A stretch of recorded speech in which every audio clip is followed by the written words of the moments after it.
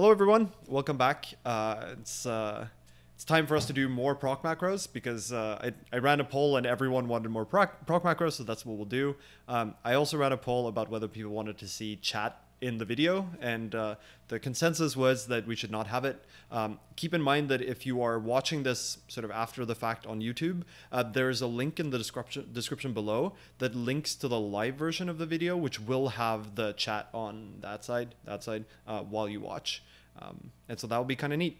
Um, so before we get started on today's stream, um, I also want to point out that um, I tweeted this uh, a few days ago that uh, I used to have a Patreon for this work that I do and realized that I'm not allowed to have that in the US um, because I'm not allowed to have any source of income outside my studies.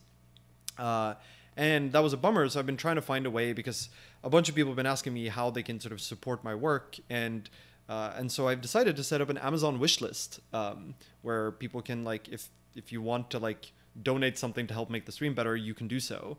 Um, and I posted this a few days ago, and I've already been just overwhelmed with the responses. It's been really cool to see people just like strangers on the internet sharing things with me. Um, and so to all of the people who have sent me things, thank you so much. I appreciate it a lot. It uh, it makes me uh, uh, yeah, it's great it's uh, very much appreciated. Um, and so there's a list where there's some small things and some large things. There's a bunch of D and D stuff because I like D and D. Um, and so if you want to buy, buy me stuff from this list, then that would make me very happy. If you can't, that's okay too. This is just the only way I could find where there's some way of showing support.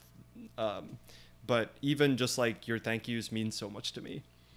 Um, I also want to remind you about the live coding voting site. Um, so I'll post this link in the chat somehow. Um, in fact, how will I even do that? I will do that this way, like so. Um, so on the site, you can vote for upcoming stream ideas. Um, it, my guess is this will be the last proc macro stream. Uh, and so the next stream, unless things change, is going to be a second open source contribution stream. We did one of these a while ago, and the idea here is basically um, I spend like the five hours or so that the stream goes for uh, um, trying to contribute to a number of different open source Rust projects. And I'll sort of solicit opinions from you, the viewers, as to which projects we should contribute to. Um, and it can be small contributions, large contributions, whatever we feel like we want to do. Usually what we'll do is try to find less developed projects and then look at issue trackers, for example, and then try to find a thing to contribute.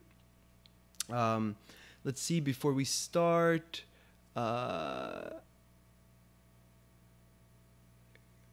mm, okay, so there was a question here. Uh, do you have any videos implementing event loop? Um, so some of the future stuff is event loop based you could try that. Uh, I couldn't have a Patreon because as a, I'm on a student visa in the U.S. and so uh, I'm not legally allowed to have any source of income that is not basically my um, uh, the assistantship that my university pays me. I'm not allowed to have any other source of income. Um, okay, so let's drive dive into procedural macros again. Um, I'll try to get better at like reading chat aloud as well. Um, so I'll be monitoring that in the background. So if you remember from last time, we started working on David Tolnay's um, procedural macro workshop from the Rust uh, LATAM conference. Um, and we basically did the very first exercise of deriving a builder pattern. So the way this looks is you want to have some kind of struct and you want to be able to put derive builder above it. And what our macro does is basically generate the code to have a builder for that thing. Um, so if you remember back to, let's see if I can find this. Um, mm, let's go with builder, just to sort of bring us back to where we were. Uh, 09? No. Let's do 08. Builder 08. No. Builder 07. Great.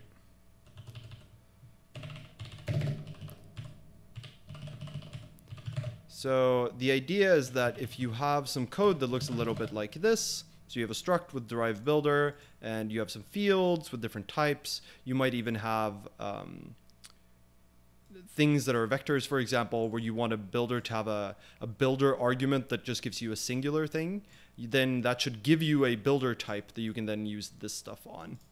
And so to remember, the procedural macros basically take as input. Oh, what did I do? I did a stupid, did I? Um, the procedural macros basically take this program as an input, sort of a stream over the tokens of this program as an input, the things that have been annotated with Derived Builder, and then produces an, uh, uh, a stream that adds new tokens to the stream. So what that means is it basically expands the program. So in this case, cargo expand shows us the expanded version. So here we have the um, we have the command that was in the original source. Remember the builder, the derived builder attribute has now been removed because it's already been parsed. And what we generate is a new struct command builder with the same fields, um, a bunch of methods on that builder, and a build method that produces the final command. Um, and so what this means is ultimately this generates all the code that's necessary to make the, uh, the um, operations that the user gave us work out. Um, so the question is, if we go back to our list here, the question is what what exercise do we want to do next? My hope is that we might be able to do maybe two in the five hours we have, um, given that the first one basically taught us a lot of the concepts that we're going to need in order to do these, and then the other ones are sort of expansions upon those topics. Um, so let's do a quick straw poll in chat here. Um, let's let me first briefly go through the options. So there's derived custom debug. So the idea here is that um, you know how you can have derived debug on a struct. Custom debug is going to also let you define how you want different fields to be debug printed. So in this case, this would say print the bit mask using this format. Uh, so that would be one macro we could implement. Uh, another is seek. So the idea of this macro is that you can give the seek macro followed by basically an iterator, um, and then a segment of Rust code that will be uh, where we're gonna look for this pattern, this like pound open bracket, similar to like in macro rules, and what's inside there will be expanded n times where n is the iterator with pound n replaced with the value of the iterator right? So this would generate like CPU 0, CPU 1, CPU 2, CPU 3, etc. All of them as variants of processor. But it doesn't have to be inside of a, an enum. It could be all sorts of different things. Um, pound sorted uh, is going to be a compile time assertion that the variants of an enum are ordered. And so if you put pound sorted on an enum, then if the enum variants are not sorted, it will be a compile time error. Um, Bitfield uh, is, I see, you basically define how many bits each field takes up, uh, and then the the attribute lets you access those fields and set those fields appropriately and make sure to store them using whatever the appropriate um, integer type is. Uh, and my guess is that the bitfields one is probably a decent amount more complicated. So looking at the project recommendations here from David, um, custom debug is going to look at trait bounds. Seek is for custom syntax, right? So normally we've been using the the syn crate for parsing out Rust syntax. In the case of Seek, we're gonna have to basically walk the tree, the syntax tree, to find places where we need to replace the main variable, right? So this is basically like custom syntax parsing. Uh, sorted is mainly for looking at how to get good uh, diagnostics from a macro. And Bitfield, yeah, so Bitfield do only when you have a strong grasp of at least two other projects. Um, so I think we should, we might do Bitfield today, but we should not do it first. And so I think the options are: do we want to do sorted, do we want to do seek, or do we want to do derive custom debug? Um, all right. So votes. Who thinks we should do which? Uh, specifically, out of these three and not bit fields. We might do bit fields after, but I think we should do at least one more to like get back into the groove of things. Um, so there's seek, seek, seek is probably rather pronounced like sack than seek. Sec? Maybe. So the reason I pronounce it seek is because it's sequence, right? Seek, sequence. It's not sequence, right? Or sequence. But I don't know. Uh, sorted looks nice and easy. Custom debug, sorted, seek. Okay. It looks like there's sort of a tie between sorted and seek. Maybe? I think seek looks like the contender here. Okay, so let's go for seek first, and then we can always do the others later. I agree that um, sorted is probably uh, easier, right? Because it it only it's only like enum variants and checking whether they're sorted. All right, so let's get started with seek. Function like macro seek. Um, so the idea here is we're going to be given uh, sequence. Um, we're going to define a function like macro seek, right? And it's going to have the format like this. This is going to have to require numbers. Uh, stamping out sequentially indexed sequentially indexed copies of an arbitrary chunk of code. Uh, all right. So great. So we're gonna have to parse basically this followed by um, an identifier, the keyword in a numeric range, curly brackets, and then just regular code. And then inside of that code segment, we're going to have to look for this. Um, so let's see how we might do that. So the syn crate, uh, if I remember from last time, has a visit thing, which is basically a way to walk a syntax tree. And in this case, we want to mutate the syntax tree, right? Actually, unclear. Is that what we want to do? I think that's what we want to do.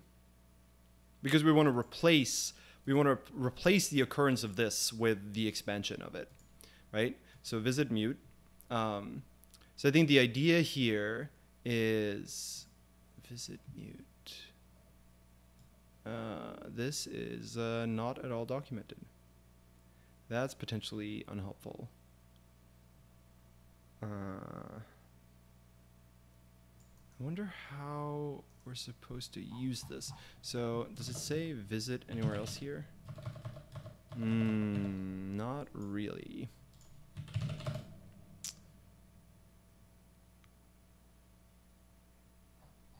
Actually, maybe visit is documented and visit mute is not. Let's take a look at visit. Mm. That seems relatively unhelpful. Is there a visit token stream maybe? Like a top level entry point? Huh. Are there provided methods for this?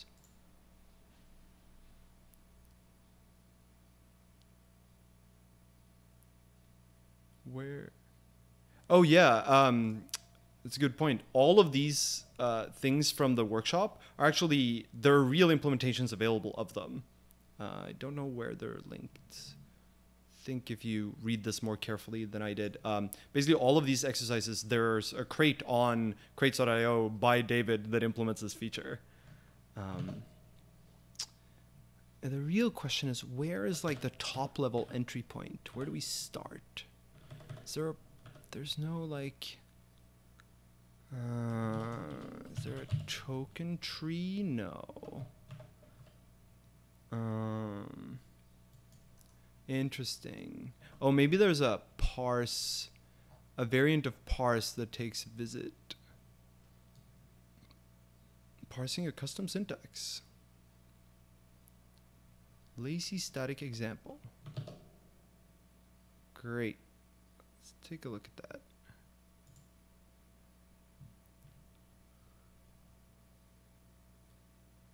Implement parse. Well, we don't want syntax that's actually this might be useful for parsing the um, this might be useful for parsing the top level thing, right? So oh, why is it? Not for parsing this business, right? That business uh, is sort of like lazy static in that we'll want to parse a particular sequence of tokens. Okay, so that works decently well. Um, mm-hmm. Getting error messages, that's fine. The real question though is ah, this still doesn't really give us uh, the visit pattern. I'm like fairly convinced we want the visit pattern, but the question is how do we start parsing that way? Hmm. Actually, I wonder whether this would let us parse module. Maybe something in here takes visit. Um,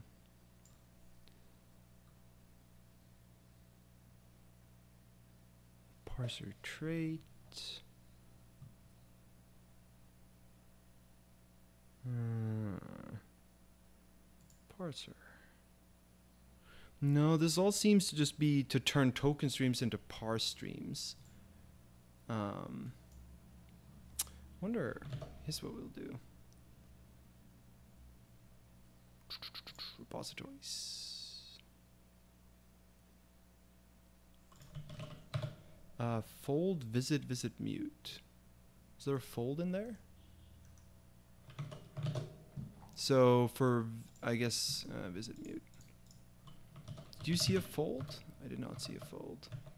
I guess this is a top level fold to transform the nodes of an own syntax tree.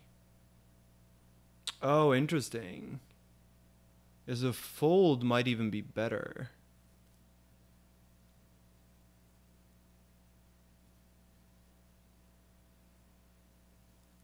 Yeah, you're right. I think fold might be a uh, might be better because that that really is what we want to do. We want to walk the input, transform it, and produce an output. But it, it sort of has the same problem in that these aren't really documented. Like none of these give me an example of what they do, although the, the function type sort of helps. Um, fold macro. Specifically, the question is, uh, what is like the top level function I call to fold over a stream? Uh, Q self.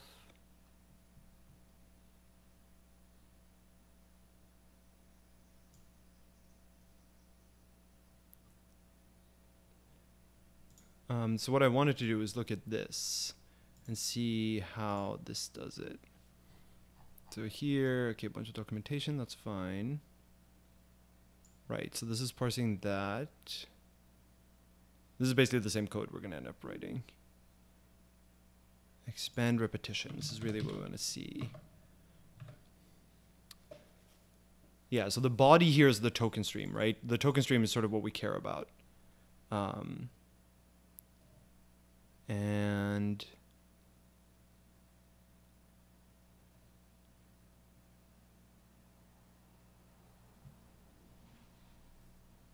Oh, interesting. So this doesn't actually use the visitor pattern, which is surprising to me.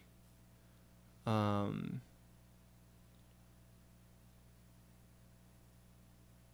instead, it just walks the groups.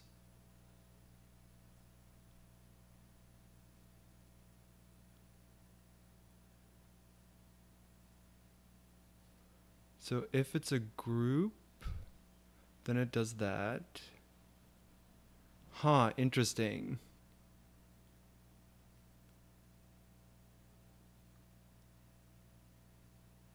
I guess what we're really going to need here is um, proc macro 2. So remember, proc macro 2 is the crate that gives us access to the procedural macros in the compiler in like a way that's independent of the current compiler version. Uh, and the token stream it basically gives us an iterator. Where's the here? An iterator over token trees that are either groups, idents, puncts, or literals. Um, okay, well, in that case, I'm very surprised we can't use fold here. I feel like we probably can. The biggest problem is that fold isn't really documented. I I wonder whether the trace var example uses fold. Oh, nice. Okay, let's try that then. Uh, trace var. Trace source. Let's see here.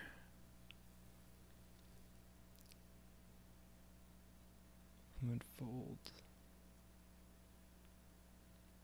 Oh, is like expression the top level thing?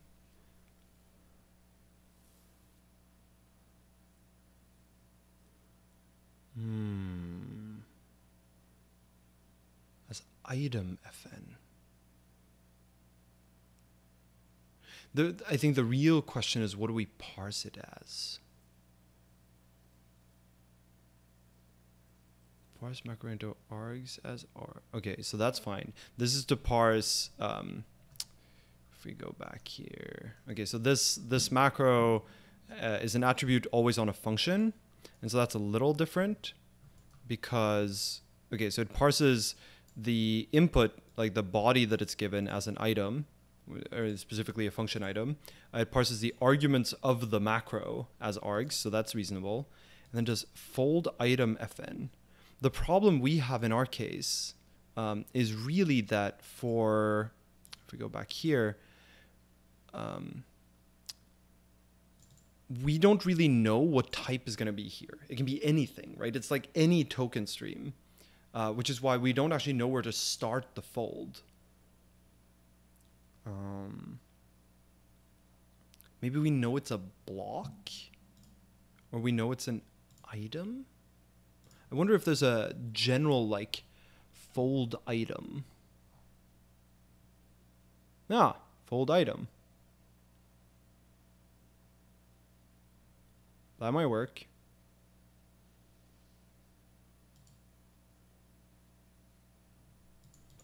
An item is an extern crate. Use a static a constant fn mod existential structs. No, because it doesn't have to be an item either.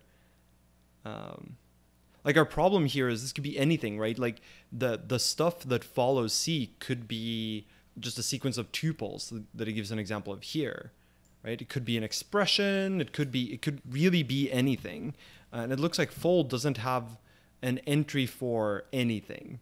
Like I, what I really want is like a fold, but I don't think there's a, just a fold. So it seems like we might actually have to just walk the uh, the token stream ourselves. It's a little unfortunate, but we can do it. Um, okay, so we're gonna start with our no longer in builder. We're gonna be in uh, seek. So we're going to be in seek. And nope. Here, this is still going to be cargo expand. And here, test zero parse headers. Great. Um, what I want is just for us to have something to start with for our um, our main so that we which we can use cargo expand with right? So if I go here uh, now run actually let's make this be in seek and this be in here? So cargo expand currently just crashes because we haven't implemented the macro but now at least we'll be able to there's something you want is called the token tree yeah yeah I, the, I know that it's a token tree but there is no fold token tree um, Okay, so what we're gonna do is we have to start implementing this thing in the first place. So seek source lib. Right, so now we're at the point where we know we defined a proc macro, right? It's not a proc macro derived like we wrote last time. This time it's a proc macro which defines a um, uh, sort of a similar thing to what you get with macro rules, like a macro you can call. Um, and so that's what the proc macro attribute here tells the compiler is that what we're defining is a function like proc macro. Uh, and what that is given is it's given an input token stream and it has to return a token stream that's going to replace the current item.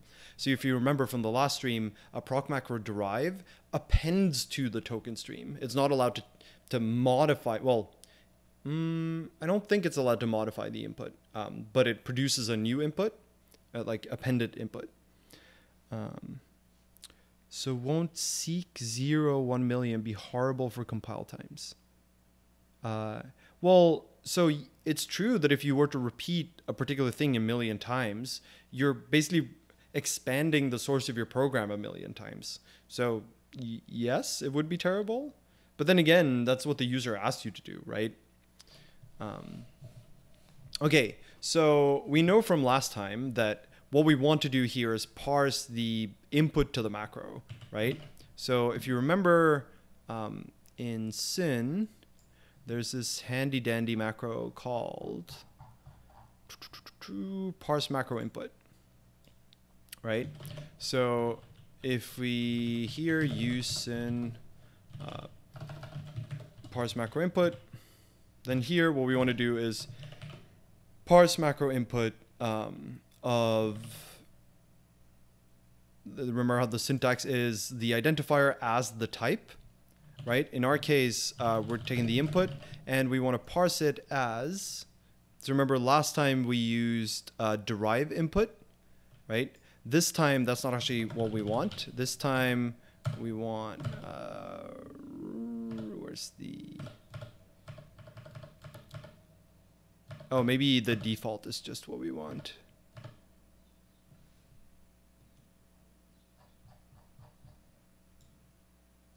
So what does it say here? As my macro input. Oh, interesting. Actually, that is what we want to do. In fact, this is exactly what we want to do, right? We want to parse it. It uh, the input to our macro is going to be some custom syntax. And so, sure, we're going to do this. Um, although it's not quite, we're going to give it a better name than that. Um,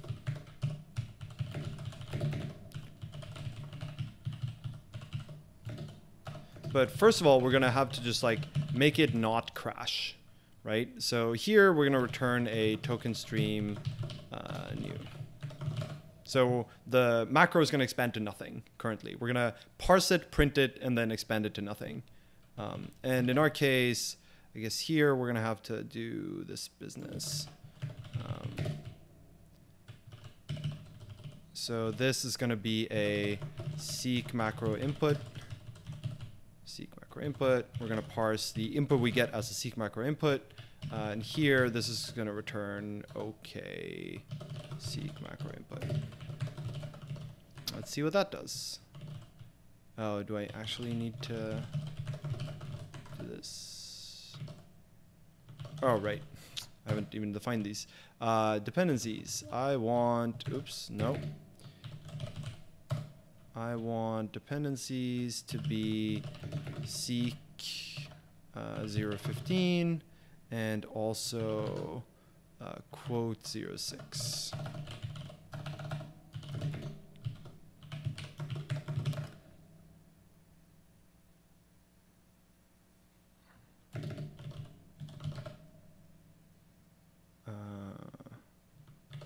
Oh, I meant Syn.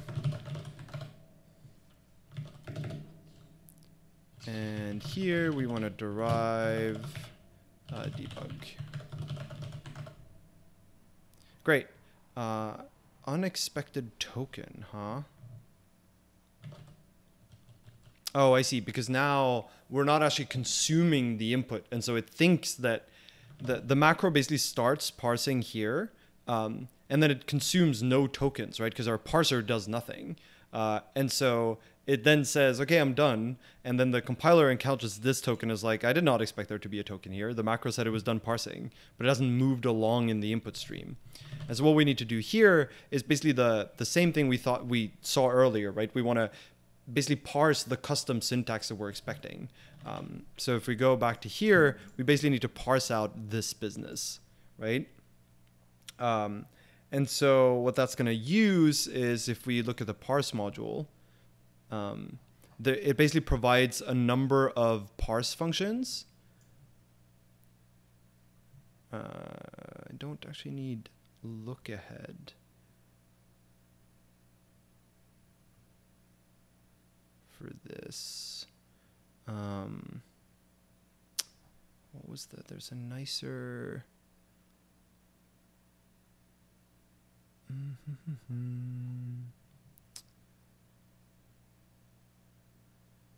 Parser. Yeah. So you basically give. Oh, I see how they've done it. That's interesting. So there's parser and parse. How are they different?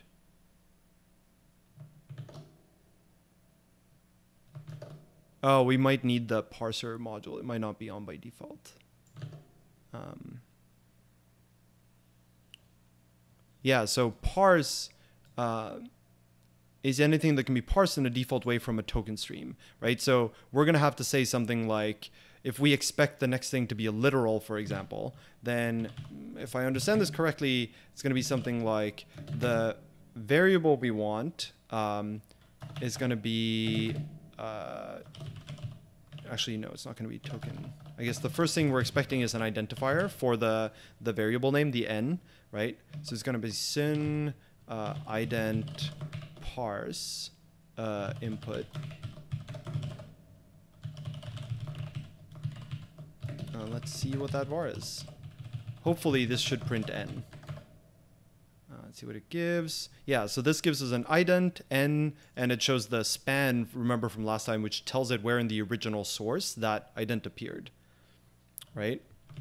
All right, parser, you're right. Parse is what we implement, but I was wondering what parser is, because all of these use parse, but I don't think it's important. Um, right, so if you look at the index we're, syntax we're expecting, we want n, we want the, um, the literal token in, then we want these things. Um, so next question becomes, how do we get a keyword like in? From memory, there's a token thing. Uh, let's see if I can find this somewhere. Is it macro? Token. Yeah. So I think this is what we want. So here, let's bring in token as well. Uh, so in is going to be token in parse input. And I guess we can we can print that out too. Although this one is less important, right? We don't actually care about the value of in. We just care that there is an in there. Uh, sorry, I meant. Ooh, that might not work.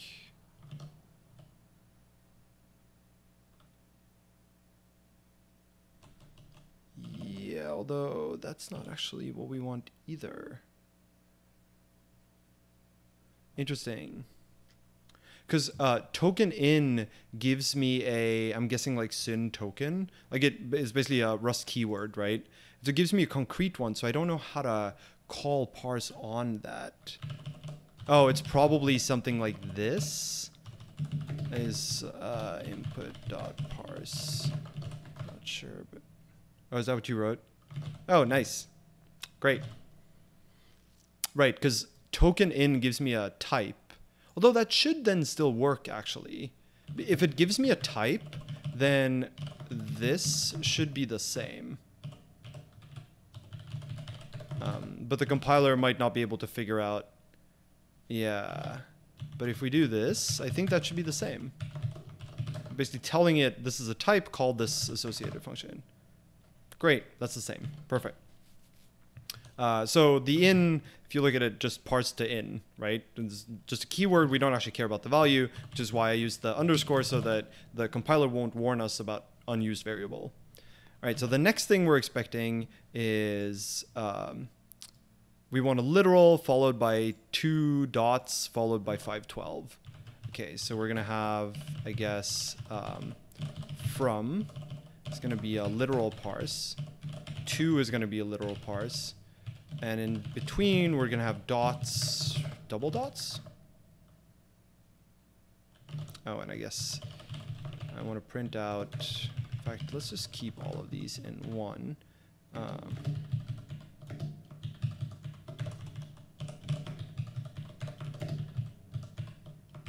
so var in from dots to. Miss any? I think that's right. Right, so we get the ident n, right? We get the in keyword. Uh, we get a literal number zero. Uh, then we got uh, dot2, right? So dot two, that is a double dot, which is a literal. Uh, then we got the literal number eight, and that's what we parsed. And then it's saying unexpected token for the the curly brackets. And so now what we want is the next thing that's going to come is basically a block, right? So the question is, how do we parse a block? What is the type for a block? Um, which, let's look at our parse here.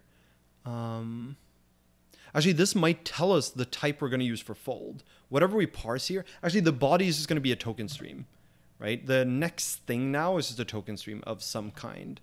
But is there a way for me to say like curly brackets. Um, so use tree is not what we want. Um, expr block. It's not really necessarily an expr block. I wonder whether it'll let me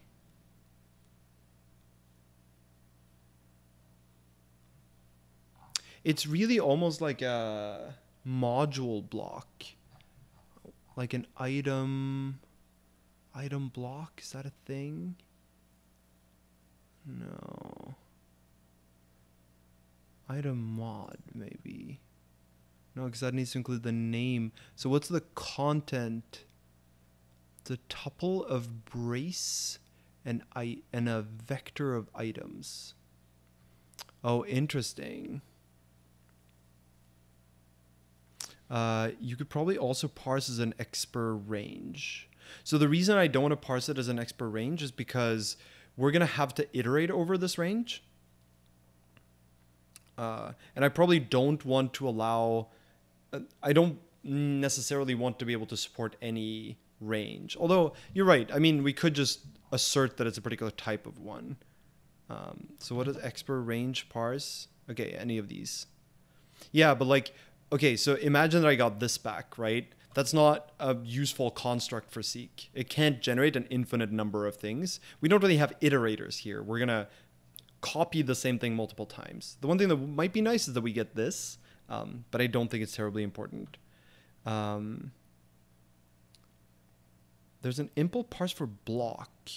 Yeah, but it, I, uh, I think a block is like an expr block. I mean, what what is a block? A braced block containing Rust statements. No, you're right. That looks perfect. I agree with you. Okay, so the next thing we're going to have is body, which is going to be syn block this. Um, but that is not an input to fold, which is weird. Uh, what? Oh, I need the full feature. Okay, fine. So version is this. Uh, features is full.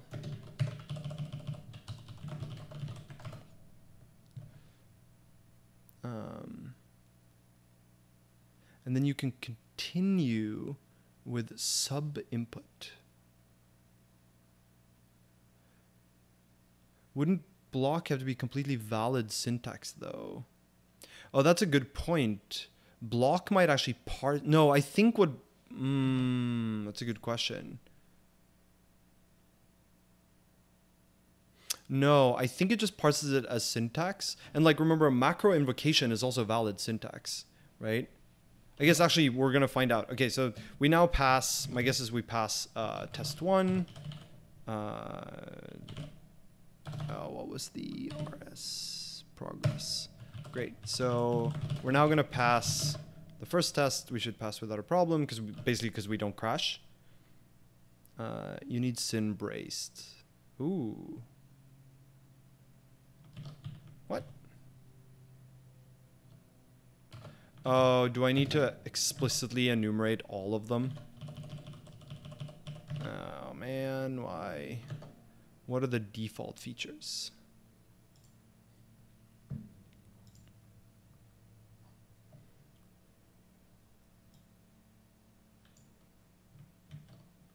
I see. So I probably what I want here is just like all features, but let's do full. Wait, what? Uh, why does it work in cargo expand but not in cargo test?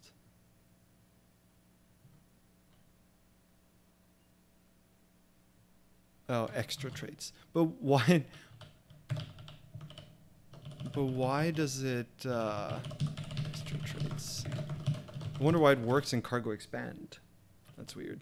Oh, cargo expand probably also relies on syn with that feature added, is why. So um, what cargo does when it builds something, it, it if it finds one dependencies and multiple parts of the dependency graph that have the same version, it takes the union of the features for it. And so if cargo expand builds with a dependency on syn with extra traits turned on, uh, which it might very well do, then it will also compile the underlying crate with that feature on, which is why this compiled fine, and also why this this um, was not working. Great, so we now passed test one, so let's go to test two. Um, guess uh, progress. Let's do two. Okay, so this.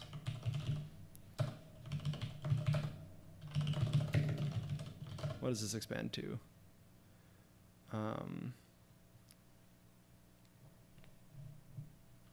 okay, so I'm guessing this won't actually pass. Wait, what?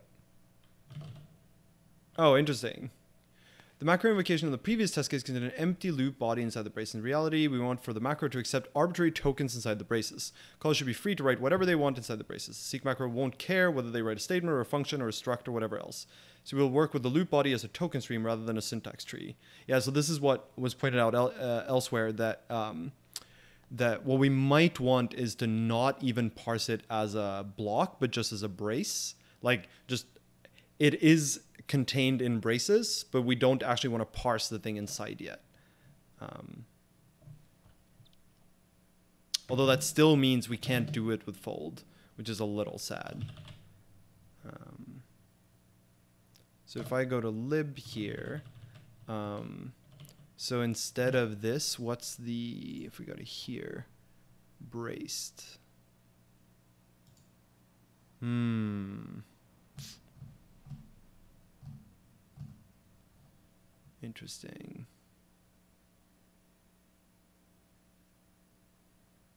Content in input. What is that? What does this do? Why does it need this in syntax? That's interesting. Content brace token is a type token brace.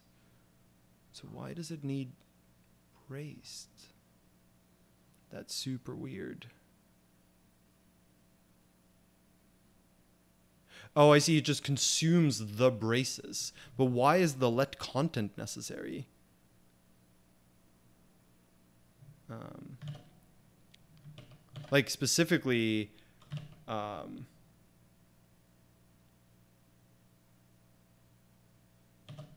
specifically, is it fine for us to do like let braces is syn? Uh, where's token? Like token brace? Parse input? Like, is that a thing that it's going to be okay with?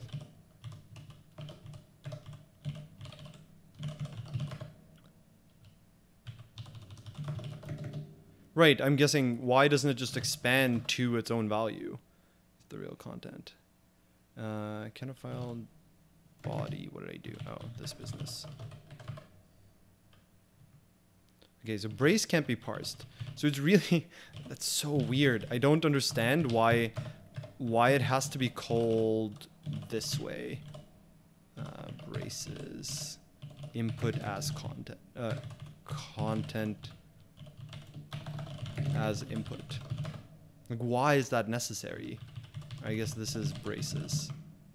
Oh, the content is the stuff that's inside.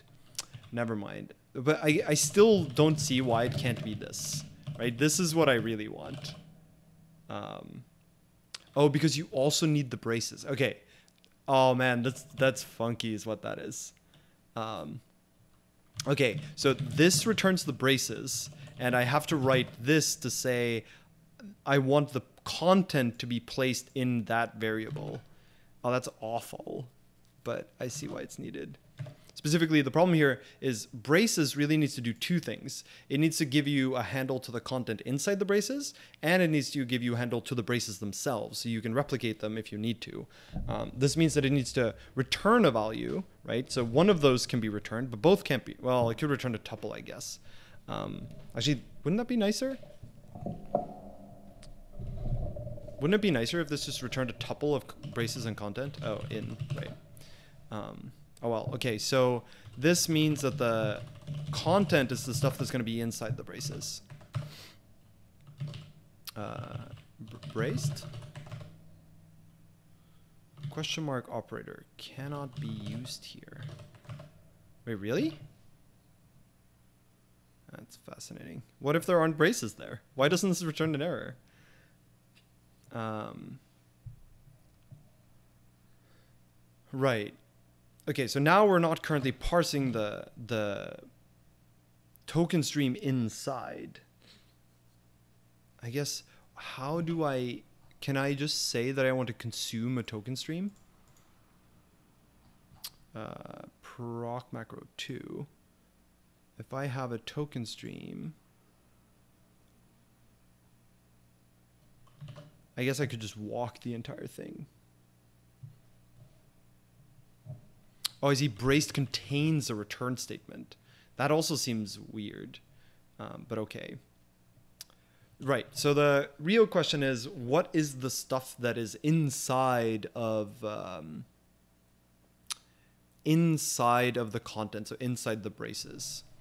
Well, I think what we want here is um, right. So the content expands to a token stream that's going to have whatever kind of syntax in it. Um, so here, what I think I want us to do is just for in content. Um, hmm?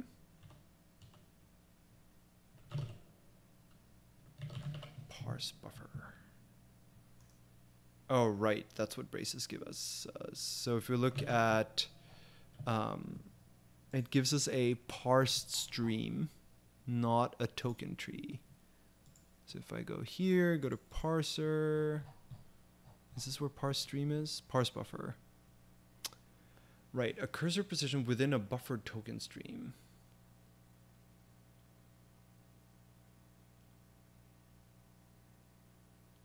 Uh-huh.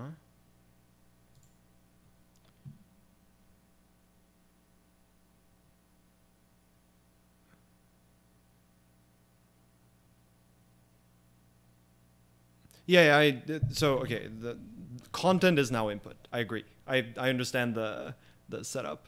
The the point now is content. So the the error we're now getting is uh, in parsing. Um, we're currently looking at over here, right? This is the current file we're trying to work on, and currently what we've done is we've parsed everything up to the curly uh, this curly bracket and this inside here is still a token stream that we're not consuming anything of. And this is really what content points to, what I've just highlighted. That's what the content variable is the a parse stream over that content.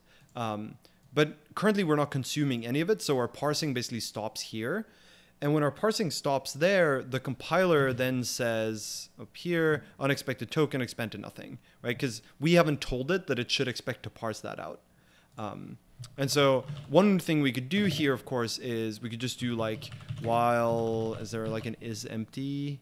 Yeah, okay, so while not content is empty, um, and then like, uh, th- uh, yeah,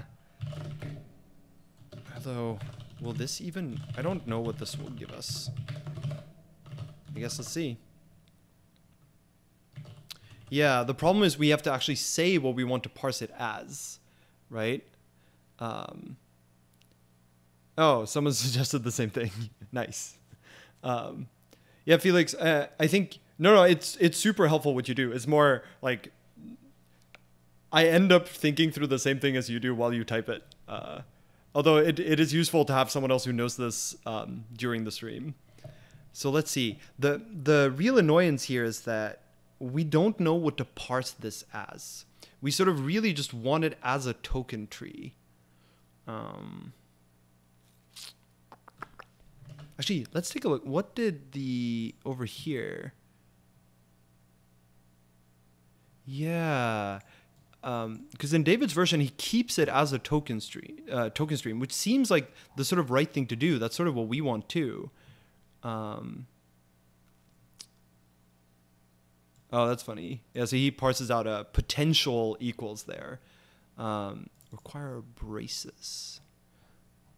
So this seems to be much lower level. Does he even use syn for this? Oh, he just parses it manually. He doesn't even use the syn crate for this. So that's part of the reason why this gets complicated. Um, whereas we're trying to do use a do it with the syn crate. So what does he require braces? Where does require braces come from?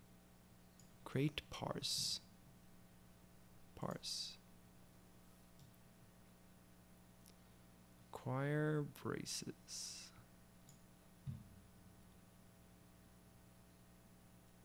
Hmm.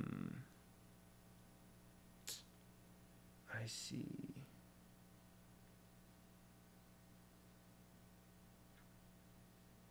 Yeah, this is why we might not want to use the. Um, this is why we might not want to use um, the syn parser for this because here. Um, uh,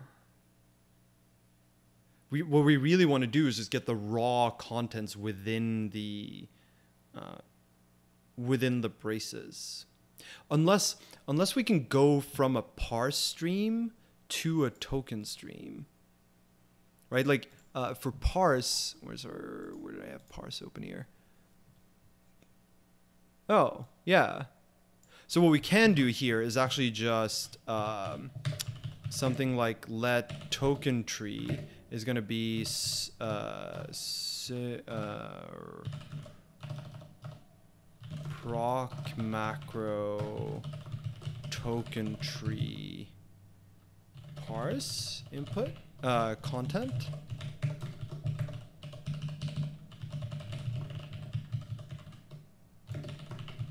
Let's see what it does with that. Uh, which token tree is this? Oh, proc macro 2, right.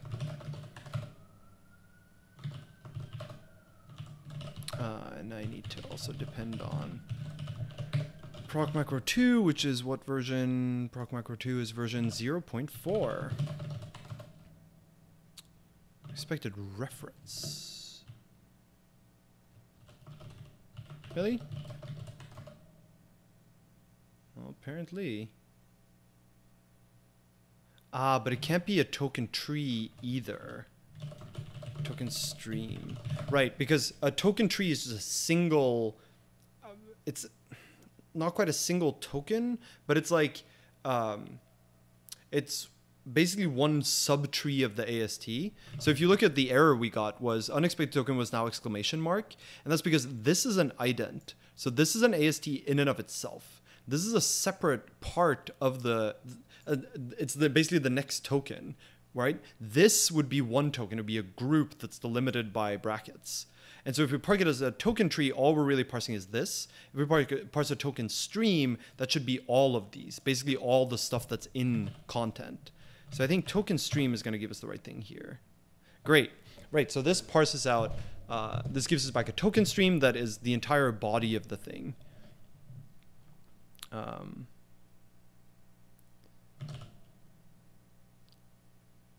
oh yeah, see? Same thing. nice.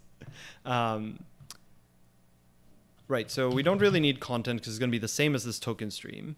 Um, now the question is what we do. So one way to do this is now just to sort of walk down into this tree until we find um, a relevant thing, right? So this now already parses everything. So we don't really need, uh, we now already consume the content. So that's all fine. Um, consider, right, we're going to need the two. That's fine. Great. So now we should pass uh, 0 and 2, sorry, 1 and 2. So the next question is going to be for uh, progress 3. So the next one, now construct the generated code. Produce the output token stream by repeating the loop body the correct number of times as specified. Okay, so this is going to be basically now we're gonna have to start to actually do the do the real code generation. Repeating the loop body the correct number of times to specify the loop bounds and replacing the specified identifier within the loop counter. The invocation will need to expand to a token stream containing, yeah, so this four times with n being 0, 1, 2, 3. Um, great. Okay, so what this is going to mean is we're going to have to walk the token tree. Uh, so let's do, do the same thing we did before. So we're going to stick this into main so that we have a good way to see what it expands to. Uh, and the cargo expand now is going to expand to nothing, right? The the input code the, that we gave, this seq, if we look at the expanded output, it's not there. And that is because the output token stream we produce is empty. Uh, and that's, of course, not what we want it to be. So here, what we're really going to have to do is um, interesting. So we're going to have to walk down the token stream until we find somewhere that is the variable. Interesting. So we're basically recursing down into the, this is where it would be really nice to have something like fold. Um, but of course, the, the problem is we don't have a top level fold. Let's take one more look at fold. It would be really nice if we could use fold for this. Um, fold. Ooh, X. What does X do? Uh, it's not what we want.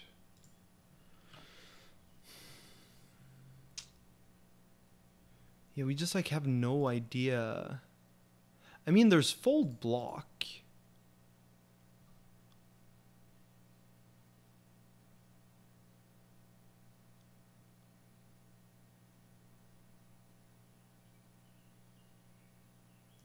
I wonder whether um,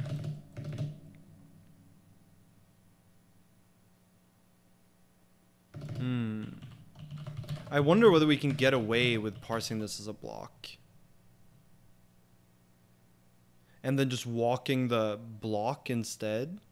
But it might not matter. Okay, so we're going to do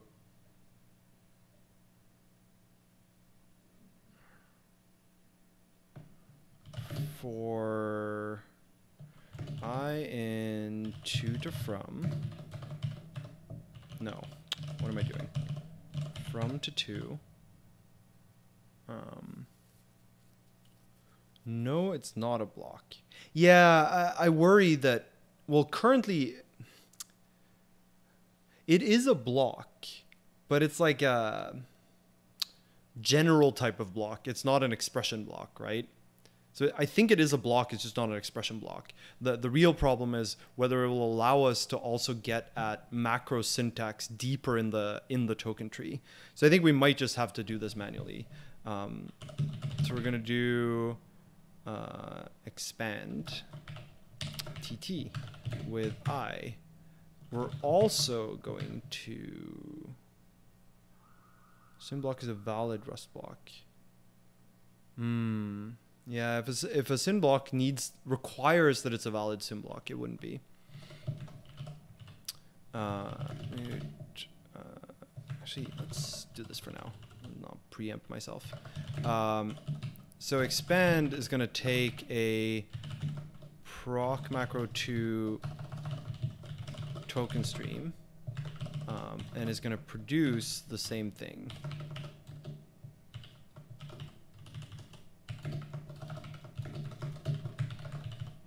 Um, so it's going to get stream, uh, probably clone, and it's also going to have to uh, take an i. Might not. No, it does need to return the token stream, but it might not need the question mark. Um, and here, what we want to do is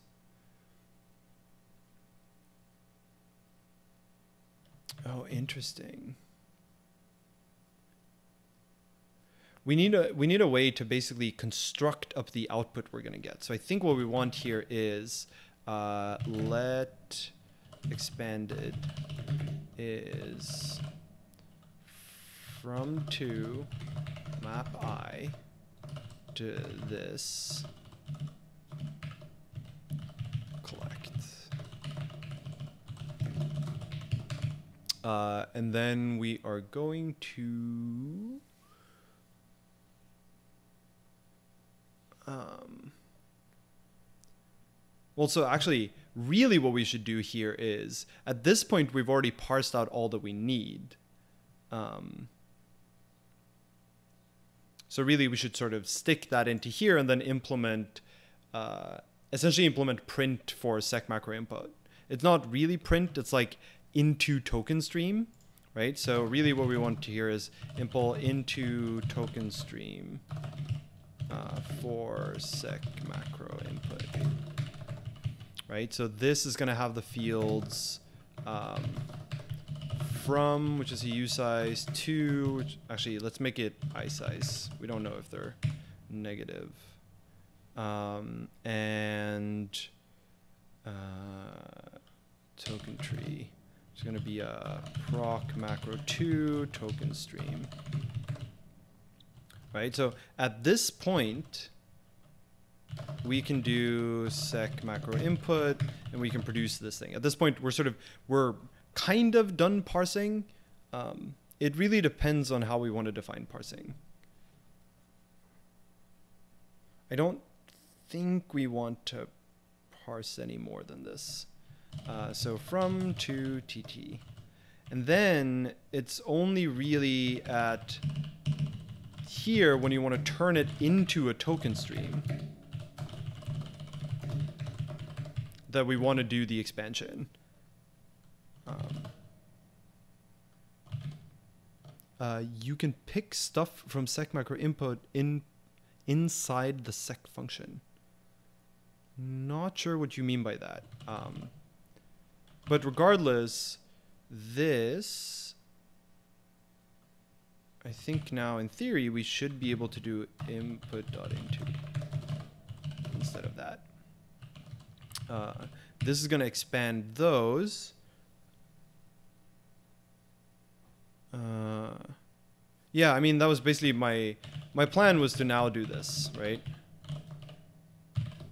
Uh, quote of Although I sort of want, uh, we also need to use quote quote. Um, I basically want this to be.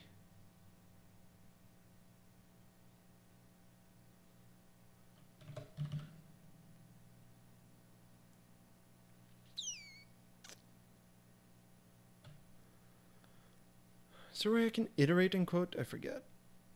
Um, it might be that the way we have to do this is uh, out is going to be an empty as a I guess a token, a proc macro two token stream empty, and then this doesn't need to collect. We just do for i in this, and then we do um, out is quote. Um, oh man, I forget from our other one. Pound is what it is. Um, expanded is expand tt dot uh, self dot tt dot clone i, um, and then this is going to be um, out and expanded. And then we're going to produce out.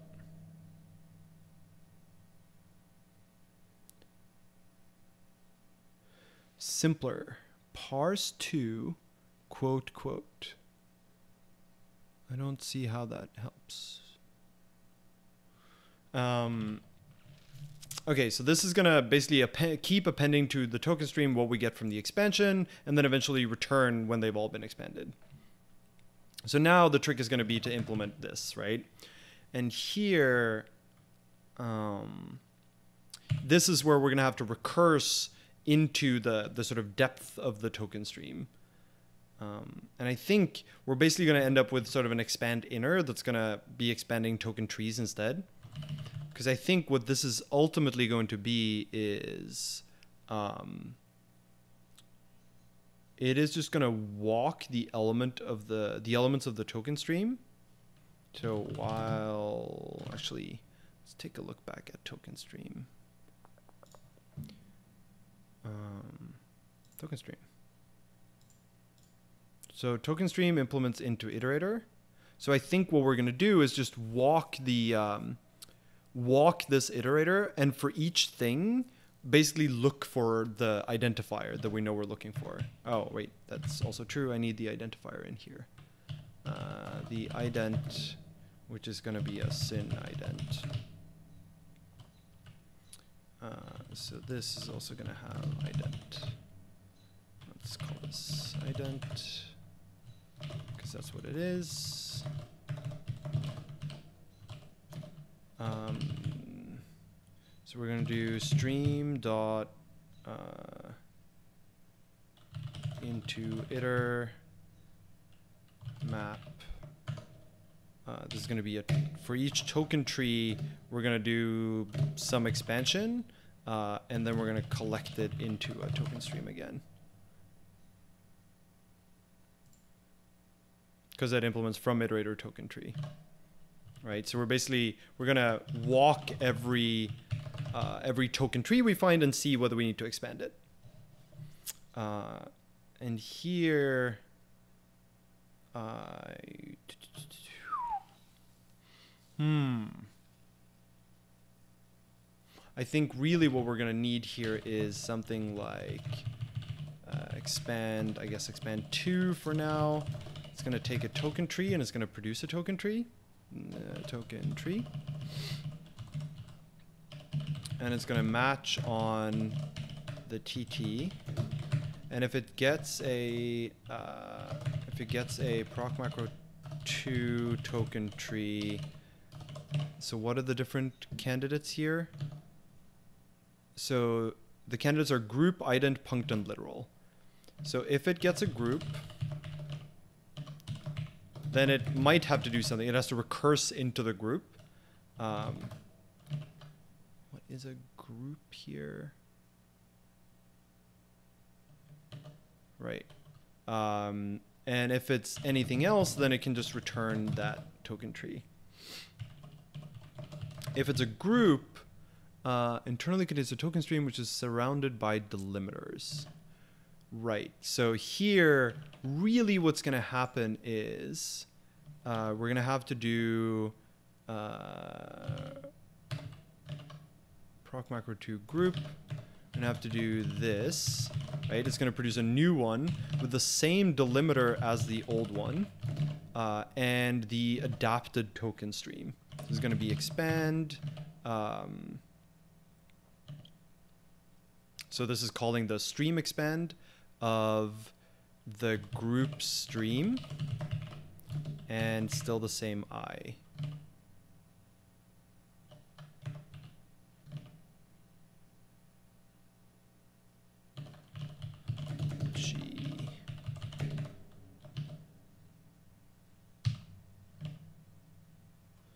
And we probably also want to do uh, set span is going to be g span. So this is going to be the expanded. Expanded. Uh, so this is going to produce a this of expanded. Right? So this is going to map a group into us expanding the stuff inside the group. Uh, and expand is just going to call uh, expand 2. I guess actually it might have to do this.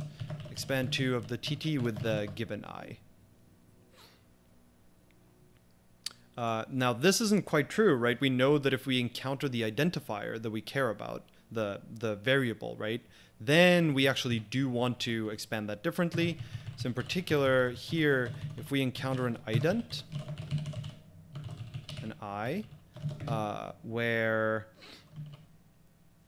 uh, it is item we want, right? Ident. Probably ident we want. Um, and if that I...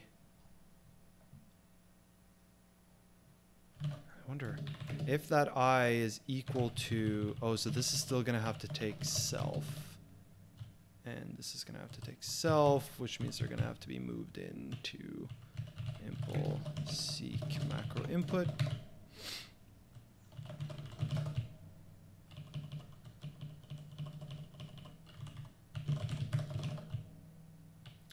Uh, this is gonna be self.expand. Um, right, if the i is equal to the identifier that we were given by the user, then we do something. Specifically, then we expand it to, um, then it's going to become a proc macro 2 token tree literal instead. Uh, and specifically, it's going to become the a literal that's going to be the current i. I guess i here is going to be an i size, we decided. Um, and that literal, I think there's like syn lit from i. Um, although I think we want to make sure that we keep the right span here. So the lit is going to be this. So this is the the literal we're uh, this is the literal we're inserting um, in place of the identifier in the in the stream, uh, and we I think we want to set span uh, i dot span to make sure that if there's an error with this literal, it is tied back to the identifier in the original input, uh, and then we give this as lit. All right. Let's see what this gives us. This is probably all sorts of broken. Um, yep, that was broken. Uh, that is totally true. We're gonna have to do. Wait. Up here. Self dot from self dot to self dot expand.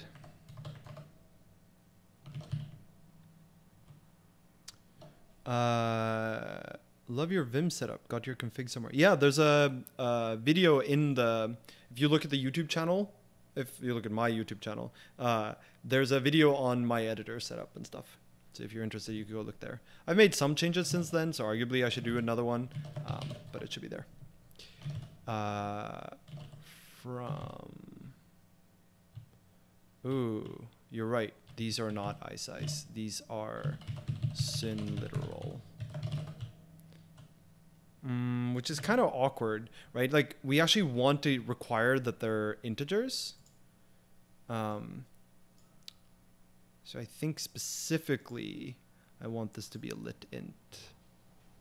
Is there a, is this implemented for lit int? Great. So this is going to be a lit int. This is going to be parsed as a lit int. And this is going to be parsed as a lit int. Now we probably need this here as well. Um, still probably going to complain that they're not numbers.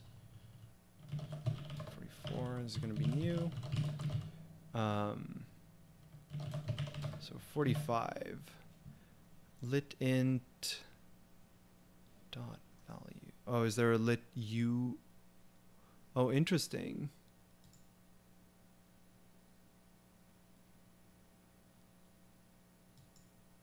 That's surprising that this is only a U64. It doesn't take a signed integer.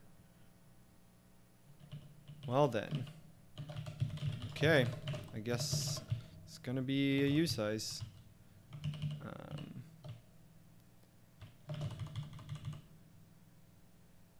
actually, yeah, no, it's gonna be U64. Fine. It's surprising. I don't know why it requires a U64. Mismatch types. Uh, expected token stream. Dot into. Right. This is needs to become so this is a token stream from proc macro 2 and we need to turn it into the actual type that the compiler expects, which is from just a proc macro crate. Uh, here from syn ident. Oh, I'm shadowing the I, aren't I? Um, ident. If ident, ident, ident. Uh, because minus one two three is two tokens. Oh.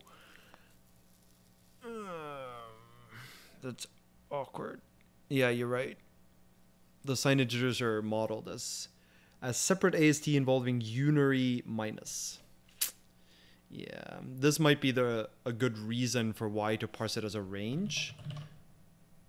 We talked about this a little bit earlier, but it could totally be that we want to use uh, expr range here because limits. Oh, that's this the stuff in between. From and to are both. Why are they box expressions? Right. This is the reason why expr range would be annoying because, I guess we would have to check that the exprs are the right type. Um, so what is if uh, an expr lit is a lit is a hmm. Wait that doesn't seem right either. Oh it would be an unary expression i see. Yes we would actually have to parse it. We, we would have to walk it all the way down to figure out what it is so even expr range wouldn't really help us here. Okay, uh, that's fine. How about now? Uh, 63. Sorry, this, you're right. This should say I. that was the whole point in the first place. From U64 is not implemented for synlit. Uh, really?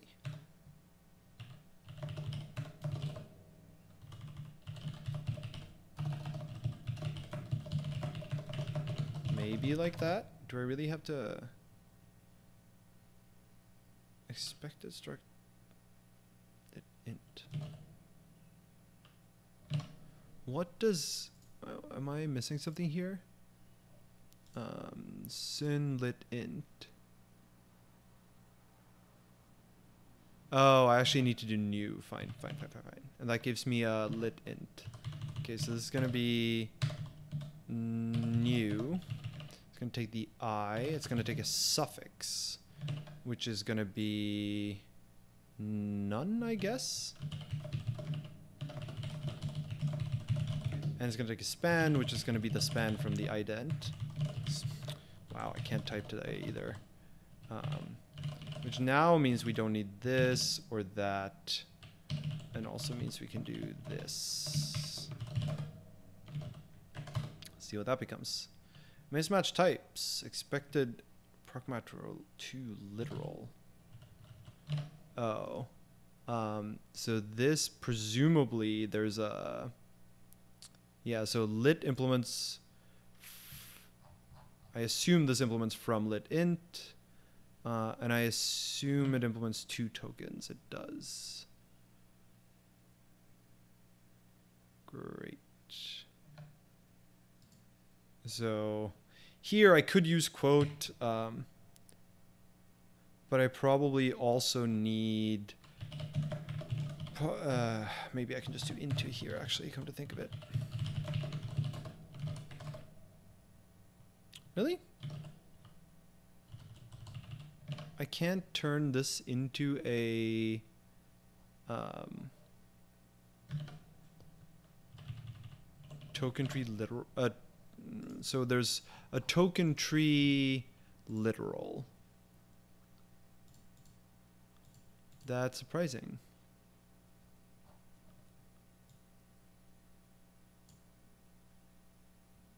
I mean, I guess I could just construct this instead. I don't need to go through syn for this. Um, so I could here instead just do, um, basically go back to this and say um, the lit is going to be not this, but proc macro 2 uh, literal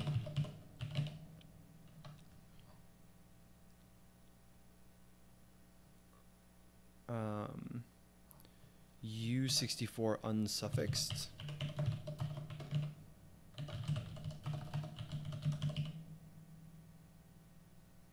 Or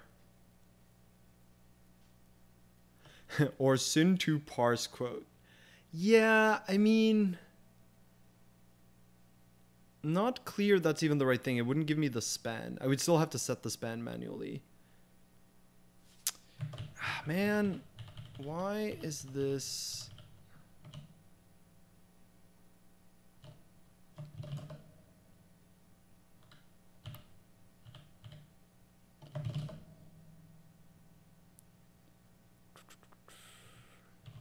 Like, really what I want is just this.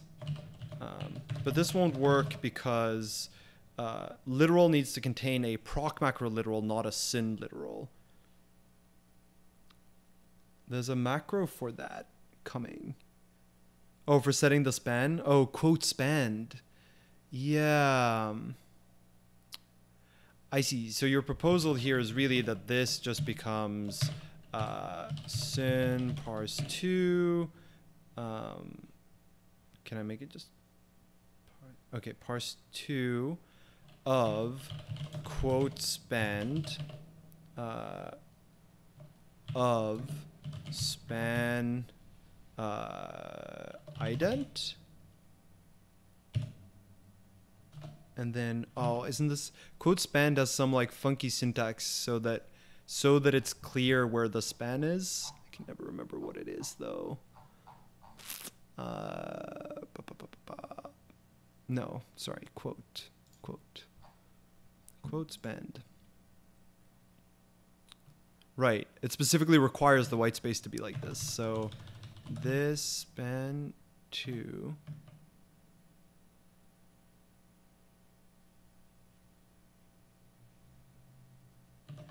Oh, this is the name of it. So this would be like ident. And then here, I guess it would just be uh, pound i right? Uh, what am I missing? And this. Or on one line with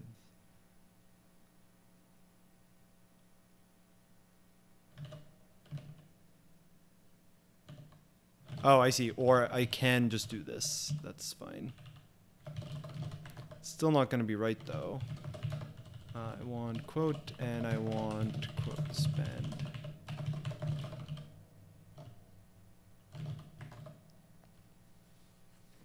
Actually, is this quote going to just erase all of my... It is, isn't it? I think we're going to have to be a little bit clever here, which is... um, this is going to be this dot map this dot collect.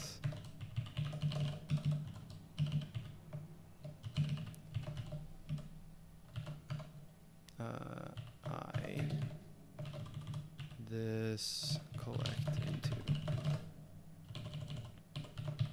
where this is going to be a proc macro 2 token stream um,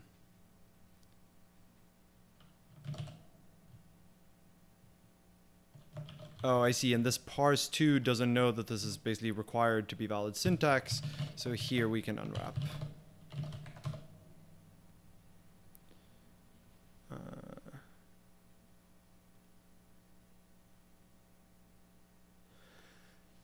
um, quote, doesn't require it, but it prefers. Oh, one line. Yeah, yeah, yeah. Uh, you can make a vec of syn types and work with that. I don't actually need the vec of syntax though. I think this uh, this collect is fine. Um,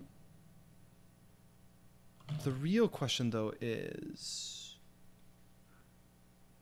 punt ops range. Well, that's not right. This needs to be this first of all. Um, this is now a ref can't compare syn ident with this, so this has to be that. Ooh.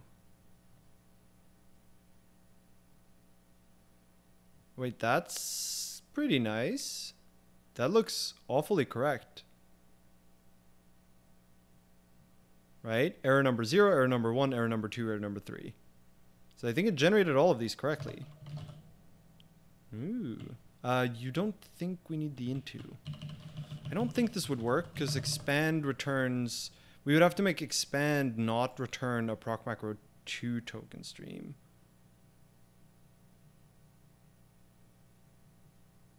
Uh, I don't think that will work. Yeah, because expand. Um, yeah, we want that to return 2 so that we can use it in here, which means that up here. Well, I guess we could up here do into oops, uh, here, dot into. Not, uh, unclear that the two matter, uh, but then this could be proc macro uh, token tree. No, token stream, and then this can collect into that. Hmm? Am I confused? Uh, this should return this. And now into. So like, it's not clear to me that that's all that much nicer.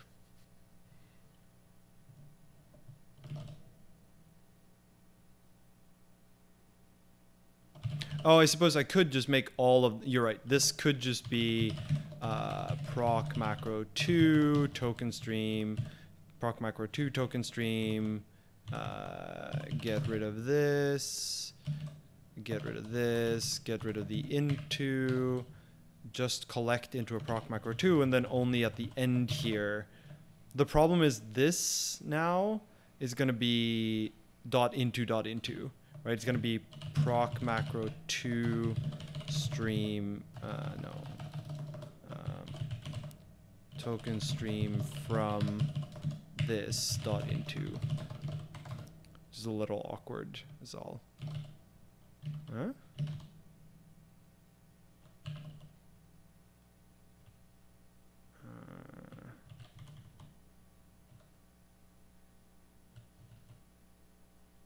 Oh, that's annoying. To token stream from input dot into. Problem is the compiler is not going to be able to resolve these types for us. So I think it's going to mean that I have to do something like uh, proc macro 2 token stream is input dot into, uh, and then like output dot into here to turn the proc macro 2 token stream into a proc macro 1 token stream. Um, but it'll still work. All right, so let's see if we pass the test now. No, we did not pass the test. We also now have an unused import here. Um, what is it complaining about? One of three tests failed. So it expected the output. Oh, it's because I also print the stuff at the top. Let's get rid of these. Don't actually need these anymore. Um, may end up needing this later.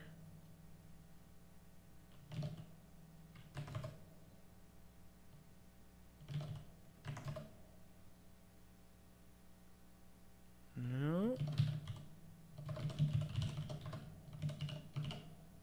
Oops, not what I meant to do. Uh, seq. So what is it complaining about now? It's complaining about the suffix. Yeah, see, this is the reason why I kind of wanted to construct this manually because this, um, I think quote always puts the suffix for integers because it knows the type of the input. Um, yeah.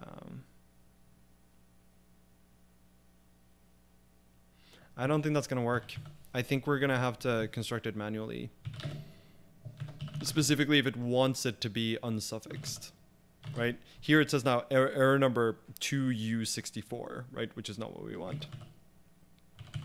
Uh, so we're going to have to go back to what we had, which is lit is... Uh, syn... Actually, can I... I can't really construct that with an unknown, can I?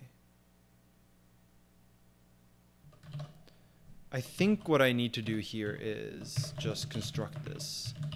Uh, macro 2 literal um, u64 unsuffixed i lit set span uh, ident dot span and then do this.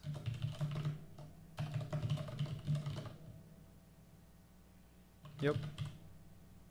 And now I don't need code expand either.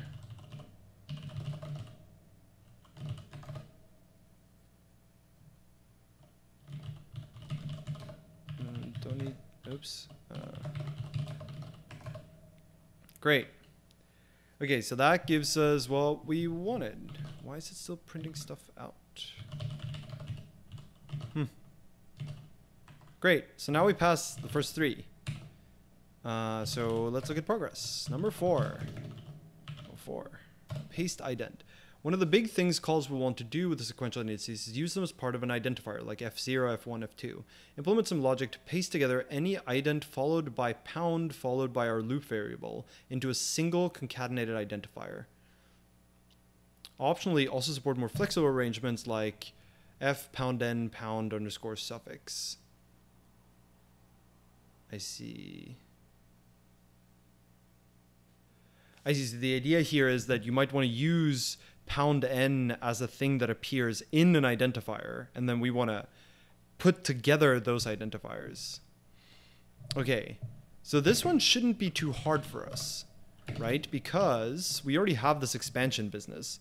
And so here what we're saying is um, if the identifier is just straight up the same as the identifier, we're going to make it n. Uh, if we find another identifier uh, where Hmm. I guess we're going to have to manage identifiers especially here. So here we're going to search for pound ident uh, followed by self ident or pound self ident pound uh,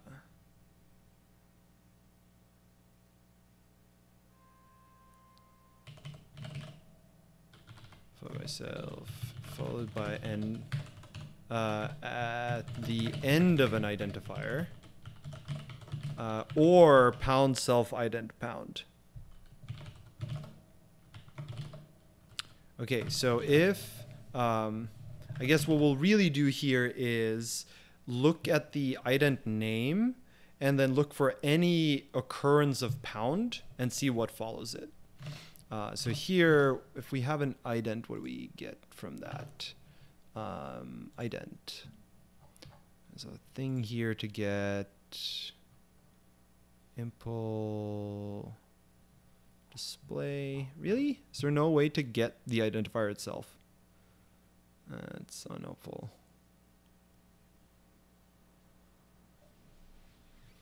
Hmm.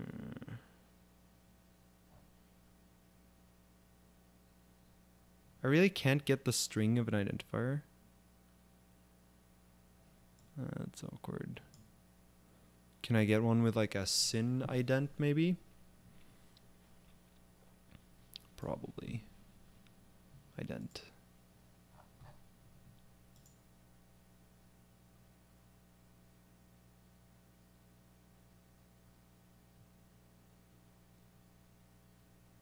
Ident ext.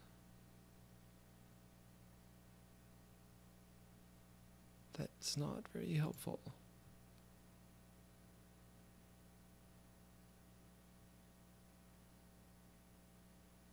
Hmm. Is it really not? Is there really not a. Ah, through the toString method. Why is that not listed here? Am I just like blind? This doesn't say that it implements toString, but okay, great. So toString. I mean, you can always format it with display, but you know. Um, all right, so let. Yeah, but does implement display doesn't give you toString, does it? Or am I misremembering? Yeah. Or maybe there's a blanket implementation of toString for anything that implements display. Um, uh, ident.toString. Uh, name. All right, so uh, we're gonna look for.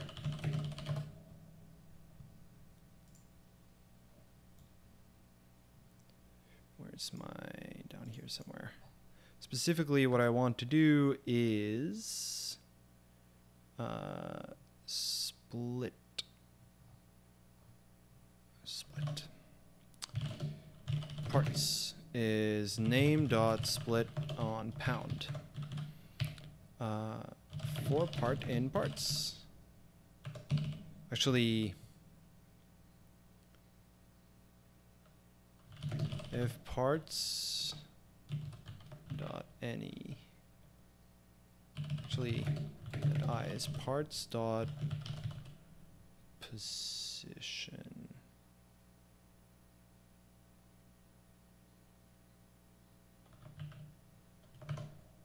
Car. Hmm no string. Where the string is equal to self dot ident. Unclear that that will work I guess it depends whether there's a partial eq for string, because there might be. Um, so if let some i, let's do a collect here.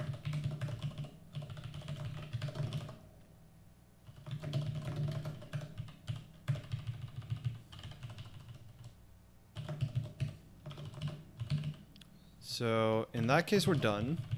If it's some, we need to implement. Um, you need to peek ahead. Ident pound. Ident. Oh, because pound wouldn't be a part of the ident. Oh, you're right. That's kind of awkward. I hadn't thought of that. So specifically, the observation is that if you have something like foo pound n, pound bar, right? This won't show up as an ident. What I was thinking here was I thought this would show up as an ident that's this, right? That where that is the ident, but that's not true. It's going to show up as foo followed by pound, followed by n, followed by pound, followed by bar. As we actually need to peek ahead in the stream when we encounter a, a literal pound, which is also going to be a little annoying because I think it's basically going to mean that we have to do uh, we have to also take the token stream here, which is pretty awkward. Uh,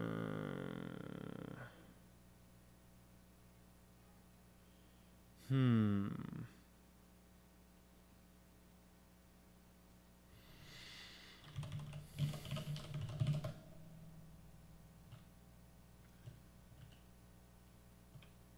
Yeah. um,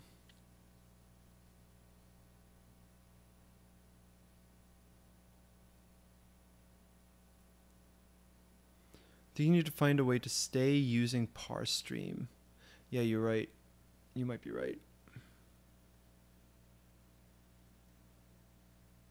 So um, in syn, uh, where's our parse? The recommendation here was is is there a way that we can keep using uh, parse buffer instead? Because parse buffer already has like look ahead methods and such. Um,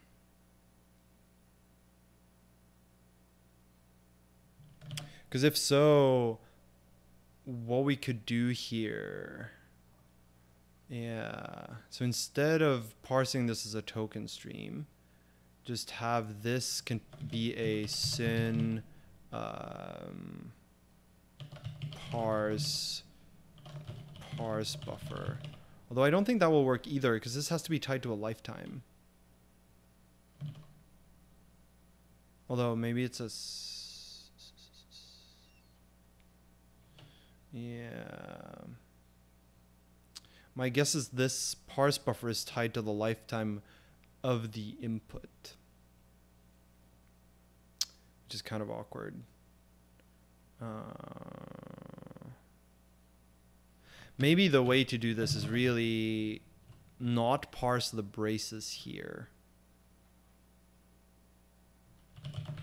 Well, or rather do this, right? But then still keep this as um, TT as input. That won't work either. Hmm.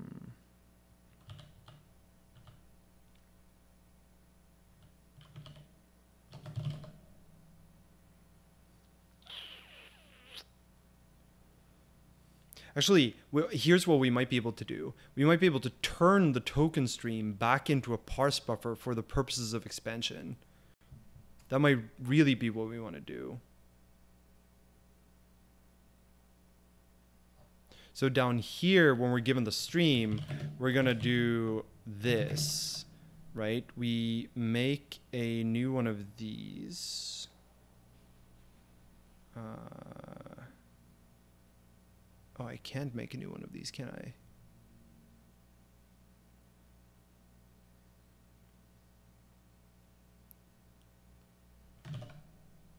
So this is going to be a syn parse parse buffer. And it's going to be stream parse.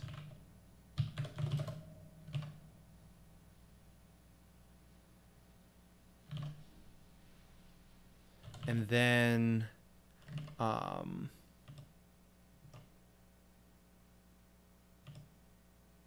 actually, why do I I see? Hmm.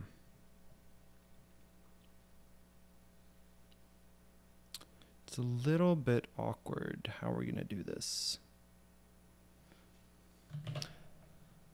So for parse buffer, um, into a something parse actually. Oh, does it implement just from? No. I don't think there's an impl from here. I mean, unless I'm missing something here, but I don't think there's a from.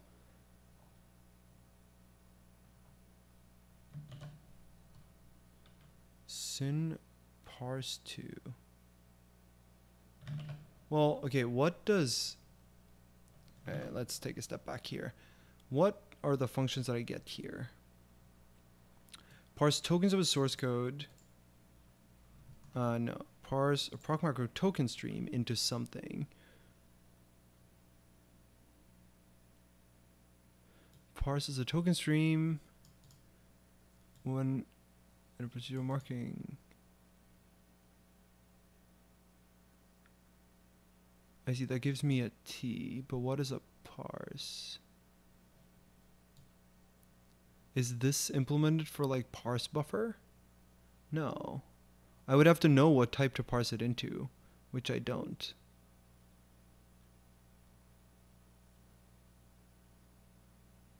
Yeah, I don't I don't think I can use this because I don't have um, it's not clear to me that I want to parse it as anything in particular is the awkward part. Like I basically don't want to write implements of parse because I would have to parse every possible item because you never know where the end is going to appear. So I would actually rather walk it as a token stream. Uh, and I think from memory, doesn't token stream also have a peek? Uh, where's token stream here? Um, I see. I mean, it has a clone. It has clone and into iterator, which is still kind of awkward. Yeah, no, I think I want to keep it. Um, I think I want to keep a token stream. And then really just do.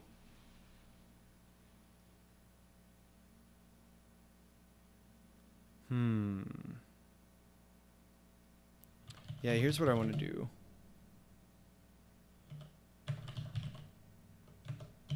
Hmm.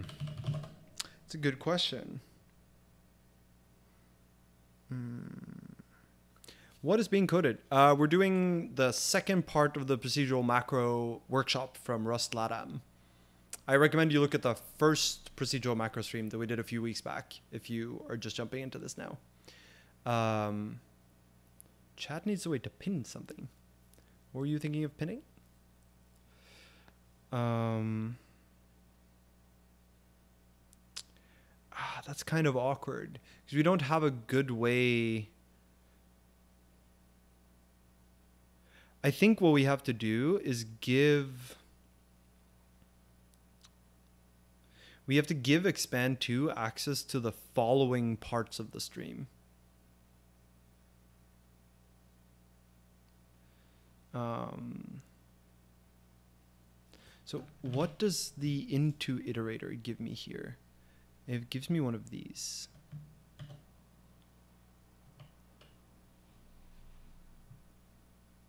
I see. Oh, the answer to what this is about. Yeah, we should pin that. You're right. Um, yeah, I might have to clone the stream, which I think is fine. It's just I have to clone it at the current point is where it's awkward. I guess I could clone it just every time I call expand.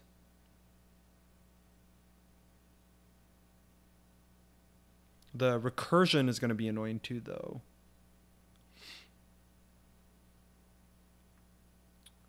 Um,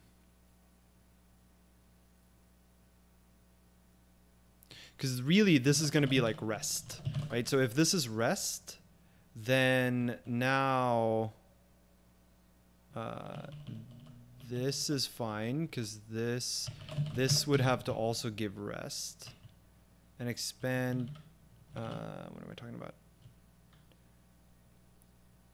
oh man yeah because no that's right gstream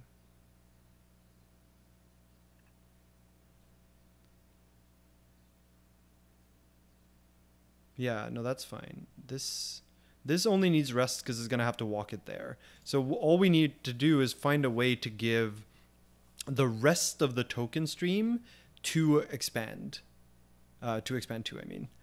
And I think the way we're going to have to do that is, um, is definitely pretty awkward. I basically want a way to walk the stream without wait is in is this clone? If that's clone that is clone. Okay so this is far easier actually. I'm just being silly. Um, so the token stream is going to be stream dot into iter. Here this is going to be far easier. Uh, where's my this is uh, token stream into iter. Uh, so here, what we're going to do is while some tt is equal to, I guess let mut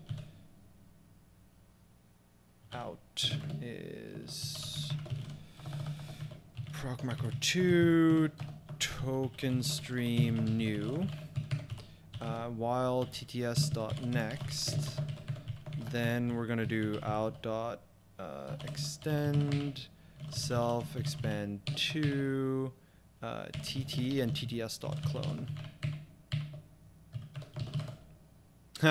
Even that's not going to work because um, we needed to return how far it walked, I think.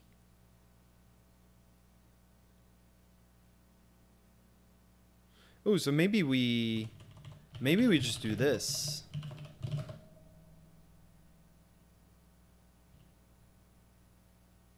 Yeah.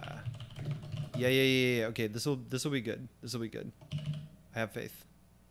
Uh, so it's gonna do this and the I, and then this is gonna return out. And now this has access to the rest mutably, so it can choose to uh, consume more tokens. And so here, oh, this is gonna be all sorts of funky. Um, so if it's that, that's fine. It doesn't have to do anything special. Here, if it gets an identifier, it's going to have to peek. And the way it's going to peek is by cloning the iterator. Um, and then... Actually, it's not even if it sees an identifier. It's if it sees a Oh no, it is if it sees the identifier because the where we where we get into trouble is there are a couple of things we could see, right? We could see foo n bar, we could see uh, foo n, we could also see n bar. No, that can't be the case because identifier can't start with numbers. Okay, great. So you will always see an ident first, and then uh, if and then I guess what we're going to do is uh, match peek dot next, right?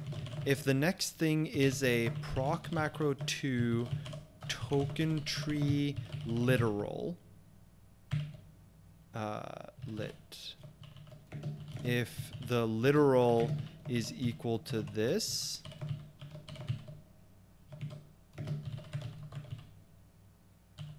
then something.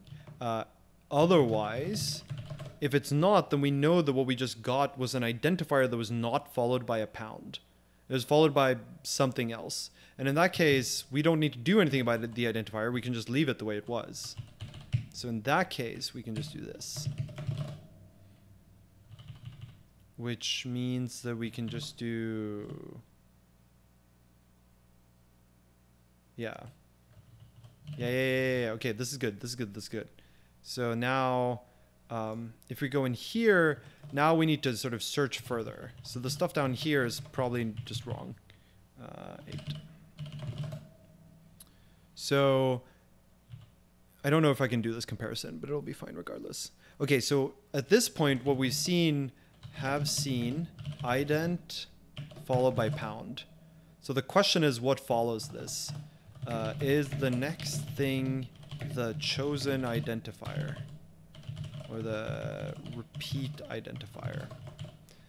Um, and so here we're going to do uh, match peek.next. Uh, and if that is a proc macro 2 token tree uh, identifier, uh, ident2, if ident2 is equal to self ident, right? If that's the case, then we have seen ident pound n.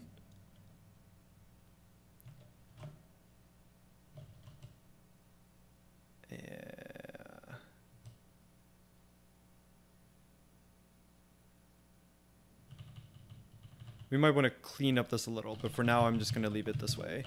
Um,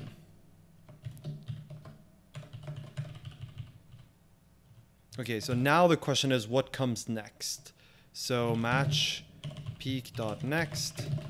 Uh, if it's none, then we know that we should expand because it means that the pound n was the last bit in this block. Um, if it's some um, actually, should we just always do it in this case? It might immediately be followed by some other identifier. Right? So imagine that someone writes like fn foo pound n I guess it would be this. So it would be a literal open parentheses. Or it would be a literal group, actually. No, it would just be a group. But you could also imagine something like const. No, what's. Uh, I can't actually think of a thing that it would be. Uh, yeah, the, the question is in this case, in what case would we not expand the n? I think in this case we always expand the n. The question is, why does the exercise talk about, uh, if you remember back to the exercise, the exercise also talks about uh, pound n pound. Oh, because uh, it needs to be, because otherwise the n would be n underscore suffix, which we would not recognize as n. I see. So it's specifically if um, if the ident is this, then uh, may need to also consume uh, another pound.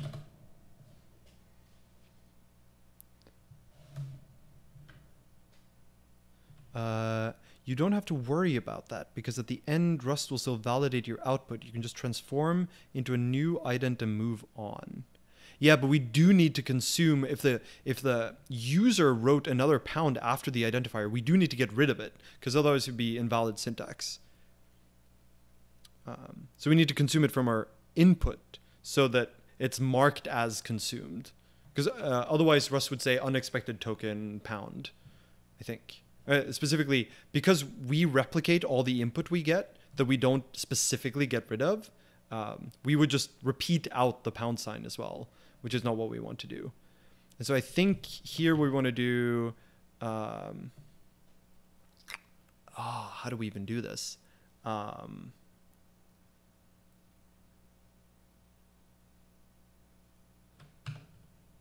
Okay, let's leave that for a second.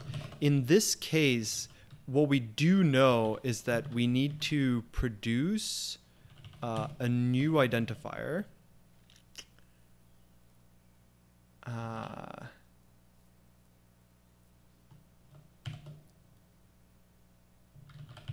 quote.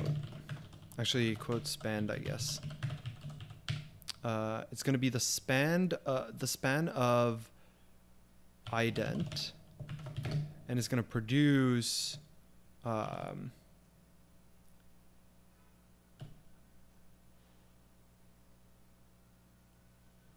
it's going to produce ident i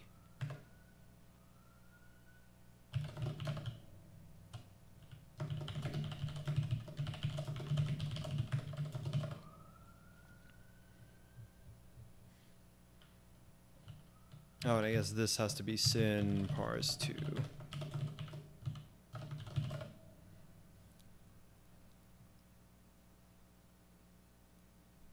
Let's just see what it gives us for this. Well, first of all, I did something silly somewhere here.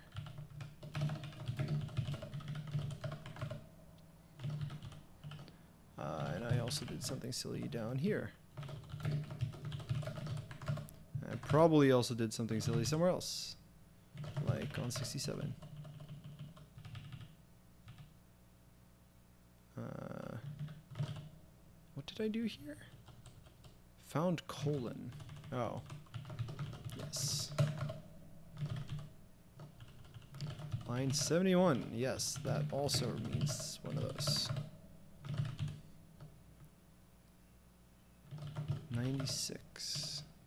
Violet. Yes, indeed. 72. Can't compare literals. Of course it can't. Uh, of course it can't. Uh, but this we know would be a proc macro 2 token tree uh, lit str. Otherwise, it couldn't be a pound. That's not true. I'm totally lying. Um, actually, it would be punctuation. It wouldn't be literal. If the next thing is a punct, and it is a what is a punct? Great. Punct. If punct is one of these guys. Uh, pound is not literal string. Yeah, that's okay. Yeah. Um, so let's see. Oh, am I really not allowed to compare that? Fine. If punct as char 76 should say, oops, should say ident. And what else do we have? 79 should say, uh, token tree. Right, this we can unwrap, I think. Um, token tree is not an iterator. Huh?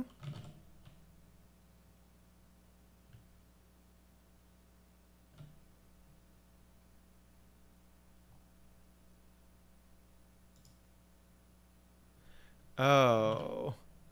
Wait a second. What else does um where is my token stream? Token stream implements yeah, extend token tree. Ah, fine. Iter once. Needs to be an iterator, huh? Uh, 76. It's complaining that I moved something.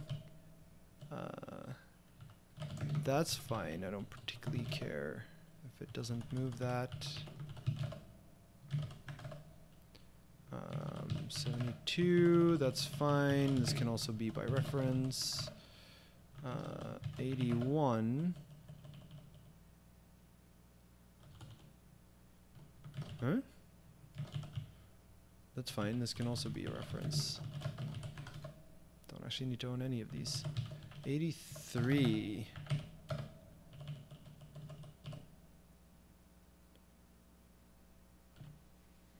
Um, oh, that's why I wanted to own that. Fine. Not important, probably.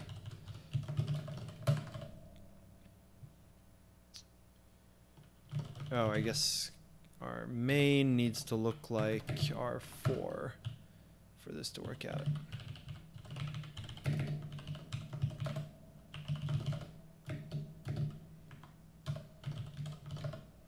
Let's expand to proc macro panicked. Ooh, unexpected token. Where did it panic? Though. Uh, also, why is it? Oh, it's printing that just to be helpful. Okay, let's have it not print that. but where did it panic is what I really want to know. Unwrap. Uh, here maybe? We made invalid syntax. Yep. Um, pound is not litstr. I don't think I'm assuming pound is litstr anywhere.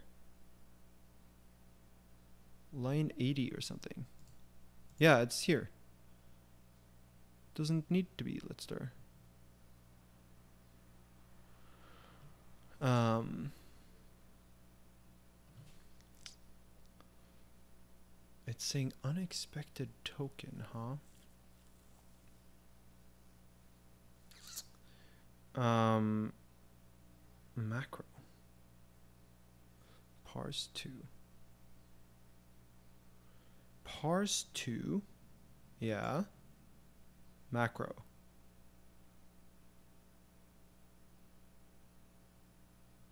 Not sure what you mean, Felix. Um, great. Um, yeah, so apparently it doesn't like this. It doesn't like trying to parse this ident that we create here. We might just have to create the ident ourselves, um, which is luckily pretty easy, right? So um, going back to here, where's our ident? So we can just create this with new, and all we really need to do is give the string in the span. Um, so here we're really just going to do proc macro 2 ident new. And then here we're to have to construct the string that's to be the be the ident. And that of course is just the ident and the i concatenated to one another. And the span is to be the um, original ident probably. I think that's the span we want. That way we don't need the unwrap either. And we no longer need quote spanned. Uh, line 81. Token tree found ident. Ooh, I see.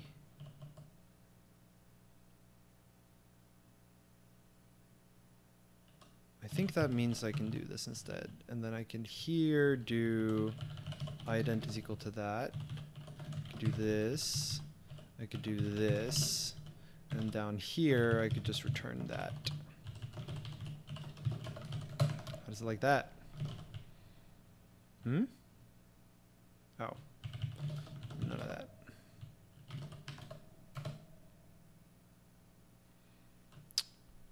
Well,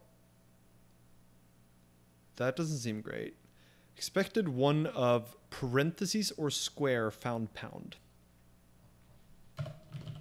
Oh, right. We're right. So here, um, uh, what's happening here is basically we are still emitting the pound symbol, right? Because um, here we given the iterator, but currently because it's just peeking ahead, it it doesn't change the iterator, so it doesn't skip the pound sign when we find it here. And so once we get to this point, we need to do uh, we need to set um, we need to set rest to be equal to uh, peek. How about that? F1, 1 times 2, F2, 2 times 2, F3, 3 times 2. Hmm, not bad. Not bad. Not bad at all. We still have this to do, right? Like, it might still be that there's yet another um, that there's yet another pound, right? So remember the case of uh, foo pound n pound bar. Currently, we wouldn't we would correctly replace this with the integer, but we would not get rid of this pound. And so here, um, uh, we may need to also consume another pound.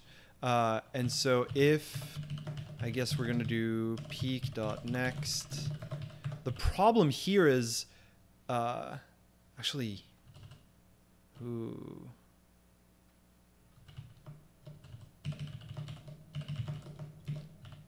we might need to, if we peek ahead, so if we peek ahead and it's not a pound sign, then we don't want to consume that next token. And so this is why here we actually need to take the current peek and store it into rest and then continue operating on peek. But we don't have a way to put something back into an iterator.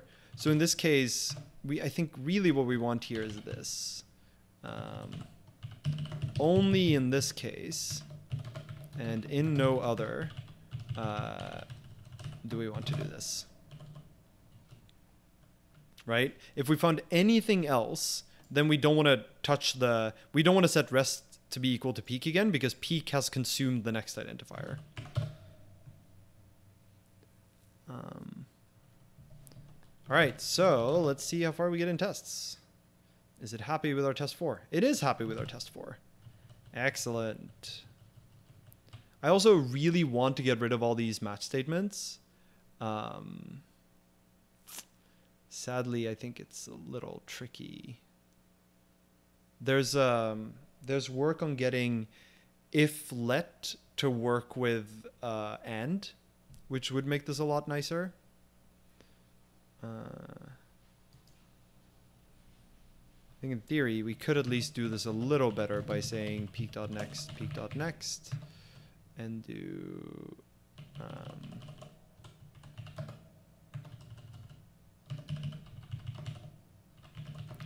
do this.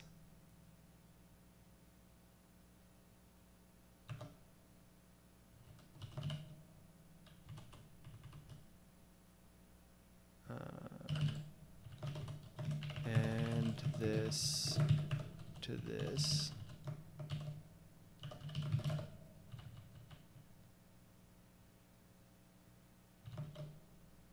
Uh, if that and this to that, then this. And now we can get rid of some of these. Am I missing something? Probably. Yep. That's a little nicer. Let's see that it still works. Great. Uh, all right, so progress. Number five. Repeat section. So far, our macro has repeated the entire loop body. This is not sufficient for some use cases because there are restrictions on the syntactic position the macro invocations can appear in. For example, the Rust grammar would not allow the caller to write that. Oh, I see. You can't call a seq. You can't call a macro here. Um, right, exactly. Instead, we will implement a way for the caller to designate a specific part of the macro input to be repeated, so that anything outside that part does not get repeated. The repeated part will be written surrounded by uh, pound open star. The invocation below should expand to whatever, yeah. Optionally, allow for there to be multiple such section, although the test suite does not exercise this case. Each of them will need to be repeated according to the same loop bounds. Ooh. Hmm. Uh, are you planning on a break? What kind of break? A real world break. Uh, in what sense? Like during the stream? I wasn't planning on it.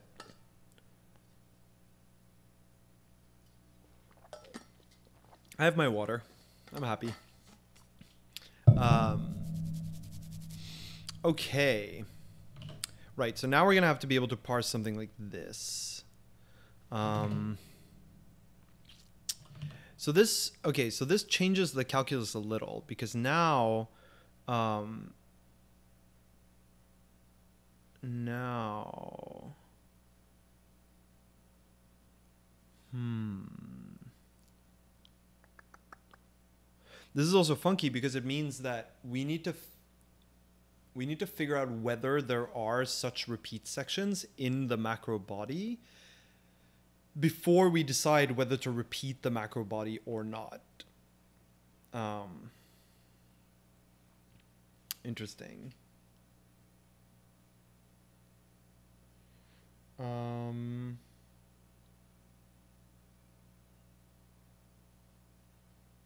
interesting, interesting, interesting, interesting.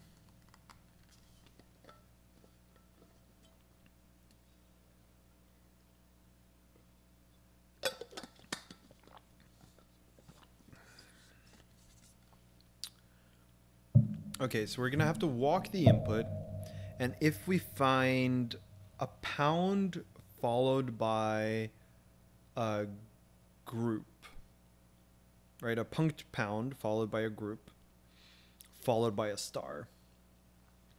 In that case, we want to repeat the body multiple times. And in that case, we don't want to repeat the overall body of the macro. Um, interesting. So, this is now going to have to change.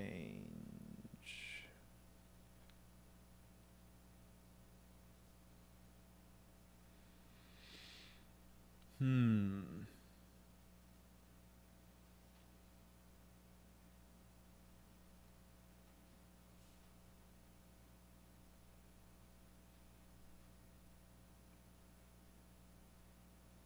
Because I think the way we want to do this is we probably want the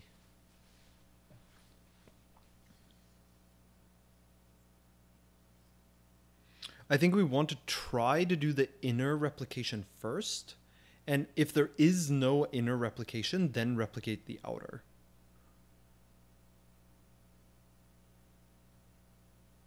I think is going to be the plan. Um,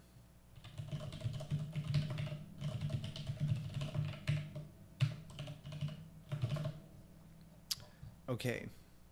So in that case, uh,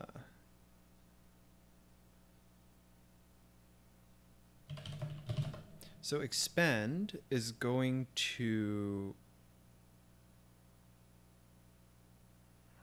huh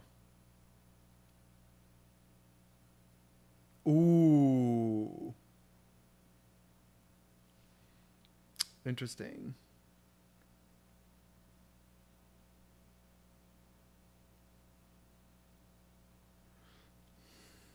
how do we want to do this? The the problem is we can't just run the inner and have it like set a boolean as to whether or not it's expanded something because um, if it told us it didn't expand anything then would it leave what would it do if it found the the repeat identifier that has to be replaced with a number I guess one way would be to run the expansion in like a mode where it knows not to replace the identifier.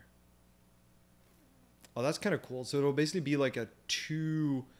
We could do this in two passes actually. The first pass uh, does the inner replacement, and the second would do the outer replacement.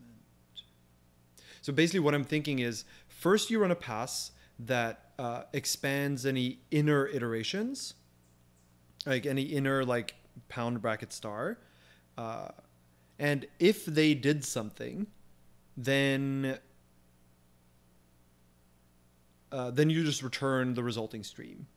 If they never made any changes, sorry, and they're they have to not be allowed to expand a uh, pound n uh, they have to not be allowed to expand the identifier to the number unless it's inside of an internal repetition. Yeah, yeah, yeah. Okay. Uh, this will be easier to explain with code. Um, okay, how do we want to do this? I think we want to do this by saying uh, expand ident bool. this also means that there's going to have to be this is going to be expand pass this is going to be I need to give these better uh, better names but let's write the outer one first so imagine that we have this expand that is sort of the the overall procedure we're going to follow. And that is going to here do um,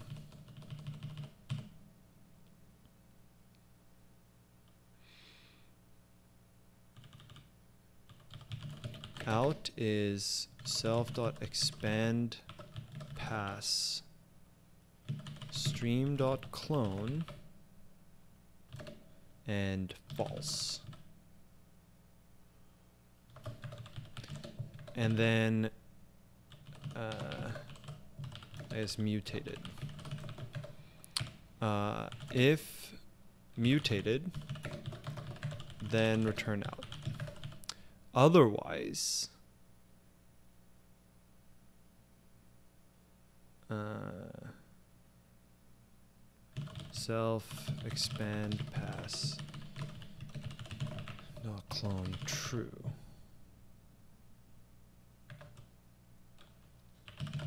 So when this variable is, and then, and then let me fill this out. So um, let mut mutated is false. Um,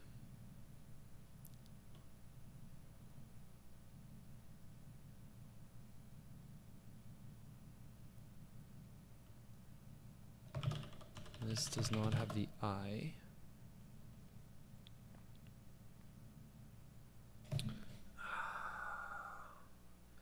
Oh, this is weird. Um, okay, so hmm, I don't know if this is the best way to do this, but but the idea here is going to be that expand two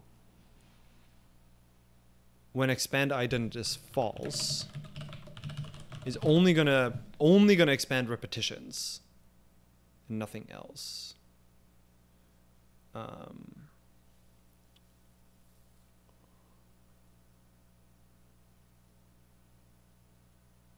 ah, interesting. Let me see if I can make this a little bit more explicit.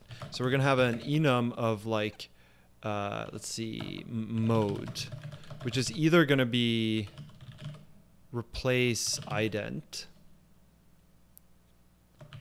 of uh, which is going to be the ident uh, i you're going to replace it with or replace sequence.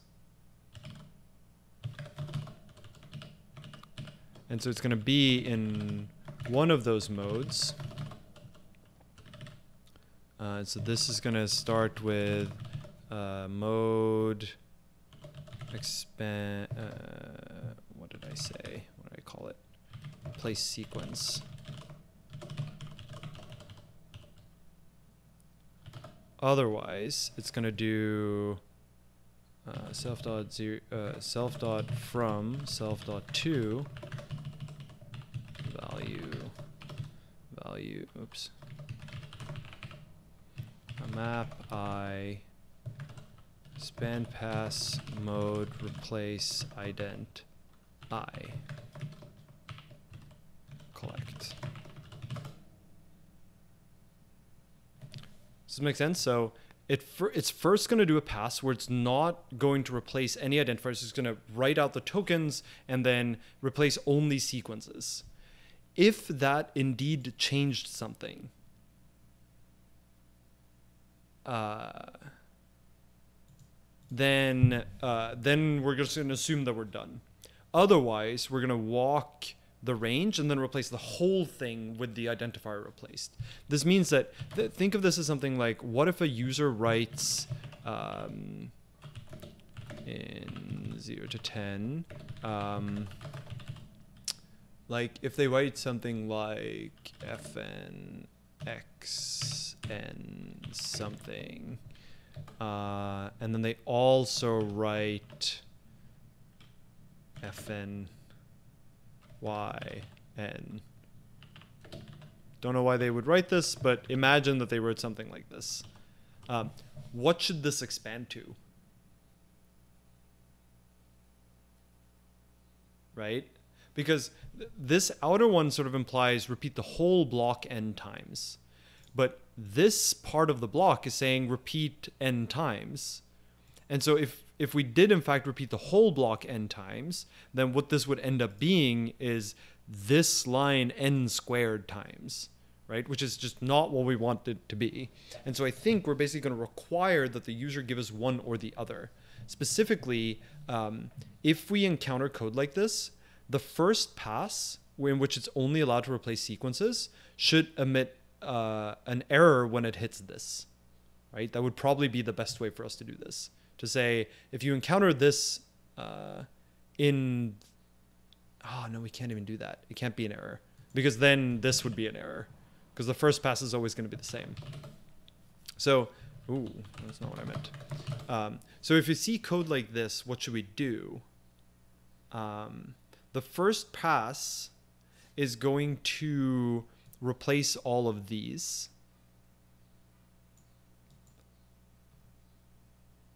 Hmm. I think the user is just going to see this as a compile error because this is just going to remain pound n. Ideally, we would give a slightly better error message, but I think that's okay. So this would actually expand only the innermost one and not the outermost one. And that's basically what this expand pass is doing, right? It's first running a pass with only replacing sequences. And if they did something, then we consider ourselves done. Otherwise, we're going to replace the whole block uh, with every eye. Okay, so let's try that. How well maintainable are proc macros? Well, what do you mean well maintainable?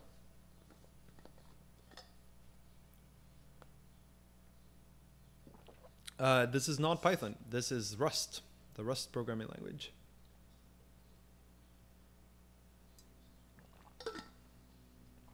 It's funny that Rust gets mistaken for Python, though. A, arguably a good thing for Rust. Okay, uh, let's see. So, this first pass is going to do a normal pass the way we did. So I think all of this actually stays the same. We just pass in the mode up here. We also need some way to express mutated. Uh, mut, mutated. So this is going to take rest, mutated, mut bool, um, and a mode. Um, if we get a group, we're to, this is going to use expand uh, balls. What's that even going to do? Pass mode.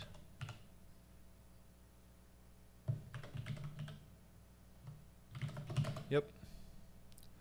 Um, if it gets an ident, so in this case, we replace something. So we're just going to set uh, mutated as true. Also, we only want to do this if the mode lets us replace the ident. So if uh, let mode replace ident i is mode, then we do that. Otherwise, we're not allowed to replace this ident, and so it's going to stay what it was. Uh, ident. I guess ident.clone. Not allowed to replace idents in top level pass. In first pass. Uh, this is not for a game, no. This is not related to the Rust game. Um, okay, so that's fine. This is going to have the same restriction where um,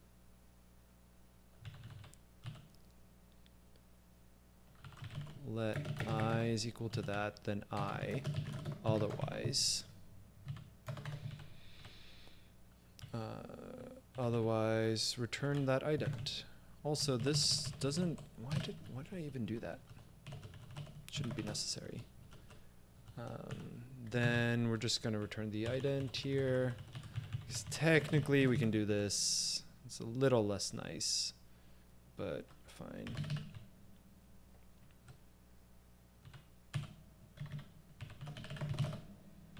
What? Uh,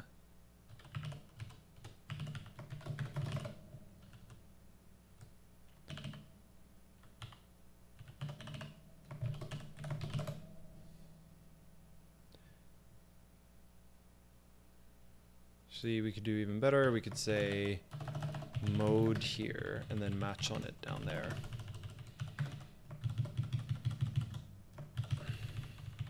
That way we don't need the if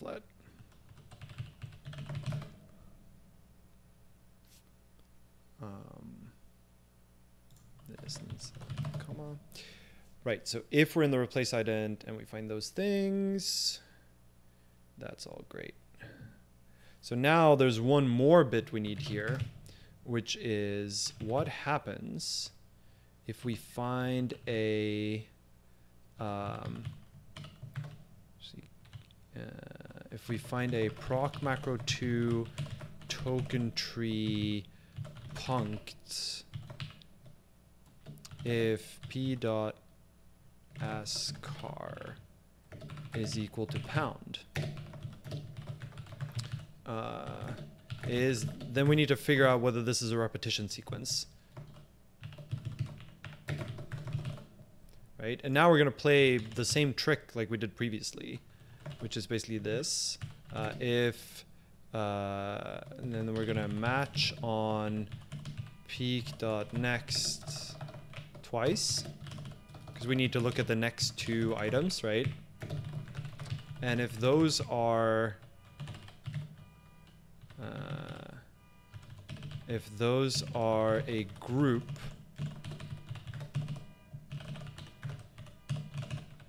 so I guess the group would be their, their partition and this would be the star um,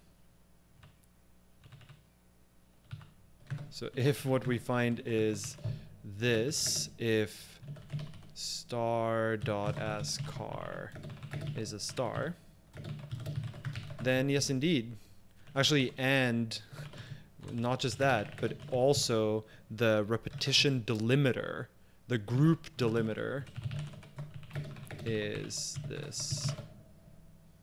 Right? So so this case is we got a pound followed by a group, followed by a punctuation where the group delimiter is parentheses. Uh, so I guess this should be. Hmm. And the punctuation that follows is a star. The other thing we might want here is we want to make sure we're in the right mode.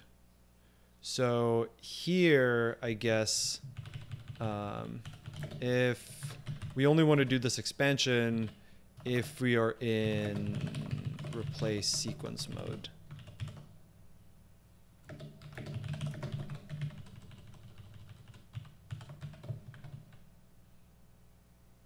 Oh, you're right. Should say star. Good catch. Uh,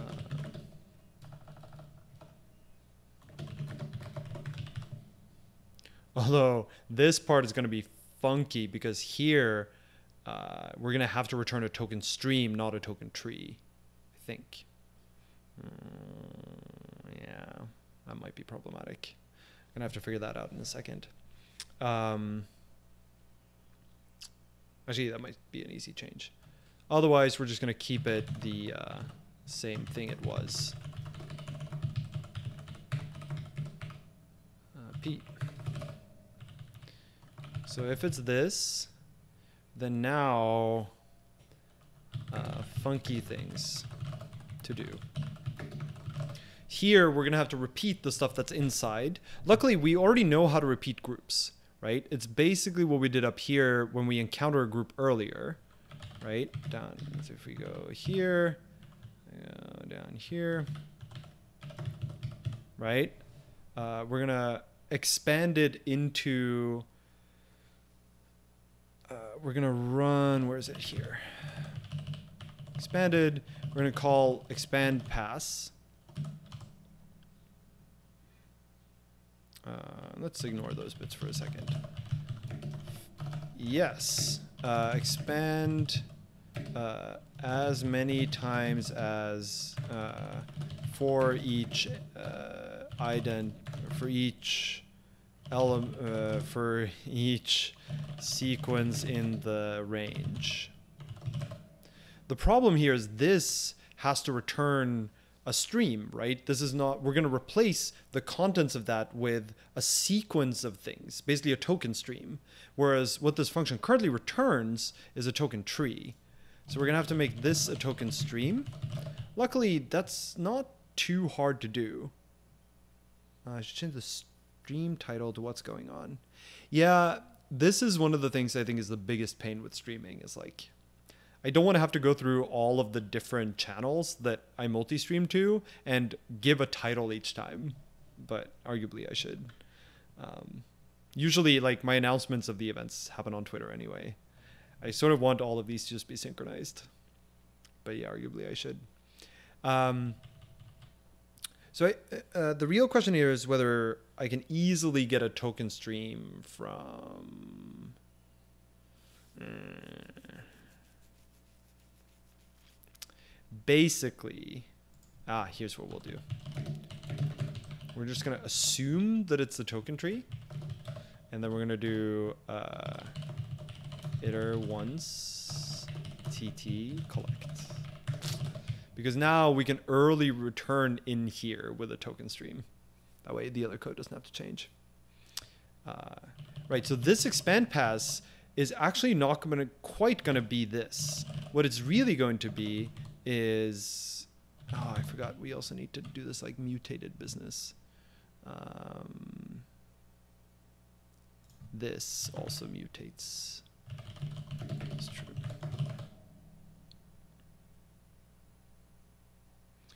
This is also going to mutate. Uh, so here, here we're gonna we've encountered a sequence. So we need to expand it as many times as are necessary, which means we basically need to run the expand pass on this substream with the mode that is replacing the identifier. So how's that going to work? Well, it's going to be pretty straightforward actually. Self from uh, value, self to value, uh, map i, expand, mode, uh, replace, ident,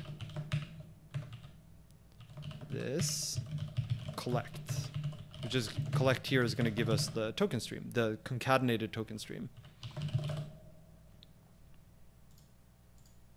I think in theory that should do the trick. Um, oh, this should be rep.stream. You're right. Thanks. Good catch. Um, where this is going to be a little bit tricky potentially though is uh, can I set the span of a token stream? I don't know. Probably not. Uh, might not matter.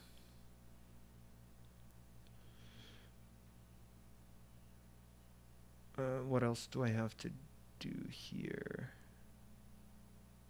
Uh, I also have to set rest is peek.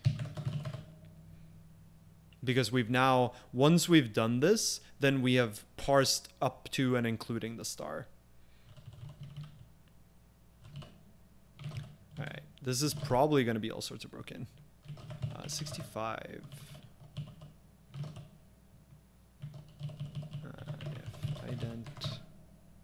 Star ident 114 delimiter. This should be a proc macro 2 delimiter what? Proc macro 2 delimiter uh, parenthesis. We might not even care that it's a parenthesis, but you know, might as well do it properly. Uh, this should return out and mutated. Uh, so this and a bool. Uh, this is going to then map out the token stream because we don't need the bool here.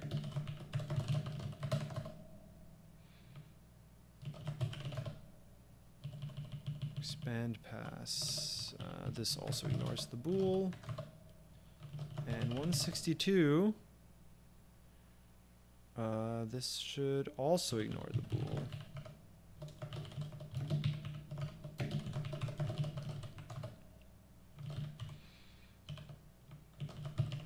One one two.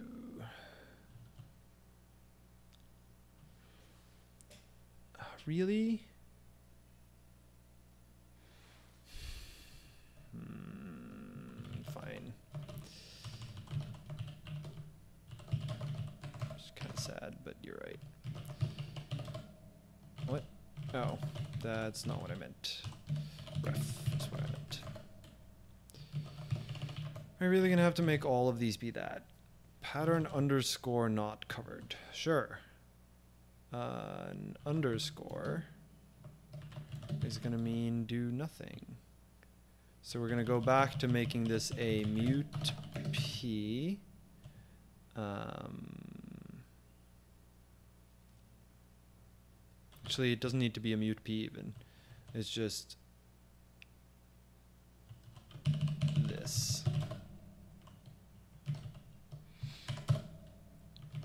Sixty-five. Does this really have to be that? Oh, that's so frustrating. Uh, bind by move. P needs to be a ref because as char takes self. She does as char even take self? I'm not convinced. Uh, but yeah, that doesn't consume self at all. All right, use a moved value mode. Oh, uh, that's fine. Mode is all of the things. Uh, it is copy, it's clone, uh, it's debug. Probably other things too, but you know. Ooh. Okay, so let's let's first see that we still pass the first ones. Great. Okay, so we still pass those. Now let's take a look at 5. So 5, uh, if we go back to our main, see what that expands to. Ooh, that got some errors. Uh, expected square bracket, found parentheses. Huh.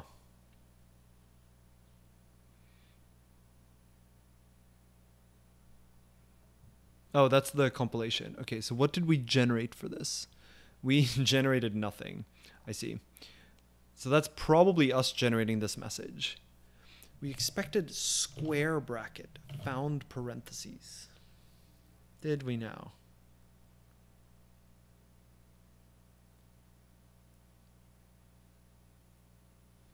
Huh. All right, so something is wrong.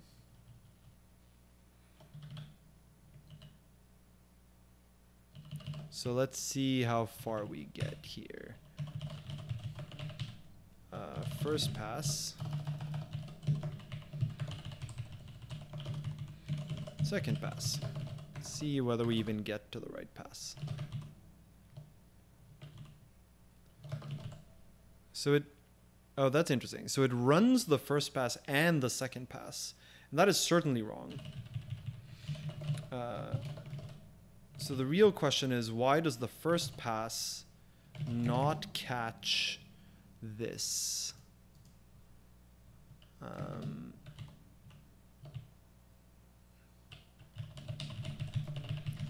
found square.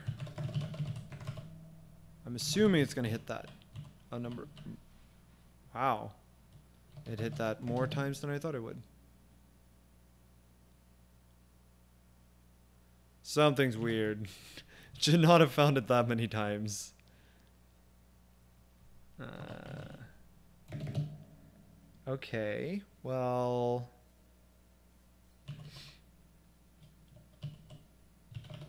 I guess before... And then here we have the luxury of being able to use rest. Before... Oh, token tree iterator. That's annoying.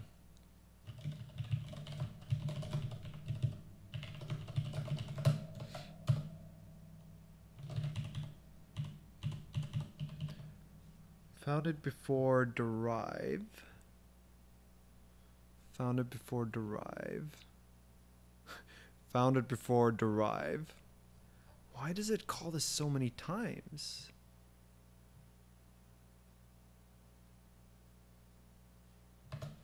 The first pass. So confused. Oh, because it runs the second pass. That's why. I see. So really, let's just to make our lives easier. Oops. Um, macro two. Let's make sure it doesn't actually run the second pass, just so that we can. Right. So it found it on derive and it didn't find it anywhere else. So the first pass did in fact correctly replace the thing, but mutated was false.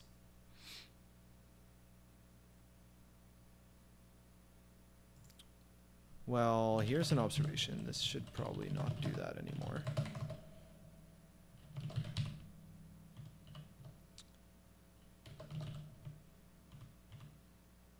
What? So somehow it. Um, what does it look like after the first pass? Expand here.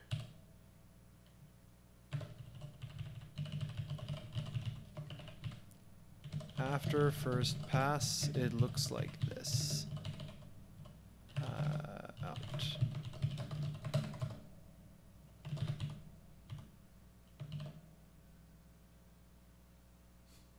After the first pass is just a pound. That seems wrong. Out dot extend self dot expand to mutated.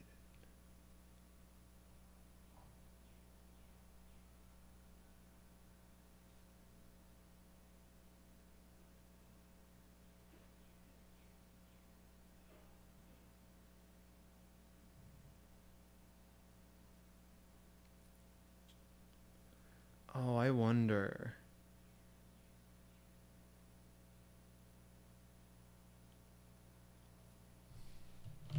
Which pound did it find?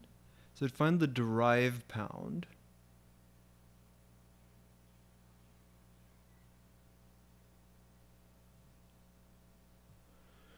And then after the pass, uh, is that the same span? The bytes are a little off.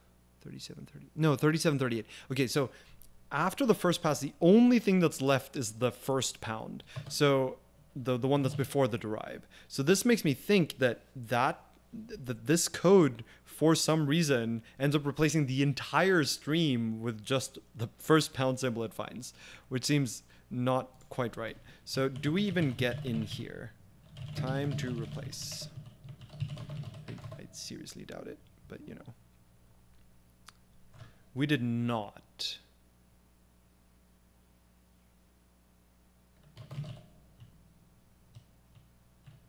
So it gets to here. So that's a punct.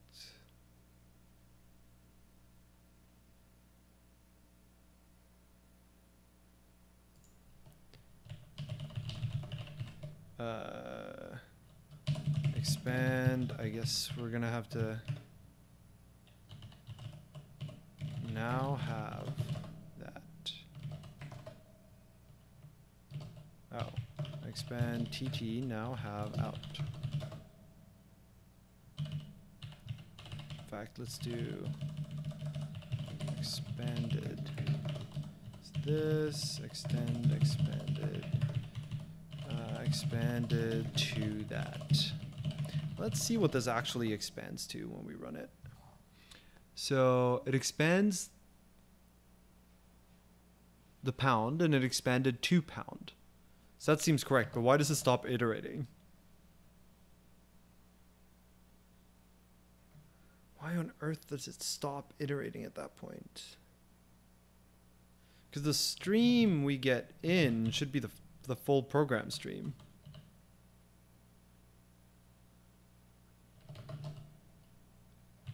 Right? Like, if I do this, presumably that's the full program. It is not. It is just the very first token. Wait, where does stream come from?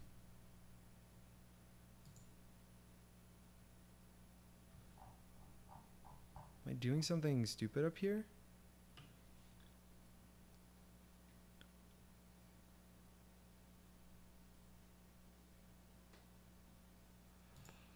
Oh.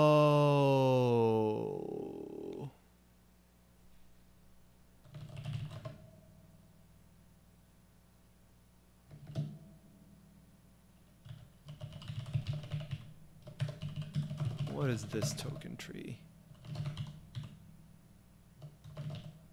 That just seems wrong. The token, so the token stream that we get when we parse the stuff in the braces. What is content and what is TT? Ah, this is something stupid, isn't it?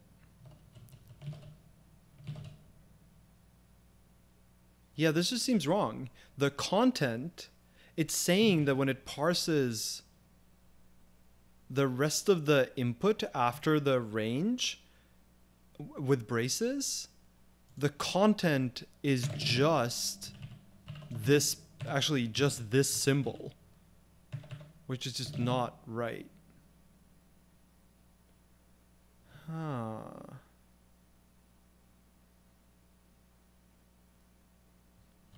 Because, like, if we go up here, what is input at this point?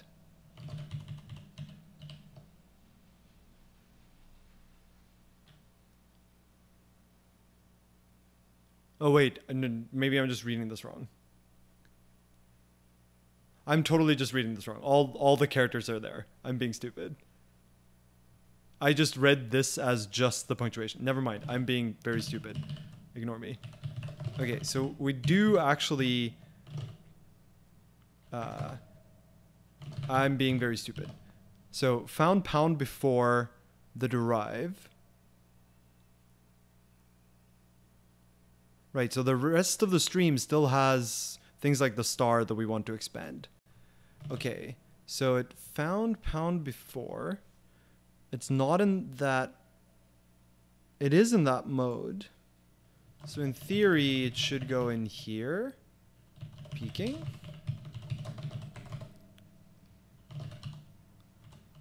It does go into peeking. But it doesn't go into here because it doesn't find the appropriate pattern. So it returns the punctuation, which is correct. Uh,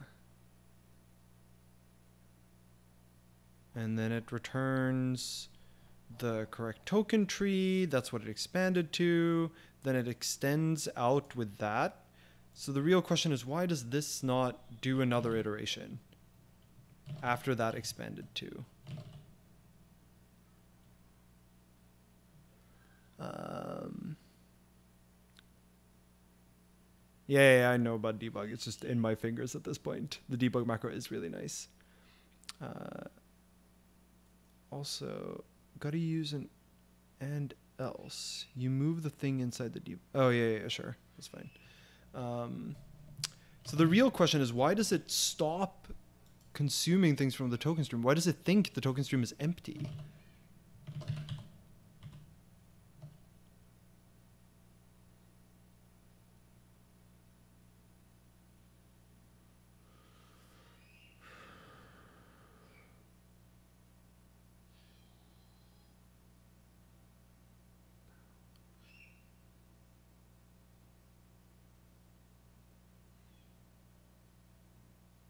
Does the peeking not actually work?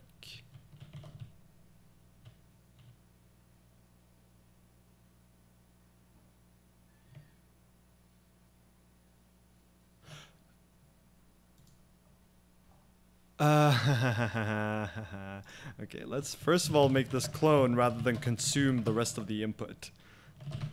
Great, much better. Okay, now what did it generate? Okay, so it's walking the stream, found a bunch of derives. Uh, that's fine. It walks some more. It found found enum, found interrupt. Then it finds delimiter brace. So it finds this square bracket, which is this brace. Um, uh, yep. And inside of there is the pound, the parentheses token stream that contains the stuff where we need to replace things. Um, punctuation. Found pound before. I see what's wrong. Hmm, I see what's wrong. No, never mind. I don't see what's wrong. Um,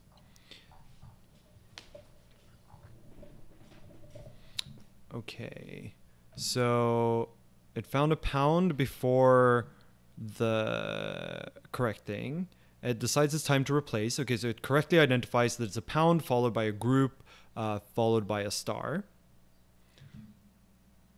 So now it doesn't expand on the inner bit. So it expands IRQ to IRQ 0, followed by a comma.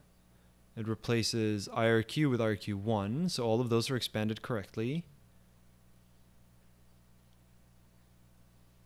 So the full expansion of that pound is RQ zero followed by a comma, RQ one followed by a comma. Okay, so all of that is correct. So it correctly expands that expanded to so overall that group expanded to a brace. So this is uh, the group that starts at here. So uh, that expanded to a group with delimiter brace. So that's the variant list followed with a that contains a stream that has irq 0 irq 1 irq 2 etc so that seems that all seems right. It just seems like it doesn't it doesn't realize that it's done.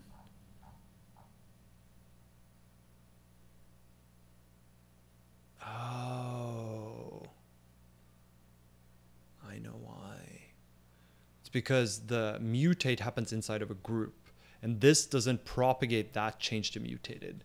Okay, so this is going to have to be this uh, expanded g mutated. Is this expanded uh, and then mutated or equals g mutated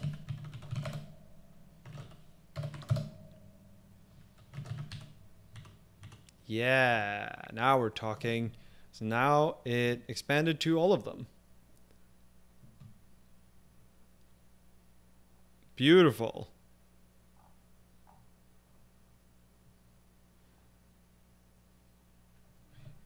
Right, so the problem was this wasn't propagating out the mutated to get back from expand pass.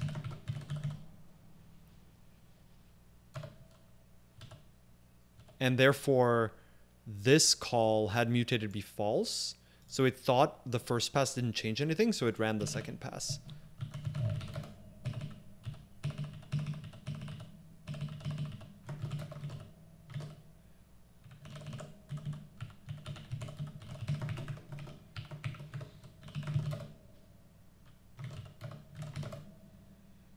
All right, cargo test.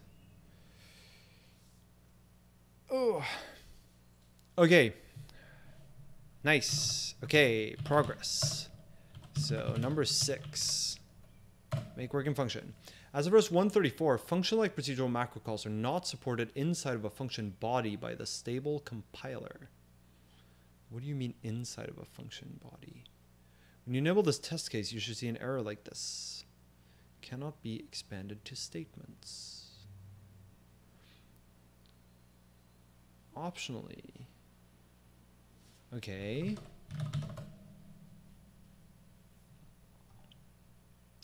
Uh, great. Yes, I did see that error. Now what? Um, Optionally, if you have a nightly toolchain, instead ty- temporarily adding the following features to this test ca- to this test case.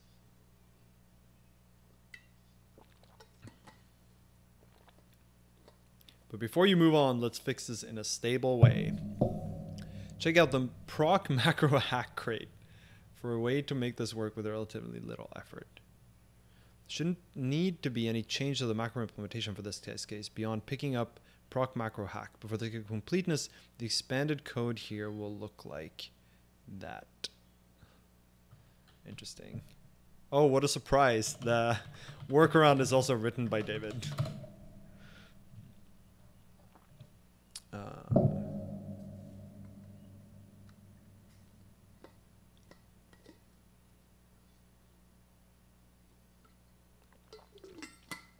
Crate must contain nothing but procedural macros.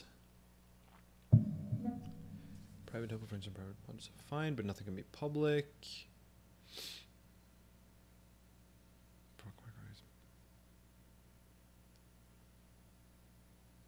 Oh, that's so funky.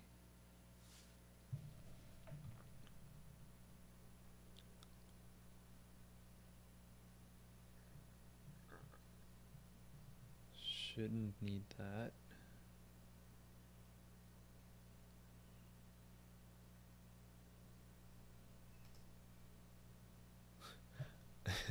Hygiene structure says that the expanded code can't refer to local variables other than those passed. Macro must refer to local variable. Fake call sites. But why? I mean, it's not very hard to fix, I suppose, but why is this fix even necessary? Uh, lib. Okay, so we don't need these anymore.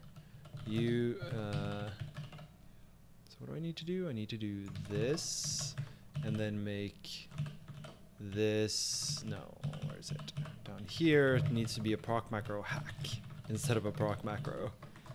Does that just make things pass?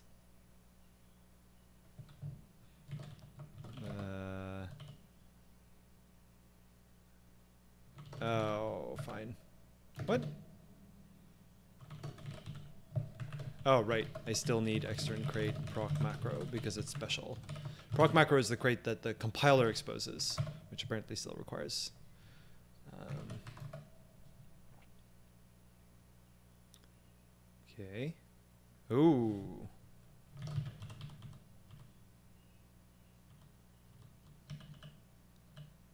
Unresolved imports. What?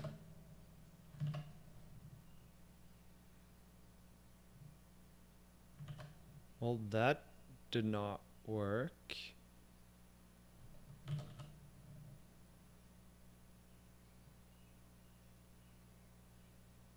Uh,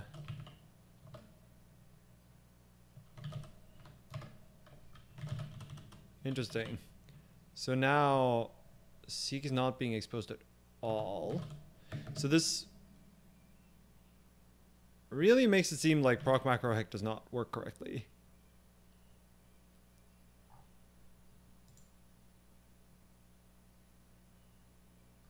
Huh.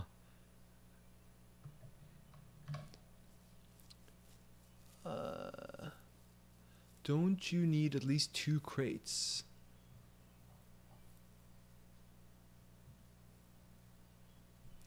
Oh, two crates are required. I see.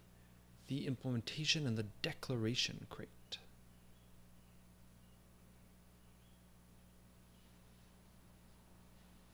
That's awkward.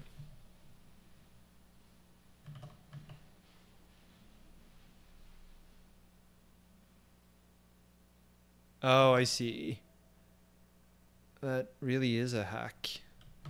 Okay, so that means we're going to uh, cargo new lib seq proc.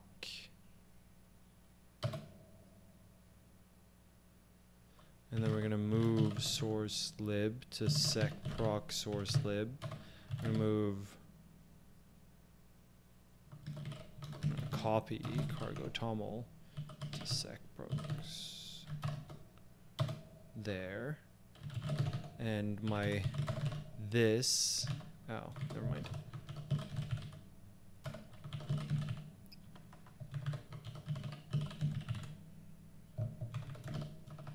And then here we need a source libbar. What? Yeah, that's fine. Uh, and that's gonna have this. Uh, proc seq. Uh, so this is gonna have a seq proc, which is gonna be equal to path seq proc.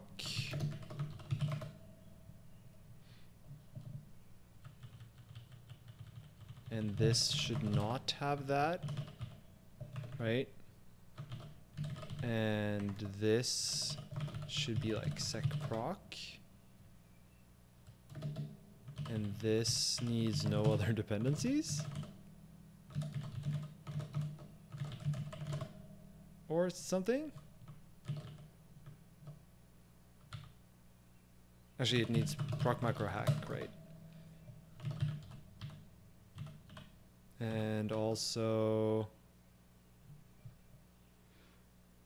macro expansion ignores token curly brackets.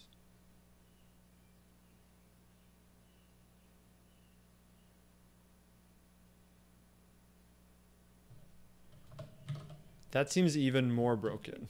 And this should not be necessary. or this.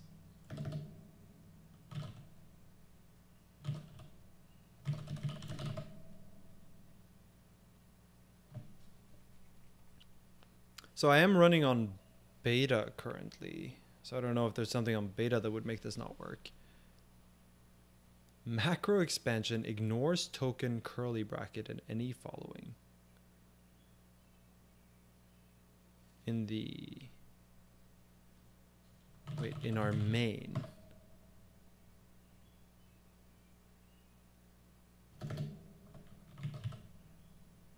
Why?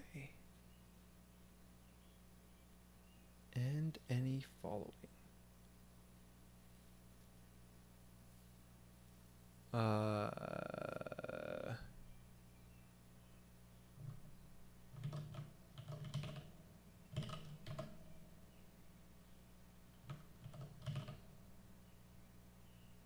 why?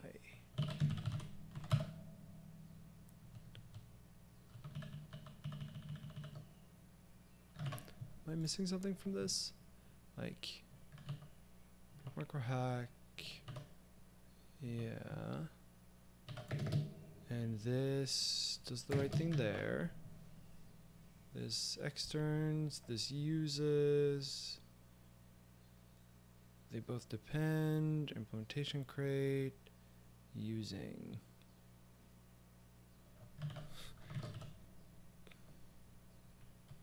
Why? How is this different? Let's see. Is this a known issue?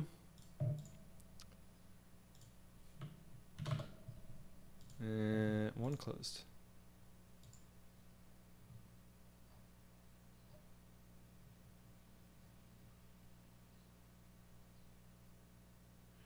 Rust macros in expression position must expand to an expression.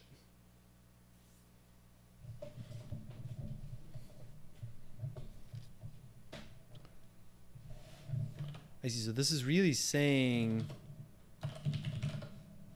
So this is, the claim here is that this is a bug in our implementation. That we have to produce something that's valid in expression context.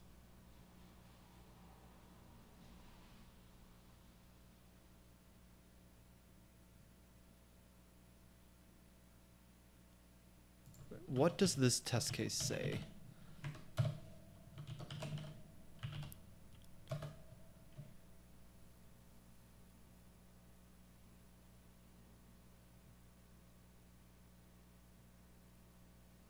Shouldn't need to be any change to the macro implementation for this test case beyond Piggy and macro hack.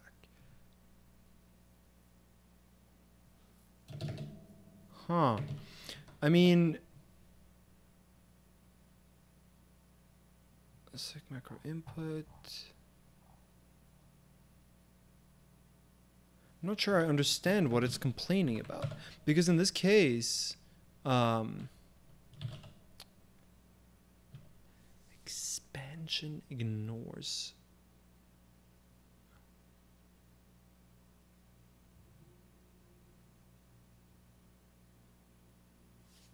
I mean, this seems like exactly the same error.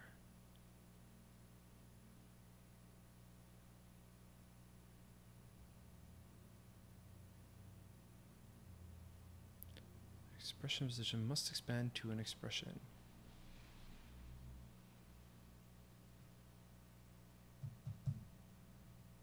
So this suggests that it, it thinks that what we're generating here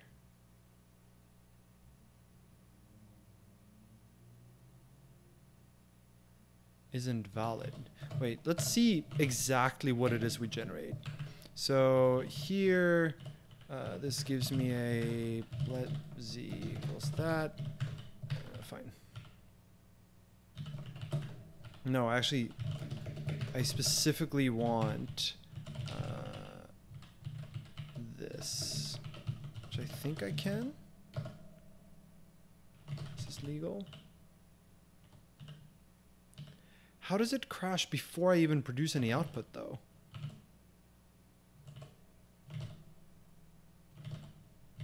Right? Like this seems to complain about the input, not the output, because uh, I don't even get to the point where my output happens.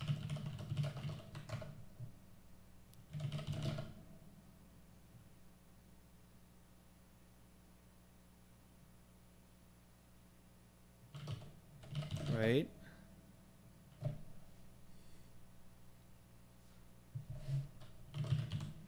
Uh, here.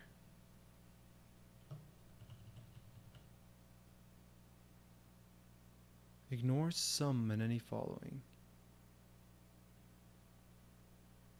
I think this is a test case bug fixed in master.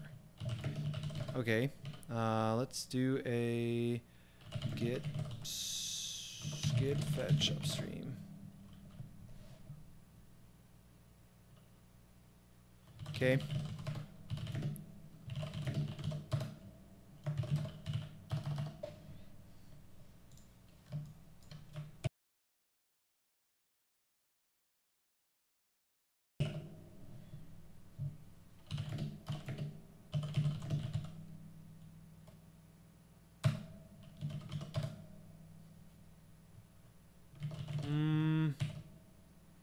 Doesn't seem like it.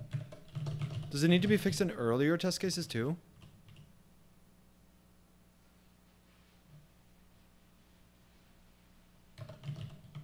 Yeah, because I think I think the problem is the earlier ones. Uh, let's see. New text. Keep the original seq macro for use outside of function bodies. Introduce. Oh.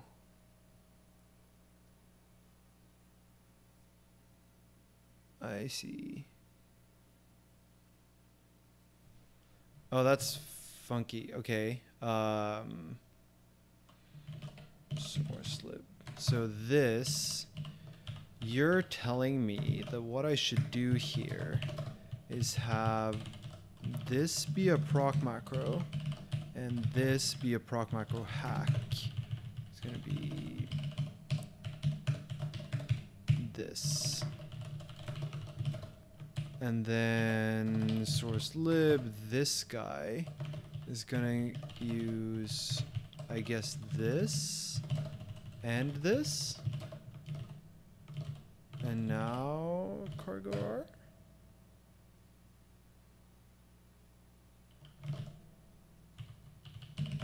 Do I not need to attach that one? Okay. Yeah, great. So this is basically keeping the old one the way it was, but introducing a wrapper for the test case. Okay. No, no, that's fine. um, I mean, it's nice that it's nice to. So we we have David in chat, and it's very handy that he could just fix the test case while we were running into it. Um, eseq. So should it be eseq or fseek? I guess eseq. Uh, did I just like read it wrong? Did it say? Yeah, it says fseek. I see. So this text should say fseek. It should say eseq. Nice. All right. So cargo test. Yes. All right. We have six make working function. Progress. All right. Seven. What do we got in seven? Should hopefully be a freebie. Ooh. Freebie? Freebie? Freebie? Freebie. Yeah, I like freebies. Eight. Oh, inclusive range, huh? okay. Fine, David. I will implement inclusive ranges. If you insist. Okay, so this should hopefully not be too bad for us. Um, I think actually we're to change the orientation here a little bit. And rather than store to and from here, store uh, range, which is to be a Rust range. Uh, range. Uh, isn't there a really? Is there a separate type for inclusive range? Didn't think there was. Yeah, there's not.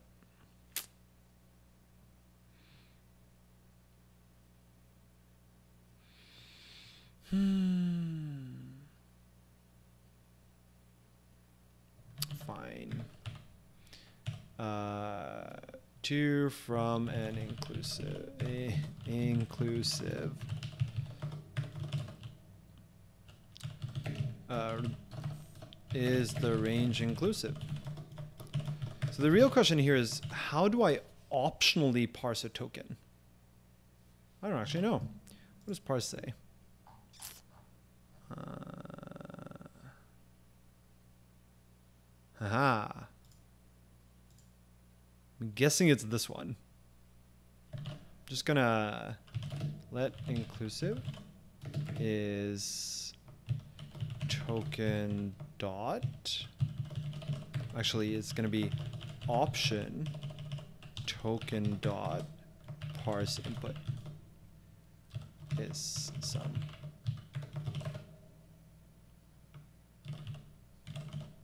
Yeah, that's that's sort of what I guessed. Uh, fill up our main again and expand. Uh, inclusive. Ooh, so many errors. Expected literal. Did you expect a literal? Don't think that's true. Oh, sorry. This should go before 2, of course. Expected literal. Hmm. Uh, are now written as dot dot equals. And you should swap the order. Inclusive rangers are now written as dot dot equals. Yeah. That's what I'm parsing. Um, but why did it expe- expect a literal? Oh, it's a specific. I see. So it's it's really that I have to do this. It's it's considered one token. Uh, dots one um, exclu- exclusive inclusive. It's a it's not three tokens. It's uh,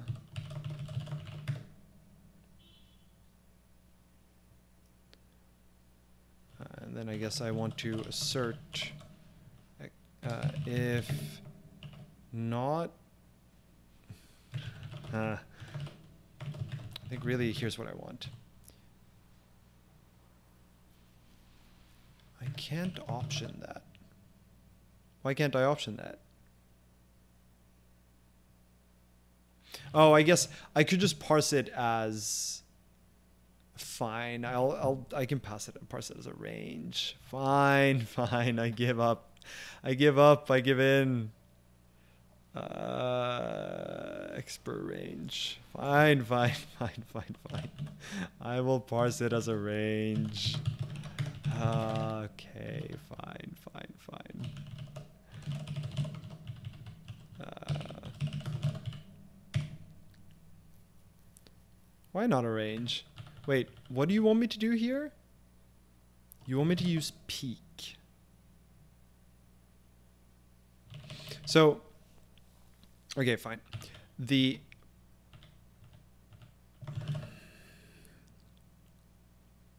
I see. So I can't. What does uh, parse give me actually?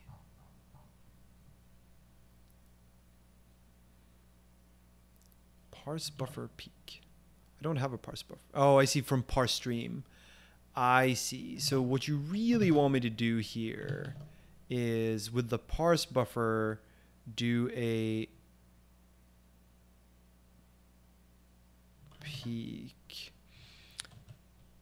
I see. So here, this is going to be input dot peek. Um,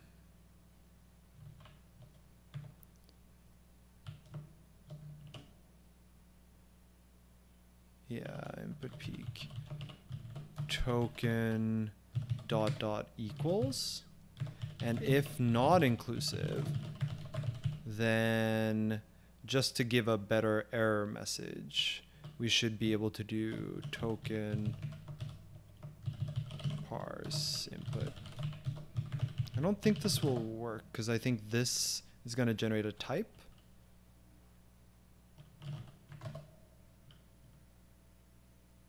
Oh, uh, token here.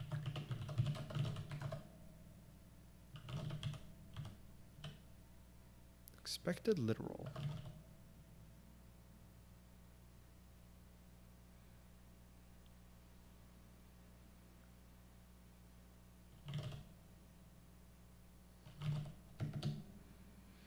Hmm.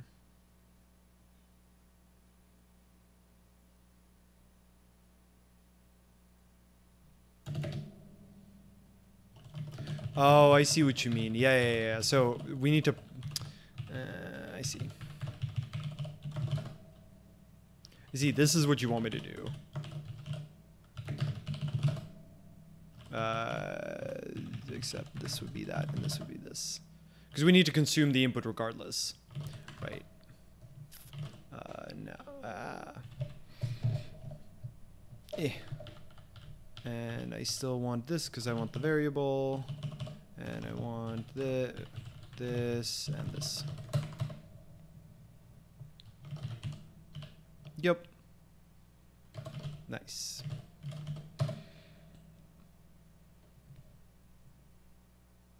Ooh. Oh, right. We're not actually using the fact that it's supposed to be inclusive. Great. Uh, and then we're going to do self dot from. There are two places I iterate, so let's make an actual iterator. Um,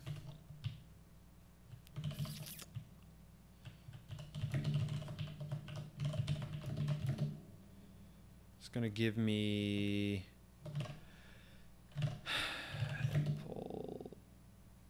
You know what?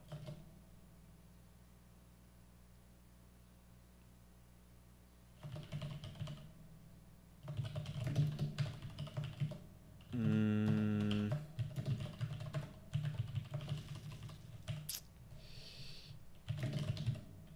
So because we're operating on numbers, um,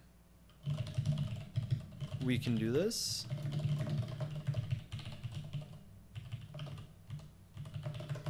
Normally you can't do this. Normally these are not the same. But in our case we can.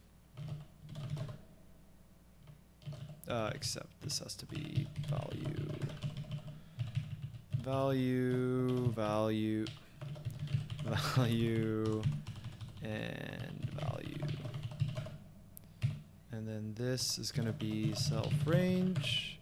And this is going to be self range.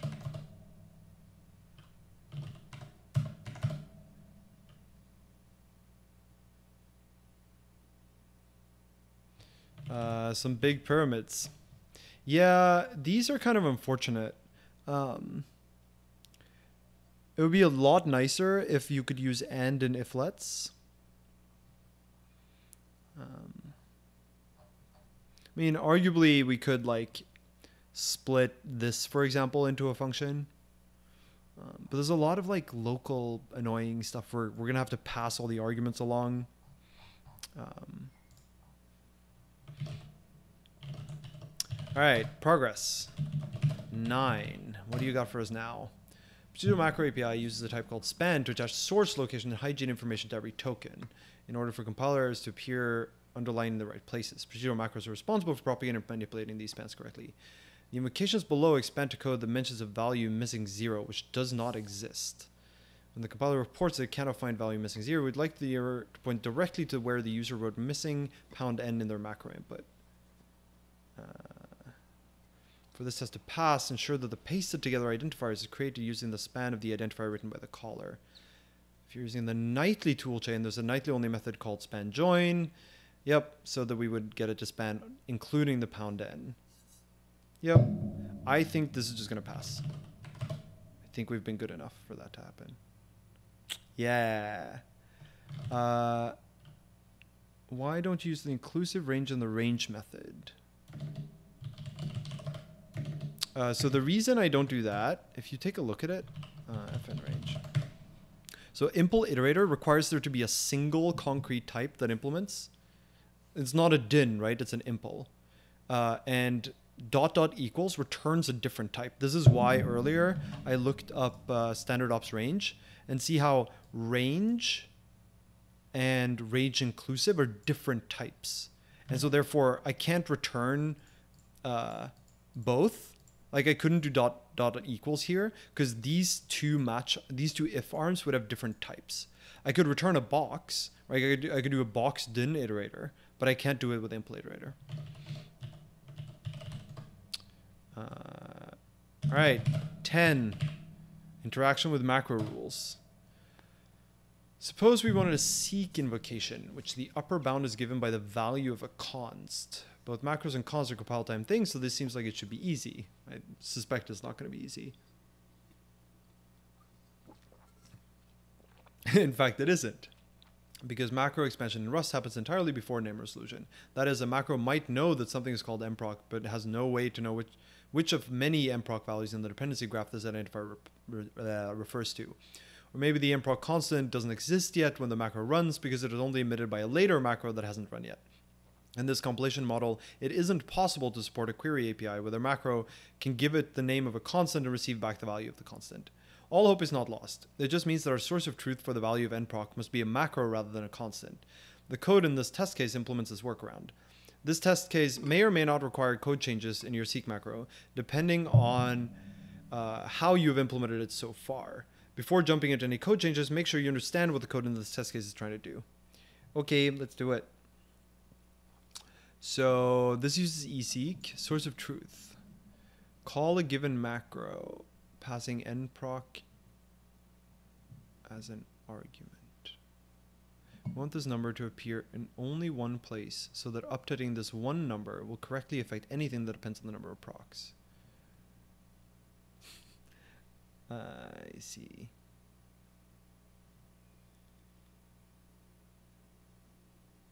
Make procs array.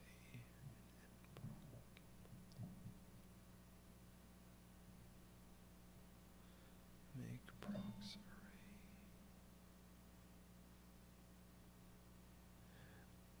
Oh.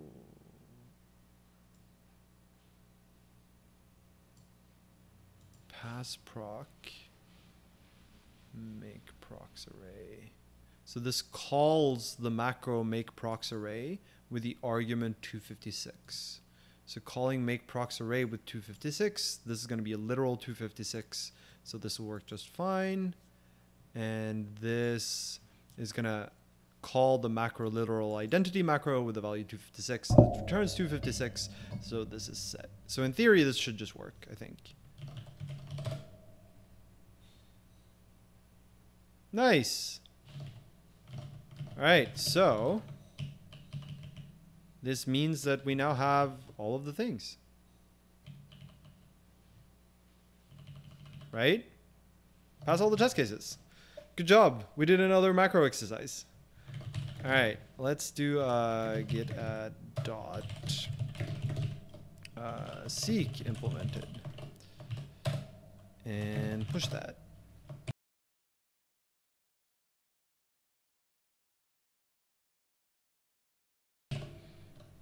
Beautiful. All right. Now, what exercise should we do next? Given the time we're at, I think we should do sorted because my theory is that we'll, it will be faster than trying to do custom debug. I don't think we'll have time for Bitfield. Um, so I think, in fact, Bitfield might be a good exercise for you as the viewer uh, to do after having gone through this with me. Um, Okay, so let's do sorted. Um,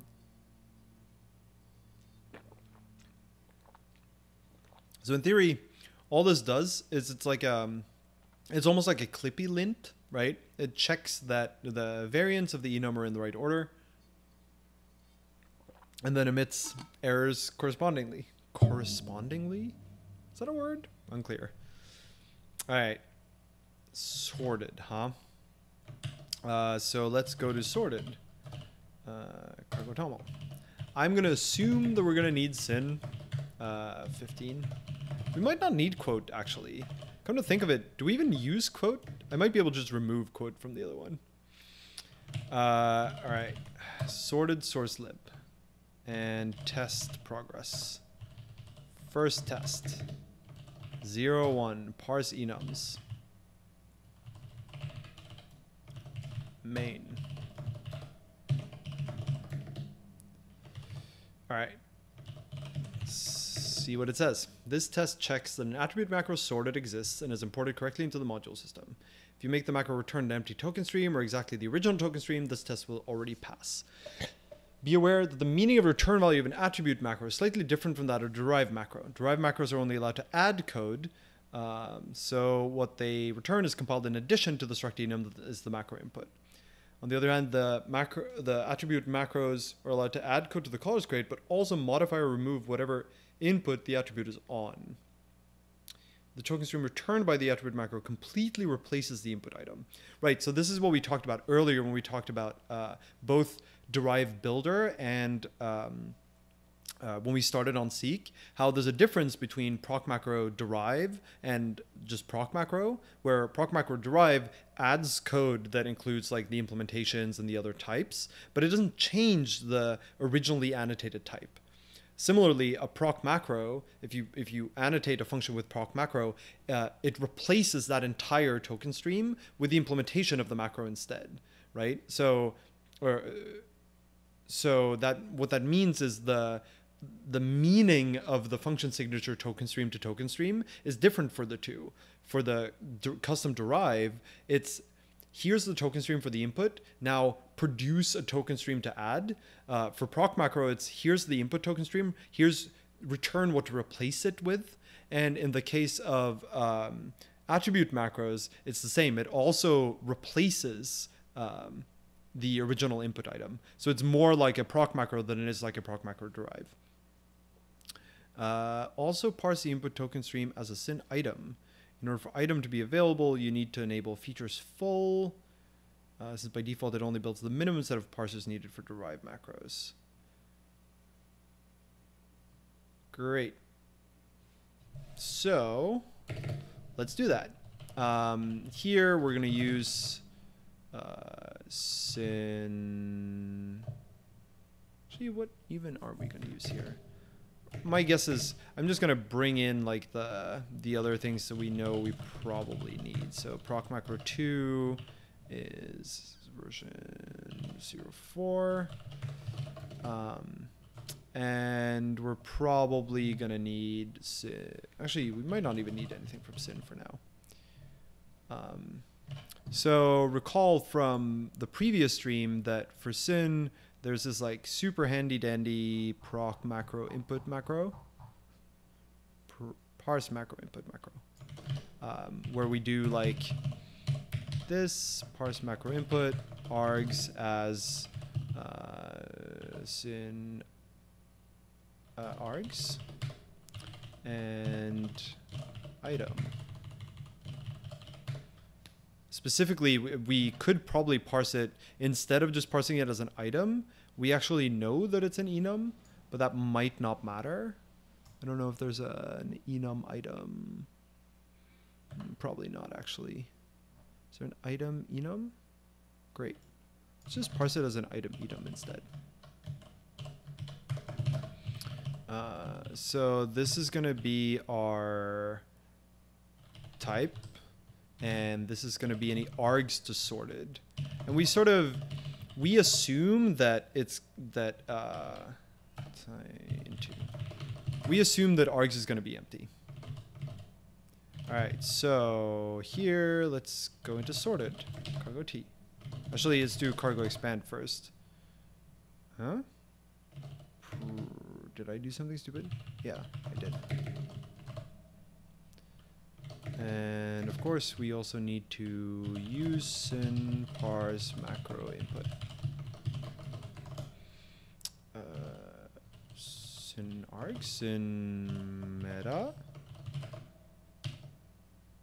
builder source lib. What do we parse that as? Oh, interesting.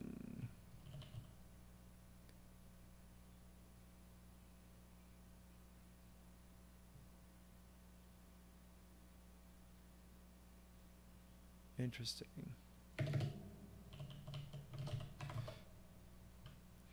Uh, sorted source lib into does not exist, huh? Two tokens.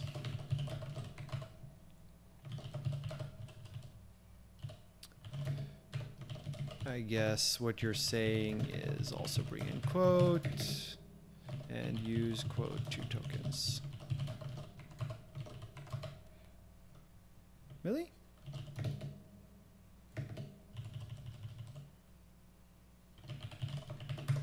I mean, I guess we could do that, but seems like a waste.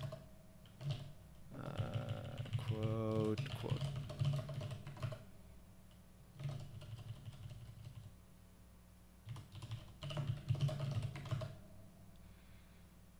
Expected proc token stream found proc 2.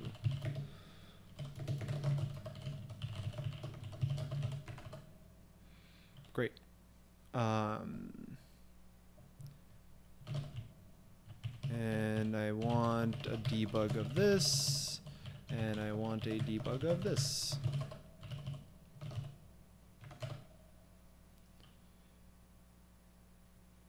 Unexpected end of input, expected ident.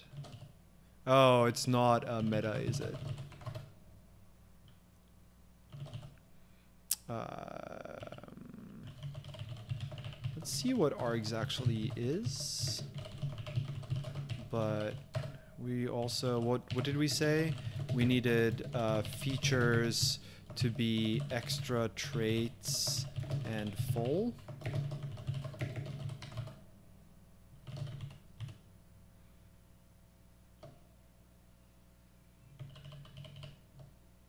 It's an empty token stream.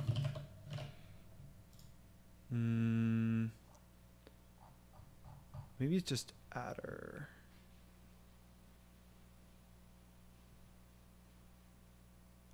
I forget what is so derive input is a Vec of attribute. Hmm.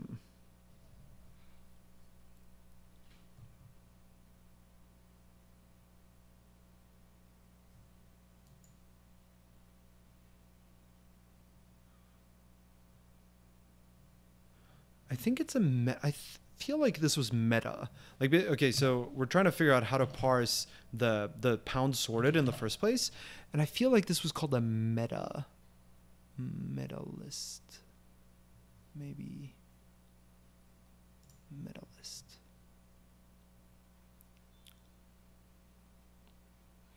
Yeah, something like that. Although it's not quite right either. Mm.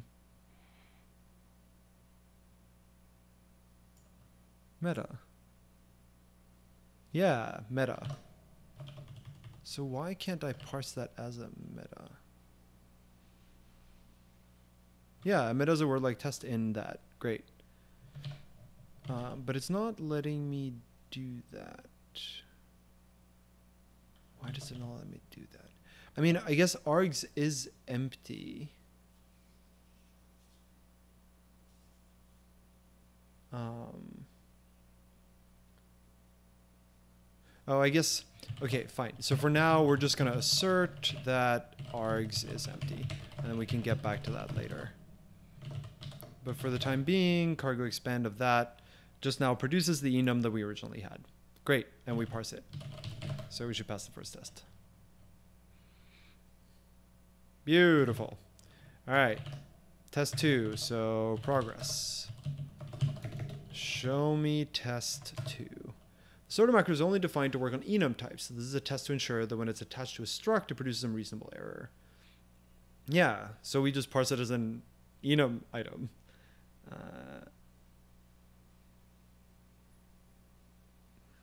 I see. So here we could we sort of cheated actually by parsing as an uh, item enum, because here the argument is really that we should use compile error. Like we, if you remember back to when we did the derive builder, we had to basically emit compiler error statements in the output token stream to make sure that we produce the right errors. Um, and here, uh, really, what the intention was was that if the thing you got was not um, was not an enum, you emit a compiler error thing that says this thing is not an enum. Um, yeah, but we don't might not need to do that in theory.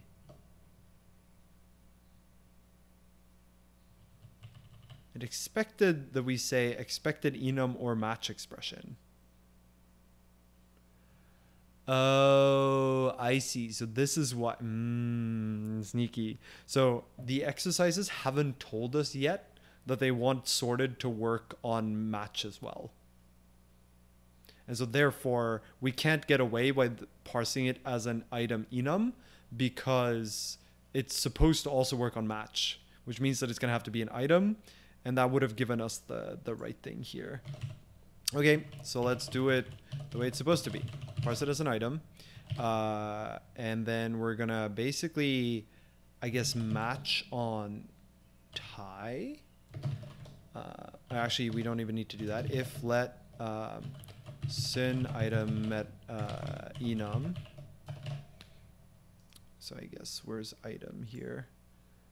So if it's an enum or it's a match, I assume match is a thing here.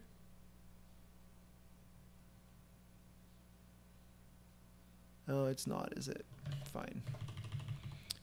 Okay, fine. Uh, if tie is that, uh,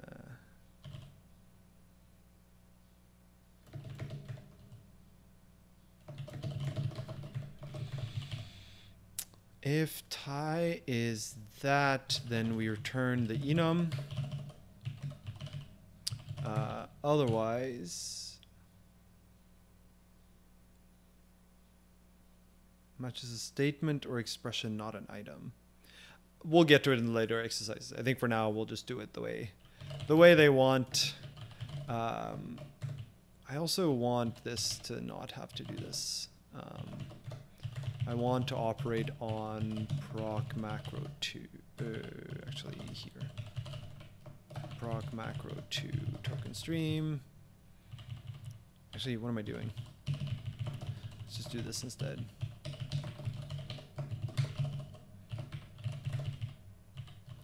Sorted impl args input.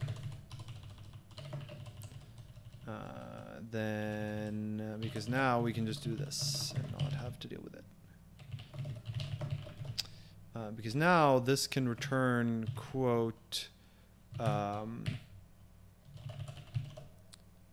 actually, it's quote spanned, I guess.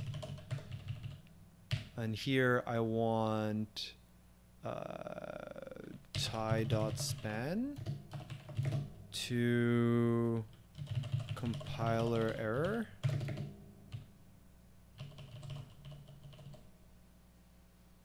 Compile error.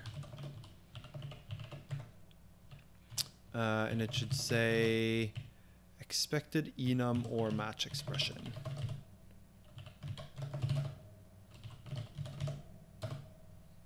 Actually, why am I even doing that? Could just do this.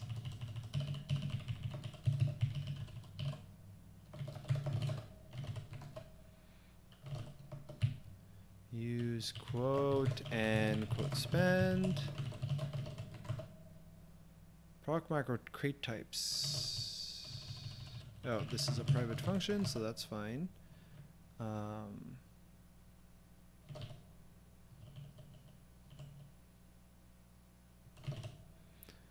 it does a return, doesn't it? Fine. So we'll do this. This will just take input, which is going to be a syn item.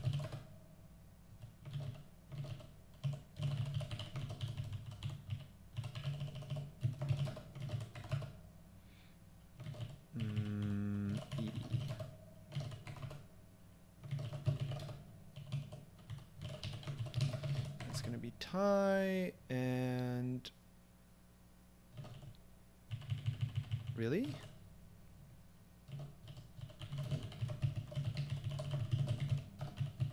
didn't think that would be necessary. Yeah, something's not right there. I guess this is really going to be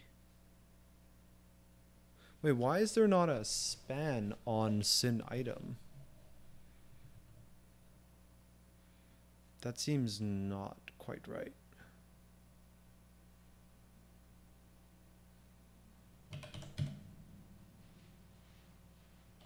Uh, okay, what happens if I just do this? Then it won't highlight the right thing. I think.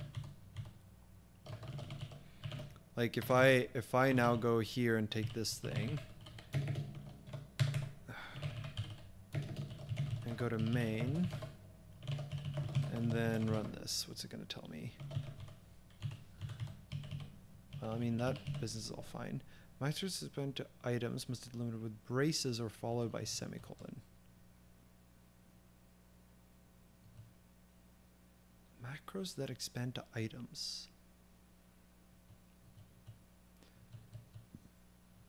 Mm, that seems unfortunate. Oh, actually, that basically generates the right thing. I'd prefer it if it highlighted the next item. Um, there is. Um, no, there's not. I, I just tried it. See? Use syn span span. This gives me a syn item. Input span. Run that. Oh, strict span is private? Oh, spend. Span. I can't spell, can I? Great. Oh, interesting. This is all sorts of not what I wanted. Also, let's stop doing this debug print.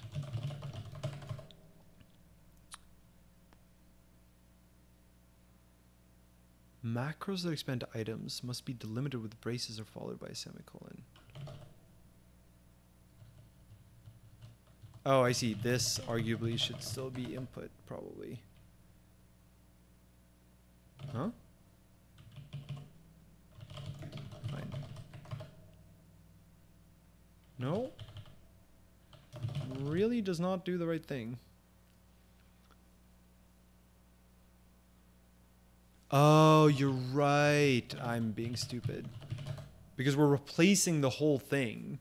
And so it needs to. Yeah, yeah, you're totally right. Great. It's still highlighting something kind of weird. It really ought to highlight the whole item, but it highlights only the visibility, which is kind of weird.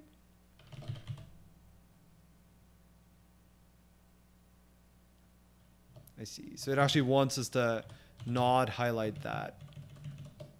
I mean, I guess that's fine. Like, we can easily just do that. It seems worse, but okay. All right. Uh, so progress. So three. Out of order. At this point, we have an enum. Let's do this. Oh, we're, this is now we're getting there, right? Now we have an enum that's out of order. Uh, when your implementation notices a variant that compares lexicographically less than the one of the earlier variants, you'll want to construct a SYN error that gets converted to token stream by the already existing code that handled this conversion during the previous test case. The span of your error, which determines when the compiler places the resulting error message, will be the span of whichever variant name that is not in the right place. Ideally, the error message should also identify which other variant the user needs to move this one to be in front of. Okay, so here what we're gonna do is, if it's one of these, right? So I think the suggestion here is basically have another function that returns a result, and then down here we're gonna turn that result into a compiler error if necessary. Right? So if we look at uh, O2, um, SYN error provides a method to render your error as a token stream. Great. So up here, um, the recommendation here is basically have the oops have this return a ret, uh, result. Uh, I guess proc macro 2 token stream or a SYN error. And then this can now return a um, error. What is this? How does SYN error work again? Um, SYN error. New. Great. Uh, SYN error new. Ooh, I don't know what span to give it though. Spend. Yeah, see, it's also kind of annoying. Um, the problem here is parse macro input produces a token stream. So I can't put it in here because it wouldn't have the right return type. Mm, and I don't want to use the span of the input because I want to use the span of args basically.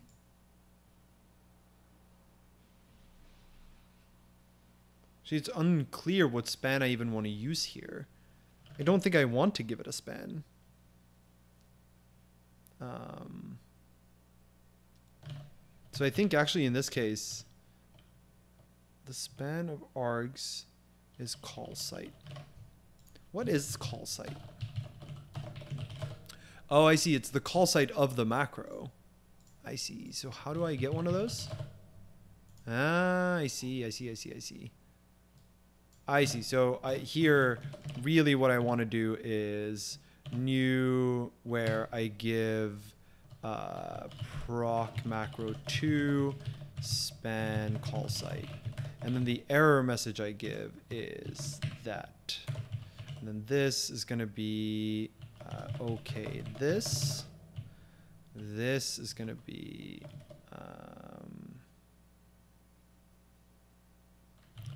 unwrap or else e e dot to compile error which we can write as SYN error to compile error dot into.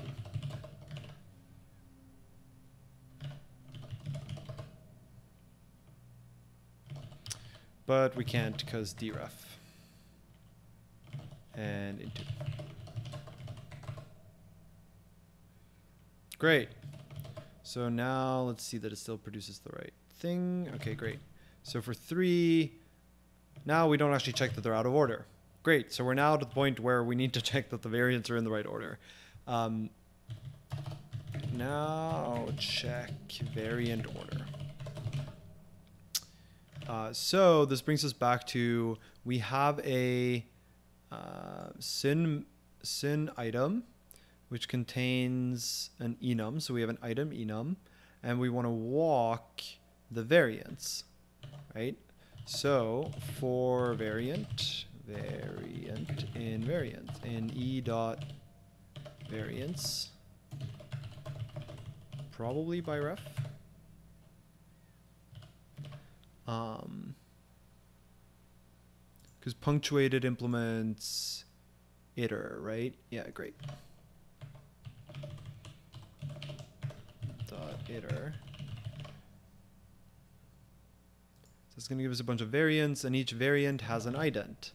So uh, name is going to be variant dot ident dot toString. And now what we want to do is check that these are in order. One thing we could do is just uh, allocate, basically parse all of them into a vector, sort the vector, and see that it is the same as the original vector. Um, the other alternative is let mut um, last is string new. Uh, if name is less than last, then we return. Then we want to return an error because in this case, um, name should have been before last, but it was not. So in this case, it would be uh, variant.span. So we're gonna have to bring back use in spend spend. Um, and the error message is gonna be variant out of order. And then last is gonna be name. See how that works. Variant out of order. Something failed. Is that what we expected? Yeah. Now, it also says ideally you would tell us where it really should have been, right? I mean, let's let's first see whether it gives us Okay, what does it expect us to give? Something failed should sort before that failed. Ah, I see. Hmm, I mean, this is luckily pretty straightforward. Uh, names is going to be a vec. Uh, if names, if not names is empty, and names names dot last dot map l. L is uh, if the if name is smaller than last unwrap or false. Uh, names push name. So in this case we now have all the names in order. Uh, so we know that names is always going to be in lexicographic order, right?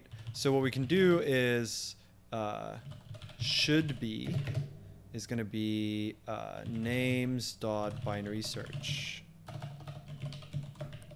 name, right? Slice. Pretty sure there's a binary search in this somewhere. Uh, oops this one.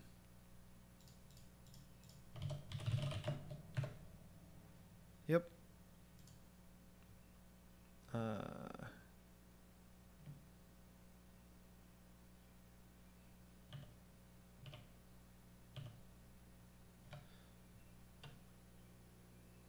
uh, nice theme. Do you have a setup for download? Yeah, I have a. There's a separate video where I go through how my whole setup works. You can take a look at that if you want. Uh, so basically, what we're going to do is we're going to search for where this name should have been in the list. Uh, unwrap or else. Um, I guess we can match on that. Um, okay means that the name was already in the list elsewhere. So I think we can actually do, which the compiler would already complain about. So we can here do unwrap error. So the error type here is what index it would have come right before, right after. Inserted while maintaining. Yeah, so this is where it would have been inserted. Uh, which means that the element at that index is the element it should have been placed before. Right? So, uh, here, oops, um, here what we want is format. Uh, what was the merit message? This should sort before that where that is uh, name should sort before names should be. Uh, so this would be. Um,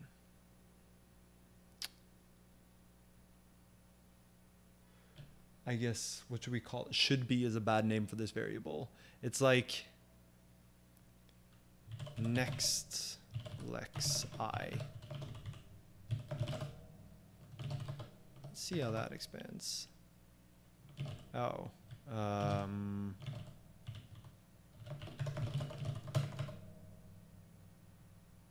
something failed should sort before that failed. That seems promising.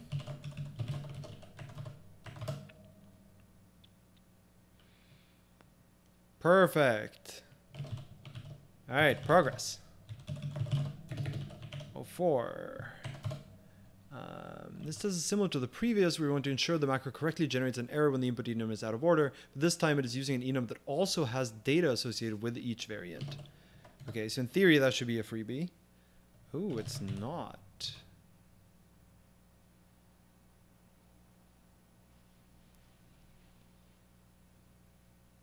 Huh. This seems wrong. Here, there are a bunch of warnings. Oh. No, this is probably still us. Um, probably doing something wrong. So if we expand this, what does it expand to? Oh. What? Oh, it doesn't emit the enum. That seems like a problem. Uh,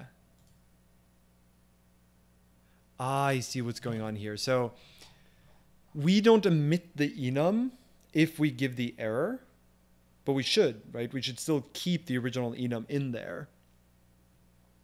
Uh, and because we don't emit the enum, uh, a bunch of other warnings appear. So because we know that sorted is never going to change the enum, I think what we're going to do here is um, mute out. It's going to be that out dot. Uh, so this result is really going to be empty. It doesn't have to produce anything. And then we're going to do. Oh, I see. Hmm.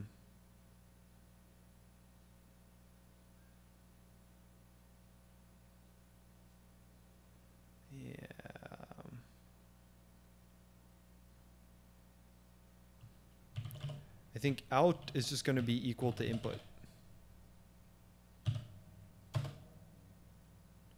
And then if let error e is that yeah yeah yeah this is what we're gonna end up doing right? Then uh, out dot extend this. And then out dot into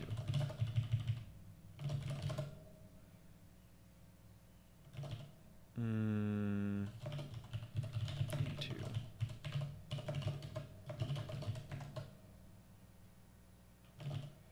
cannot infer type for A. This should be token stream. hmm Yes, token stream from. Great. And now this OK doesn't actually have to return anything because we're always going to emit the enum back out. And this input is we can just clone here, that's fine. Oh.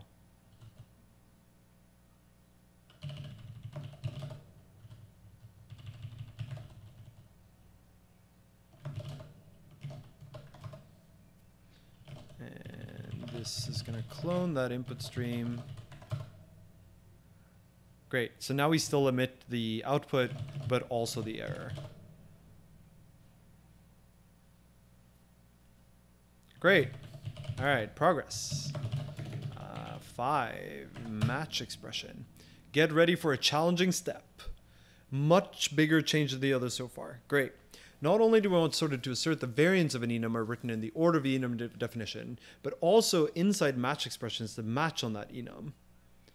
Um, currently, though, procedural macros on expressions are not allowed by the stable compiler. To work around this limitation until the feature stabilizes, we'll be implementing a new sorted check macro, which a user will need to place in whatever function contains such a match. Hmm. The sorted check macro will expand by looking inside the function to find any match expressions carrying a sorted attribute checking the order of the arms in that match expression, and then stripping away the inner sorted attribute to prevent the stable compiler from refusing to compile. Note that unlike what we've seen in the previous test cases, stripping away the inner sorted attribute will require the new macro to mutate the input syntax tree rather than, than inserting it unchanged in the output token stream as before. New procedural attribute macro called check. Parse the input as a syn item fn, traverse the function body, looking for match expressions.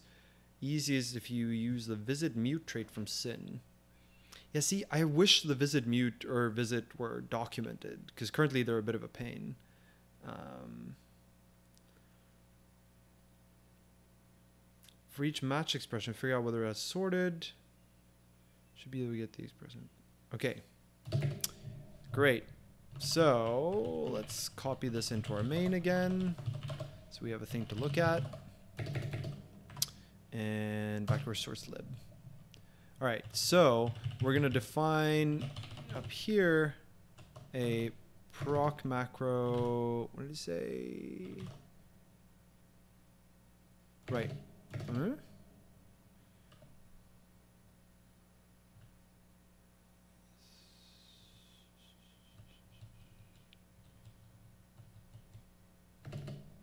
Yeah, so procedural macro attribute check. Be the same thing. We're going to parse that as an item fn. Um, and let's do, let's say that sorted impl is a bad name. Let's say sorted variants. And then down here, we're going to set, say sorted match.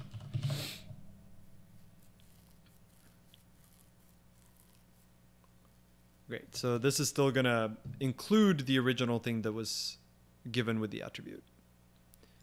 So now we're going to have to write uh, sorted match. And the input is going to be a syn item fn, uh, right? Because it's an annotation on a function. And like before, we're going to reuse this um, error type of ours.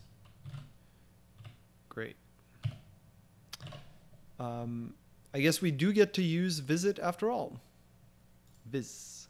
No, that's not what I want. Uh, I want back to syn, and we want visit mut. Okay. So here we're gonna have we're gonna have a struct uh, lexicographic matching, and we're gonna implement uh, syn visit mut visit mut for that type. And in particular, in fact, I think this called out which one we wanted. Visit expr match.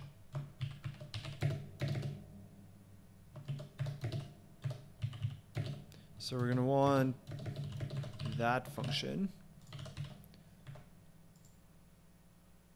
which is going to take, uh, that's not what I wanted. Visit mut. This function.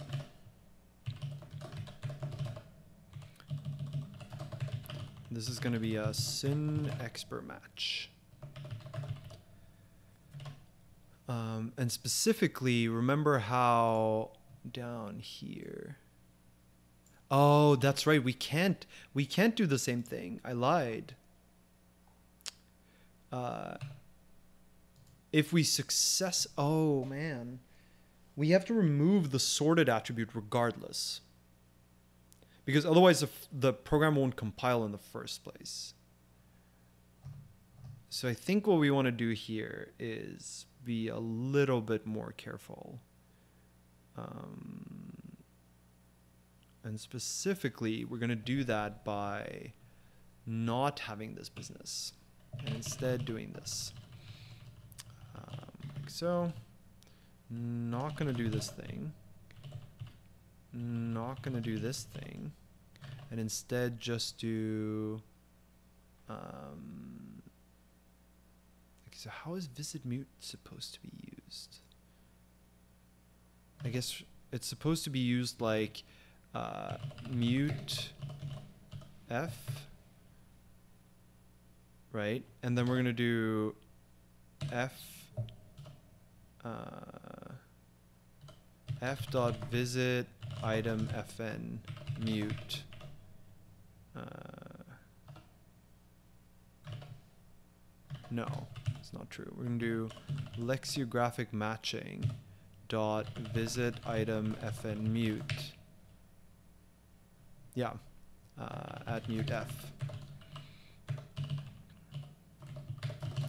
And now we still have the f. And at this point, what we want to do is um, the this lexicographic walk is going to insert the compiler error for us as well. So all we really want to do here is just return back out the uh, f. Mm, It might not quite work that way, but you know, roughly. Um, great. So here, uh, what we want to do is no, it should be m for match. Um, okay, so what we now have is a syn expr match. Expr match. So the first thing we have to do is check that there's an attribute there that called sorted. So if m attrs um, iter any a a is equal to sorted. If not that, uh, then return.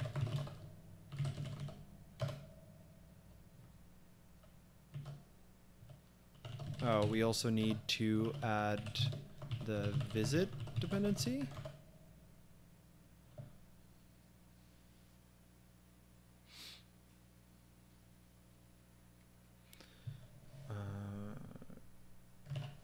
Really? Is there a visit mut as well feature? Uh, apparently. Okay, so visit mut.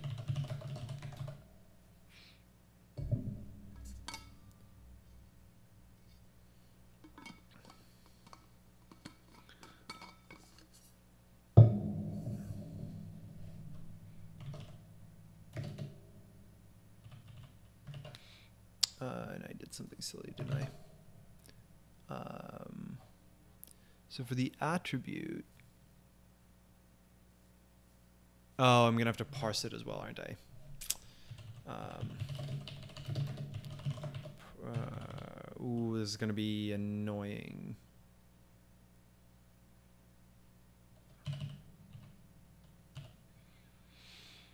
Because what I really want to do here is like attrs is going to be. Ah, no, that's fine. any a dot path sort of equal to sorted inside the current one. Oh, you're right. I can't even do that.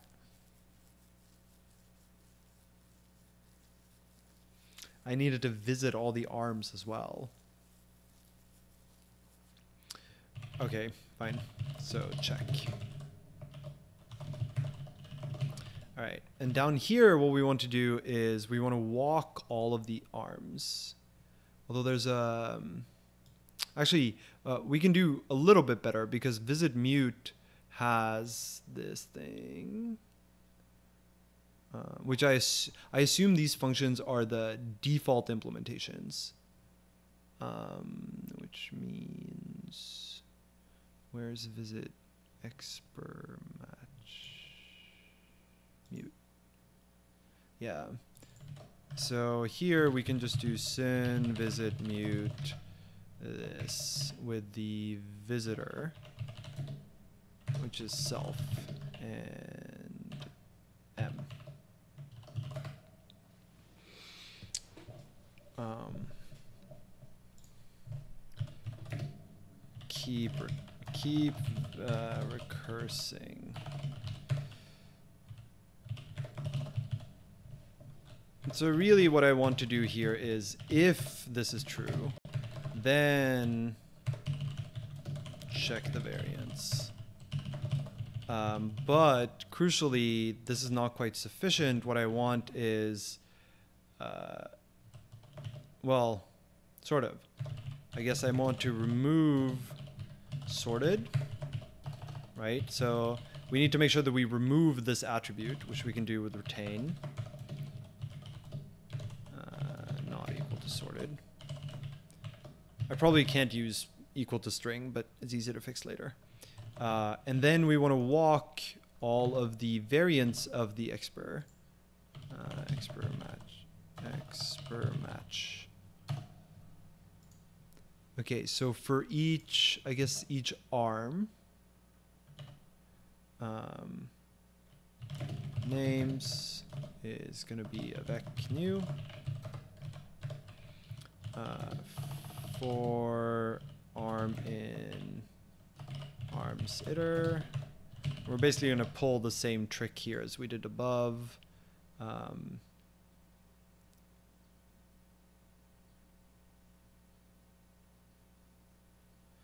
ooh. uh, I see. Can also be multiple patterns, which is all sorts of weird with this. um i like what do we even want like if the user writes something like match foo and they i guess they annotated with sorted and then they do a or z this. B this. Or z this i guess. I mean like is this a problem? I don't know. What if they do z or a this? What are we going to require? Right? This is why every arm has multiple patterns. I think we just want to look at the first pattern, at least for the time being. So name here is going to be arm pats. Pats is terrible. Uh, iter uh, next unwrap.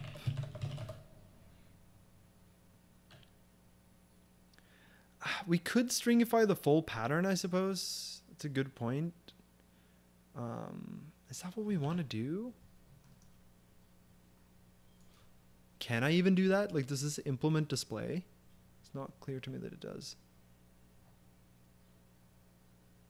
I mean, it implements two token, I suppose.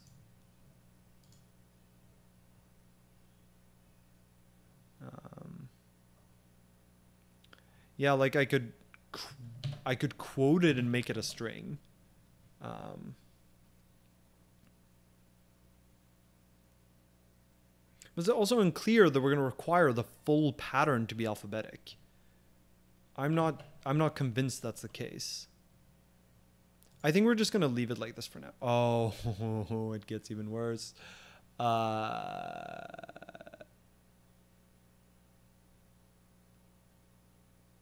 Oh.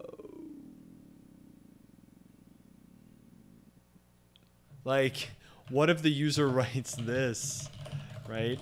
Uh, and then they write like x at a, whatever a at z. Is this wrong or not?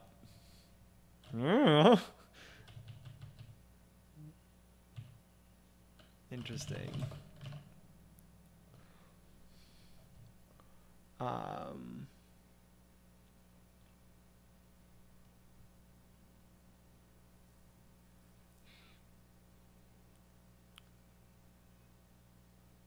No, only accept items won't work either.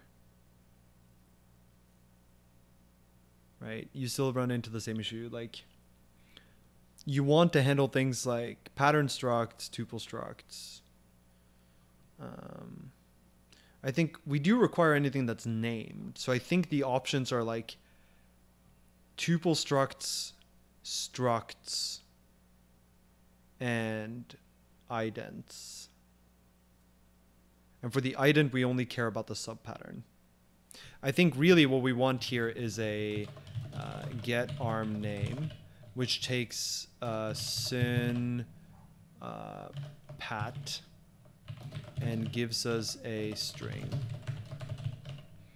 Uh, it's going to match on arm.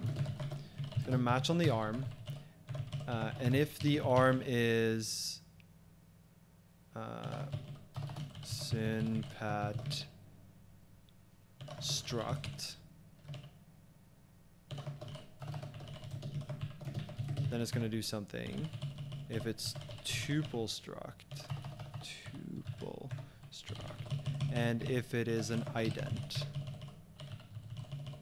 So if it's an ident, a pat ident, then we're just going to match into the subpattern, I think.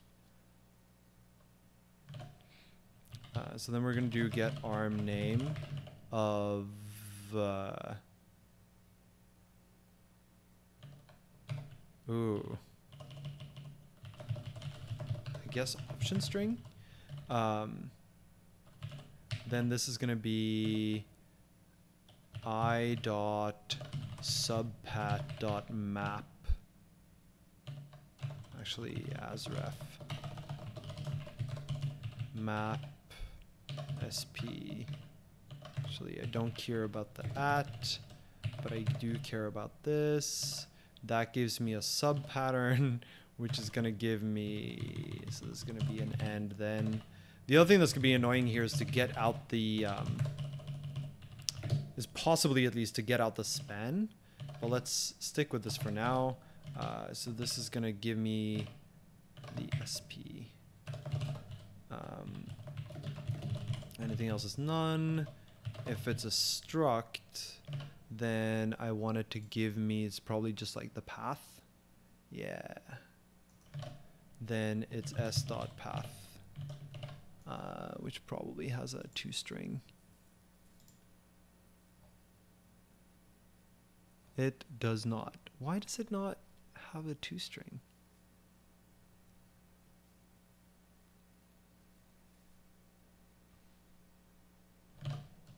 Let's try it and see if it does. I feel like it should, but I'm not sure if it does. Um, and the tuple struct is probably exactly the same, where it has a path. Yeah.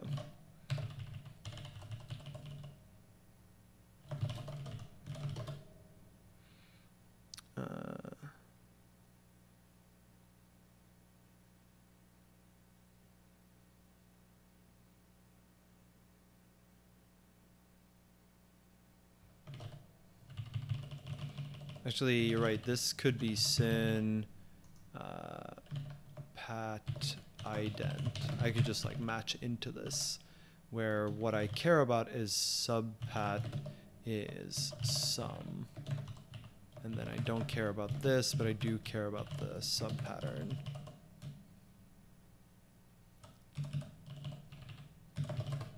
Um, I do think I care about other things than just idents like for for something like matching on the struct like that seems totally reasonable to also order if it's an ident the question becomes do i match on the the bound variable name or do I match on the variant? And I think matching on the variant is actually the right thing to do. Um, because the named binding is just going to be a variable name. For example, the named binding could be nothing. Yeah, exactly. The sub pattern is if I write, at least if I understood this correctly, like if I do foo at barzu, right? It's the barzu I want to sort by, not the foo.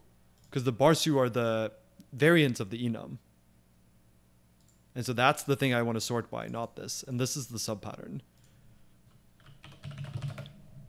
Um, the other question, of course, is whether, yeah, so path doesn't implement toString, which is a little awkward. Um, m dot arms, that's fine. Yeah, so the real, all of these come down to I have a path. And I want, I want a string representation of that path.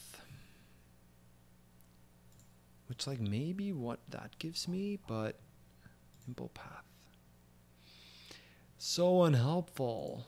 What does path segment give me? Path. Oh, because it can contain types and stuff too. Hmm. It might actually be that what I really want here is uh, is to. I'm surprised the path isn't display. That seems wrong. Right? Because I guess it implements ToTokens. So, um, so can I do like this? Or better yet, what does ToTokens give me? gives me a token streams.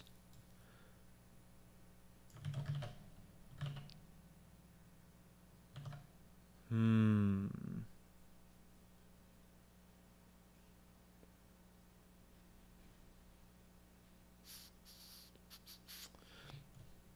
In fact, the other option here is to do this.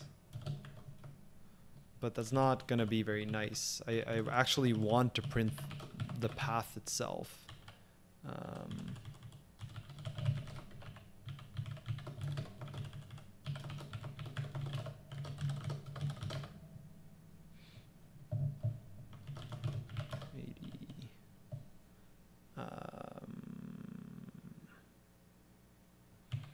Yeah, I'm gonna need quote, aren't I?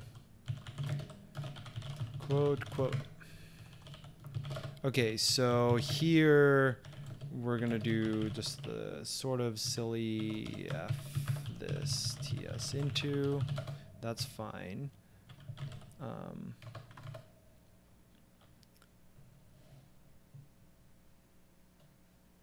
and of course, yes, I do need to include this.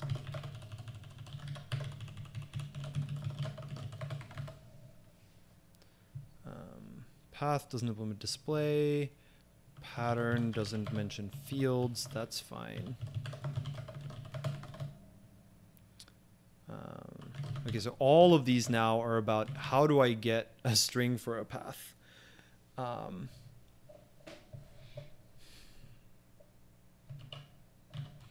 okay. Path as string.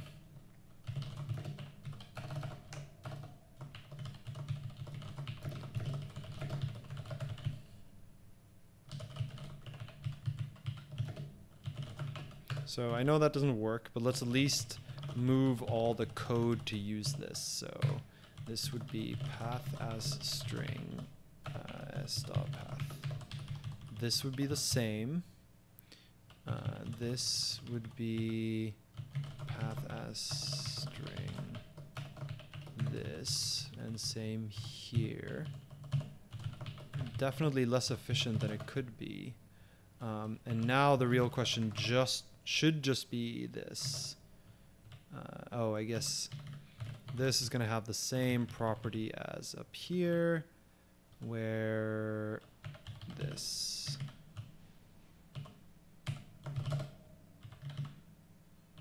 Where this is going to be get arm name.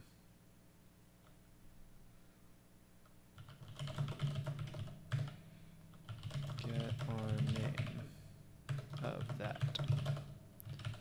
Unwrap for now, although that won't actually be an unwrap down the line.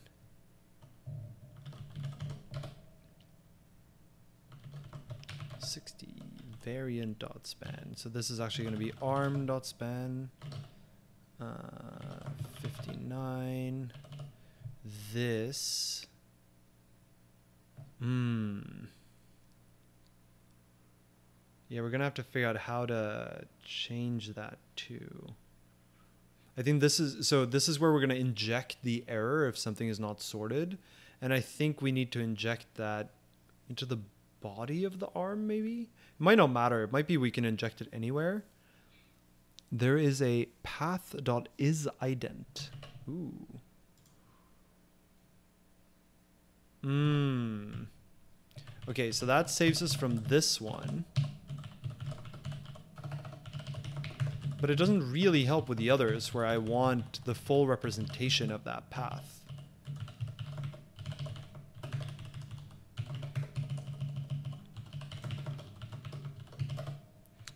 Uh, so here, I guess what we're going to have to do is something like m dot, uh, where's the thing where I get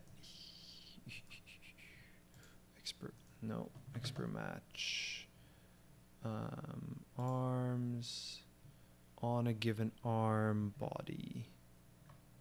So box expression. It's going to be awkward actually to modify this. Oh, I guess actually what I can do here is just like uh, an error is going to be a vec of syn error. So here I can just do errors dot push this. So we just accumulate all the errors that we find. Um, and then at the end here, what we'll do is uh, do that and then uh, ts dot extend. Um, I guess we can derive default for this. Um, lm is lexicographic matching default. lm that extend lm errors uh, into iter map. Uh, for each error, we need to do to compiler error. Great. So now I think the only thing is uh, 49. I think the only thing now is the whole uh, path to string business. 62.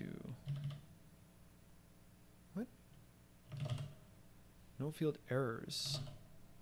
Errors.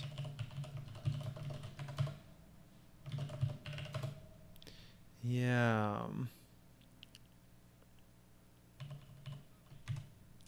I mean, I'm. It might be that we can just do this.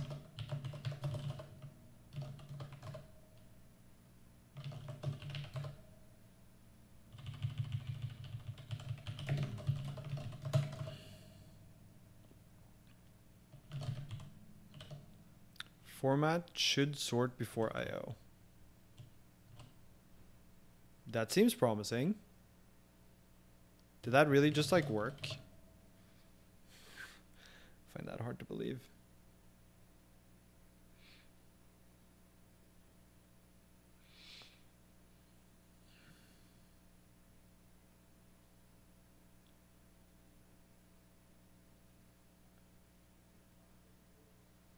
Oh, hey, finally.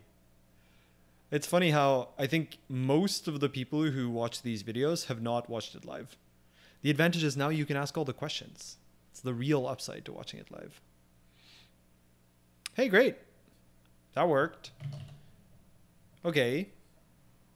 Um, now that we have some experience with Visit mut, thinking back to when we did um, uh, Seq, I don't think we could have used seq for this because the the input is just like not valid. It's not a valid AST. So I think the the parsing would just fail, so we couldn't use visit. Uh, or or fold for that matter. All right, so progress uh, six pattern path main. So let's see. Uh, when we checked enum definitions for sortedness, it was sufficient to compare a single identifier, in the name of the variant, for each variant. Match expressions are different in that each arm may have a pattern that consists of more than just one identifier. I mean, this is what we looked at earlier, right? Ensure the patterns consist of a path, path are cons- correctly tested for sortedness. Path, tuples are struct. I think we just get this for free. See, I knew it wasn't just ident. Uh, oh, so close. This is just the only thing that's wrong here is that we don't know how to print a path. Uh, or rather, we turn a path into a string the wrong way. Fine. Path dot. Uh,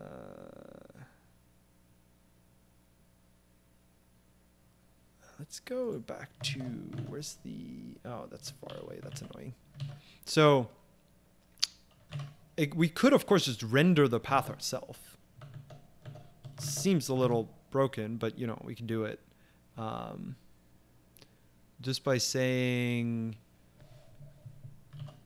i really don't feel like we should need to do this uh,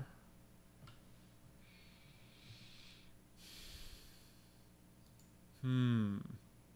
This is why I wanted to take a look at um, the like solution, so to speak, uh, repositories, just to see how David writes out a sorted. Great. Source. Hmm. Visit.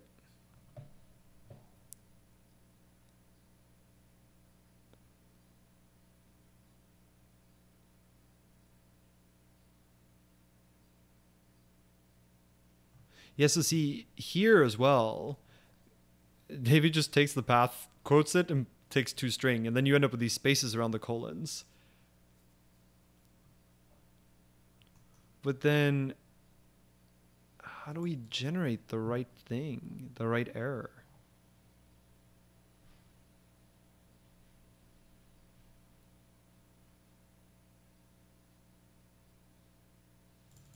Idents of path.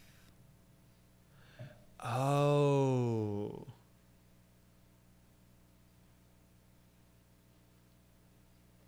He actually keeps the idents rather than the string representation. It's unclear that that's important for us. Oh, there's also path. What does path do compared to ident?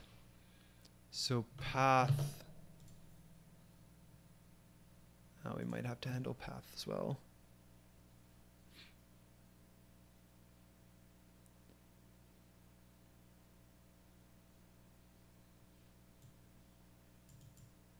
Hmm.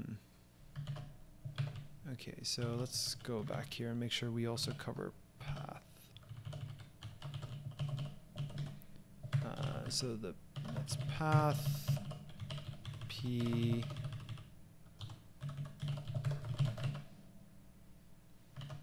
p dot path. I don't know what q self is here qualified with a self type. There's a Q self.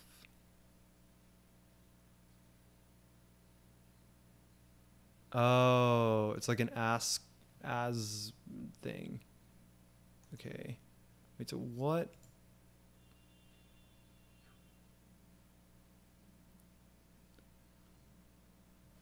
Oh, the oh, you've posted uh, solutions in here. Mm, proc macro commit 8e320. Nice. Oh, I see. They're not on the master branch. They're just like disjoint commits. Um,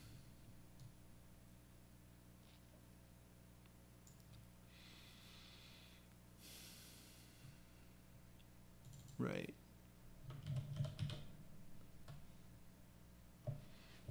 Yep, so that gives you a bunch of paths. That's fine. Yep. Oh, I see. You make the two implementations common by having them both produce paths, and then you just check the paths. That seems reasonable. Um,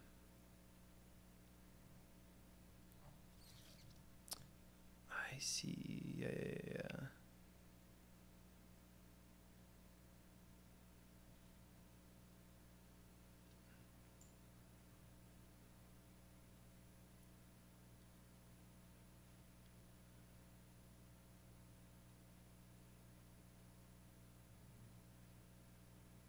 But isn't this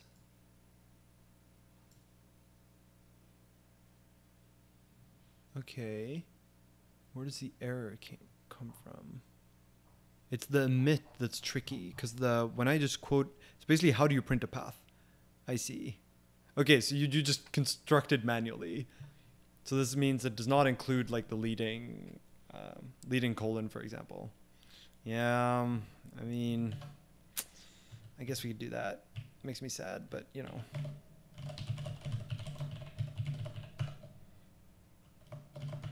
Uh,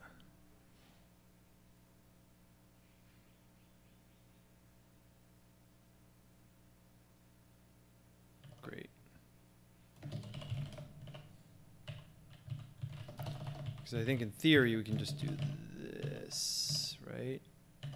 Because each segment is like that, and then join this.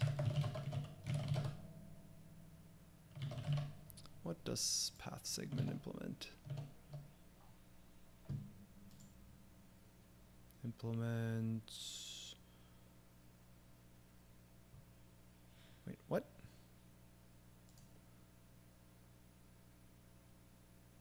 Uh huh. Segment formant formatter. But path segments are also not display.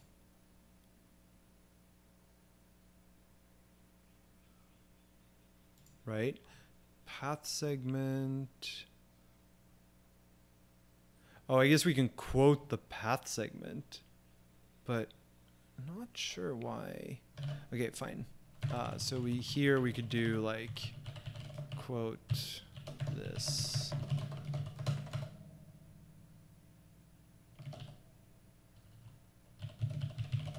Uh, and then you need to do this. And then you can join it. Yep. Uh, let's see. Okay, so.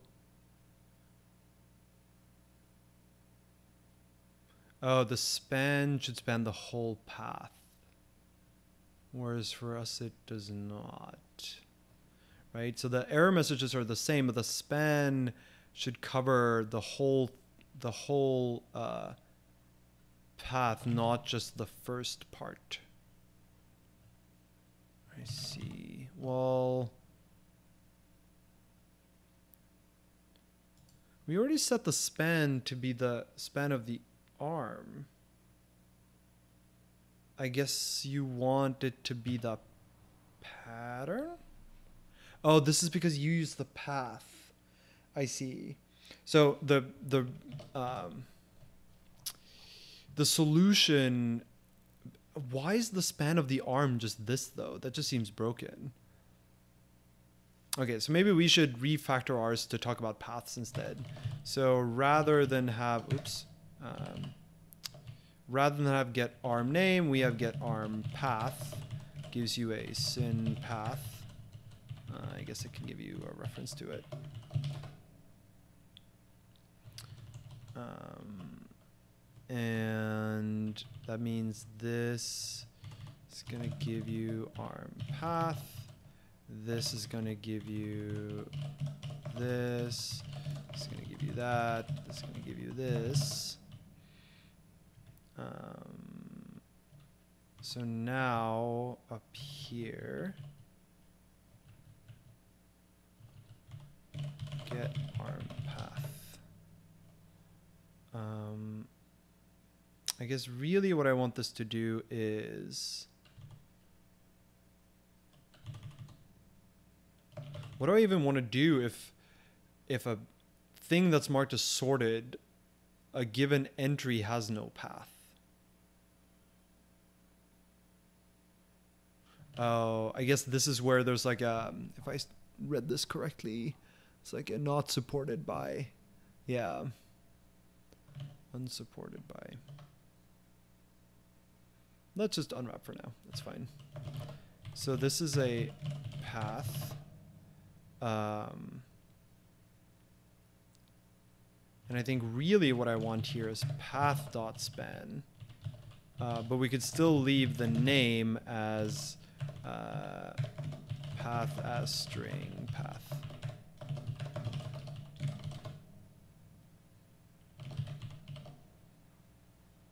Hmm. Why is the span still wrong?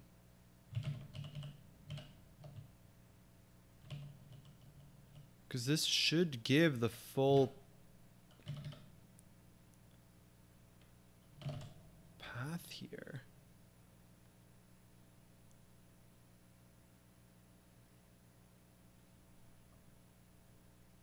Error format should sort before error IO. And this is printed from the path. But the span of the path is only this? Oh, is there is this where we need to use uh Oh, you're right. It's the whole like the error new can only take a single span. Okay, so new span and then I guess give the full path. I think that's I think you're right. I think that's what we did. Okay, great. Good catch. Um, nice. Okay, great. There's still some like weirdity here, right? Like we might want to uh, support other types of paths, or we might want to support them differently. Um, we might also want to try to like share this loop with the loop we use for uh, checking variants. But progress. Seven unrecognized pattern. Macro won't need to define what it means for other sorts of patterns to be sorted. It should be fine to trigger an error if any of these patterns is not something that can be compared by path. Be sure that the resulting error message is understandable and placed correctly underlining the support unsupported pattern. Hmm, I see. Yeah, because here it's marked as sorted, but the things aren't don't have a path, and so in those cases, um, I think we're actually still in pretty good position, right? So down here, um, I think maybe what we want to do here is if let some path is that, then path. Um, otherwise, um, otherwise we're going to push an error saying that uh, arm dot pat arm dot pats. Actually, that might not even work. Eh, we'll see. Um, and then it should say something like unsupported pattern, I'm guessing. Uh, unrecognized, unsortable pattern. And it should say. Actually, it doesn't even have to do that. It can just say this.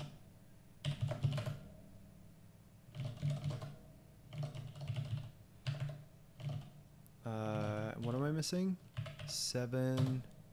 Right.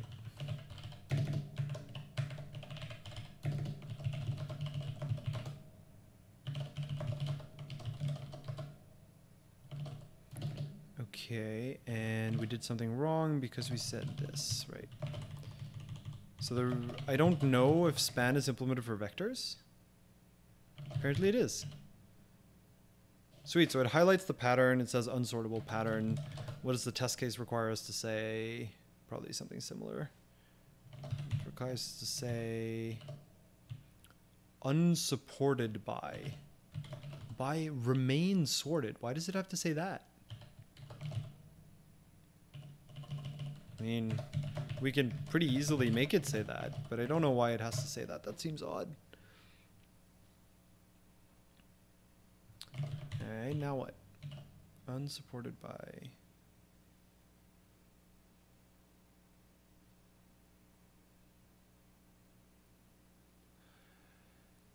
We're not allowed to omit all the errors.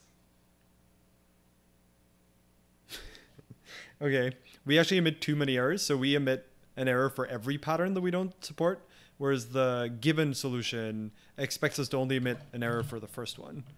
So I, I mean, I guess that's easy enough for us to fix.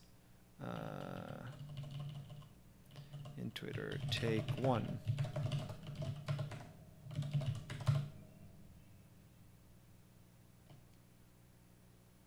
Sweet. All right, progress. Last one. Right, 08 underscore uh, main.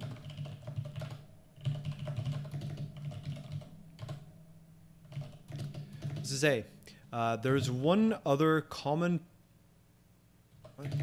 There's one other common type of pattern that would be nice to support: the wildcard or underscore pattern. The sorted macro should check that if a wildcard pattern is present, then it is the last one. Hmm. I see. Hmm. Well, we can do that pretty easily. So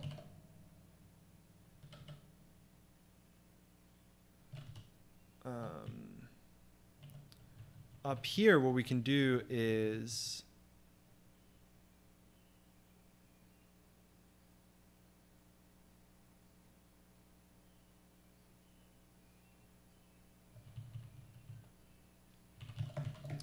else if um, arm dot map uh, actually just that. If that is uh, syn pat what did we say? The wasn't there a wild card pattern? Right? Somewhere up here? Wild pat wild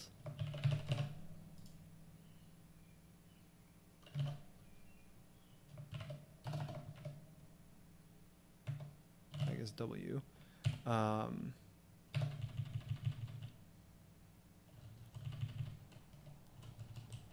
let mut wild is none. Then wild is some W. If uh, wild, if let some W is wild, so this means that we encountered an arm after we already had wild. Well, that's an error. Right? And we can in fact break. There's no reason to process any of the other arms. There's no reason to check them. Uh, and in fact, that also sort of means that we can do that here too. Um,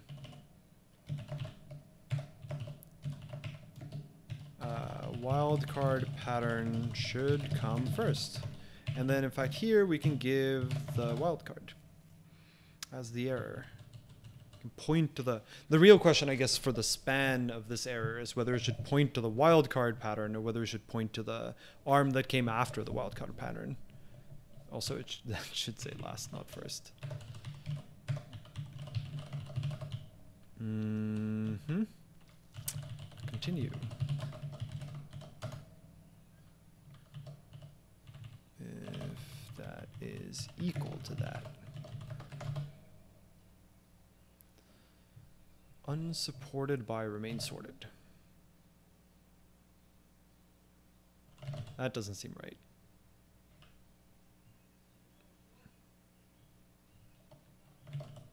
That's definitely not what that should say.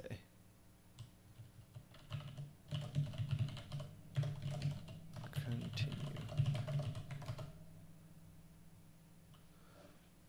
Uh, what?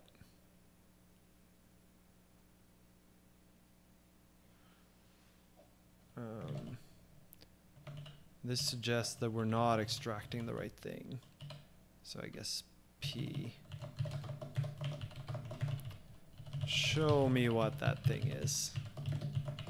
What is it we're not handling? Hmm? Oh, ref. We're not handling.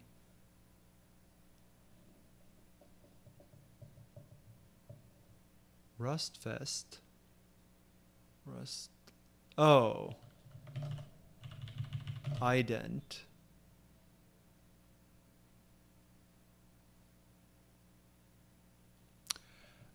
Oh, is the. Ah, so this was your point back then, Felix. That the. Oh, that's so weird. So the sub pattern is what then? Like from the opening square bracket?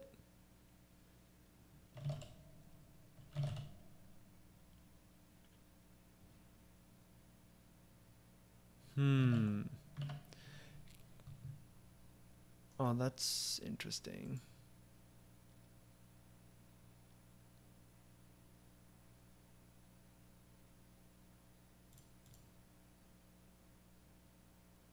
The other question is whether I can get to a path, whether I can make an ident into a path. Uh, I mean, probably.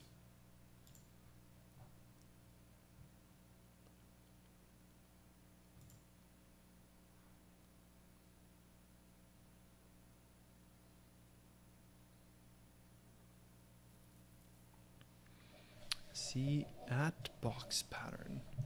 Yeah, that's what I looked at, but I don't. That doesn't actually explain it. Um, I see. So I can take. Okay, so if this is an ident instead.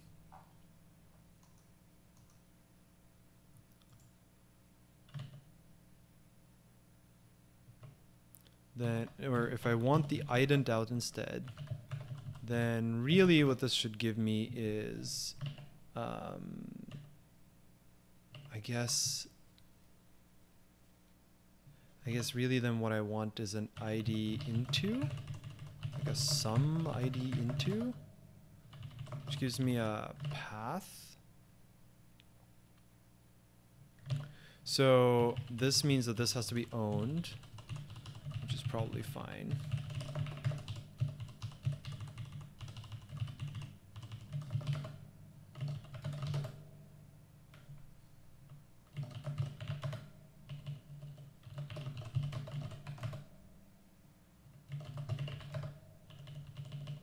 Mm, ref.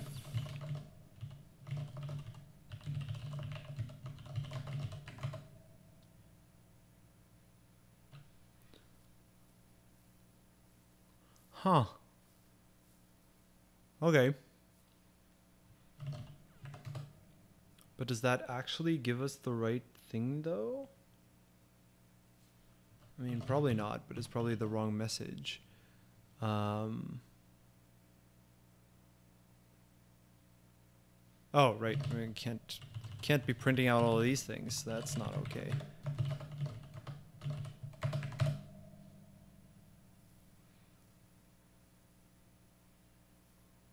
Wait, we just passed the last one? Wildcard pattern should come last. Was that did we just guess the right That's too funny. Oh. Oh, there's no associated check for 08 underscore.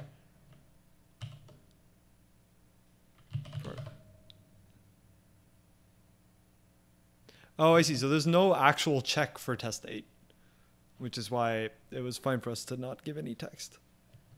Wait, so this means we pass all the tests. There are no more tests. Nice. There's probably like a decent amount of cleanup here to do some code sharing between the different implementations. Um, we could also do some tidying up of how to handle paths. But overall, this now like does the exercise. Yay! Well done, us. All right, so we've done. Um, this means that we've now completed. Well, we completed Derived Builder last time. We've now done uh, Seq and Sorted, um, which I think means that if you've followed both of these videos, you're now in a good position to try out Bitfield and see if you can make it work. Um, of course, you could also like warm up with custom debug. Um, great, which I think is a uh, pretty good on time. I think this is a good place to leave it. The as I mentioned early on, no, that's not what I meant to do. Uh, as I mentioned early on, um, the this will probably be the last proc macro stream for the time being.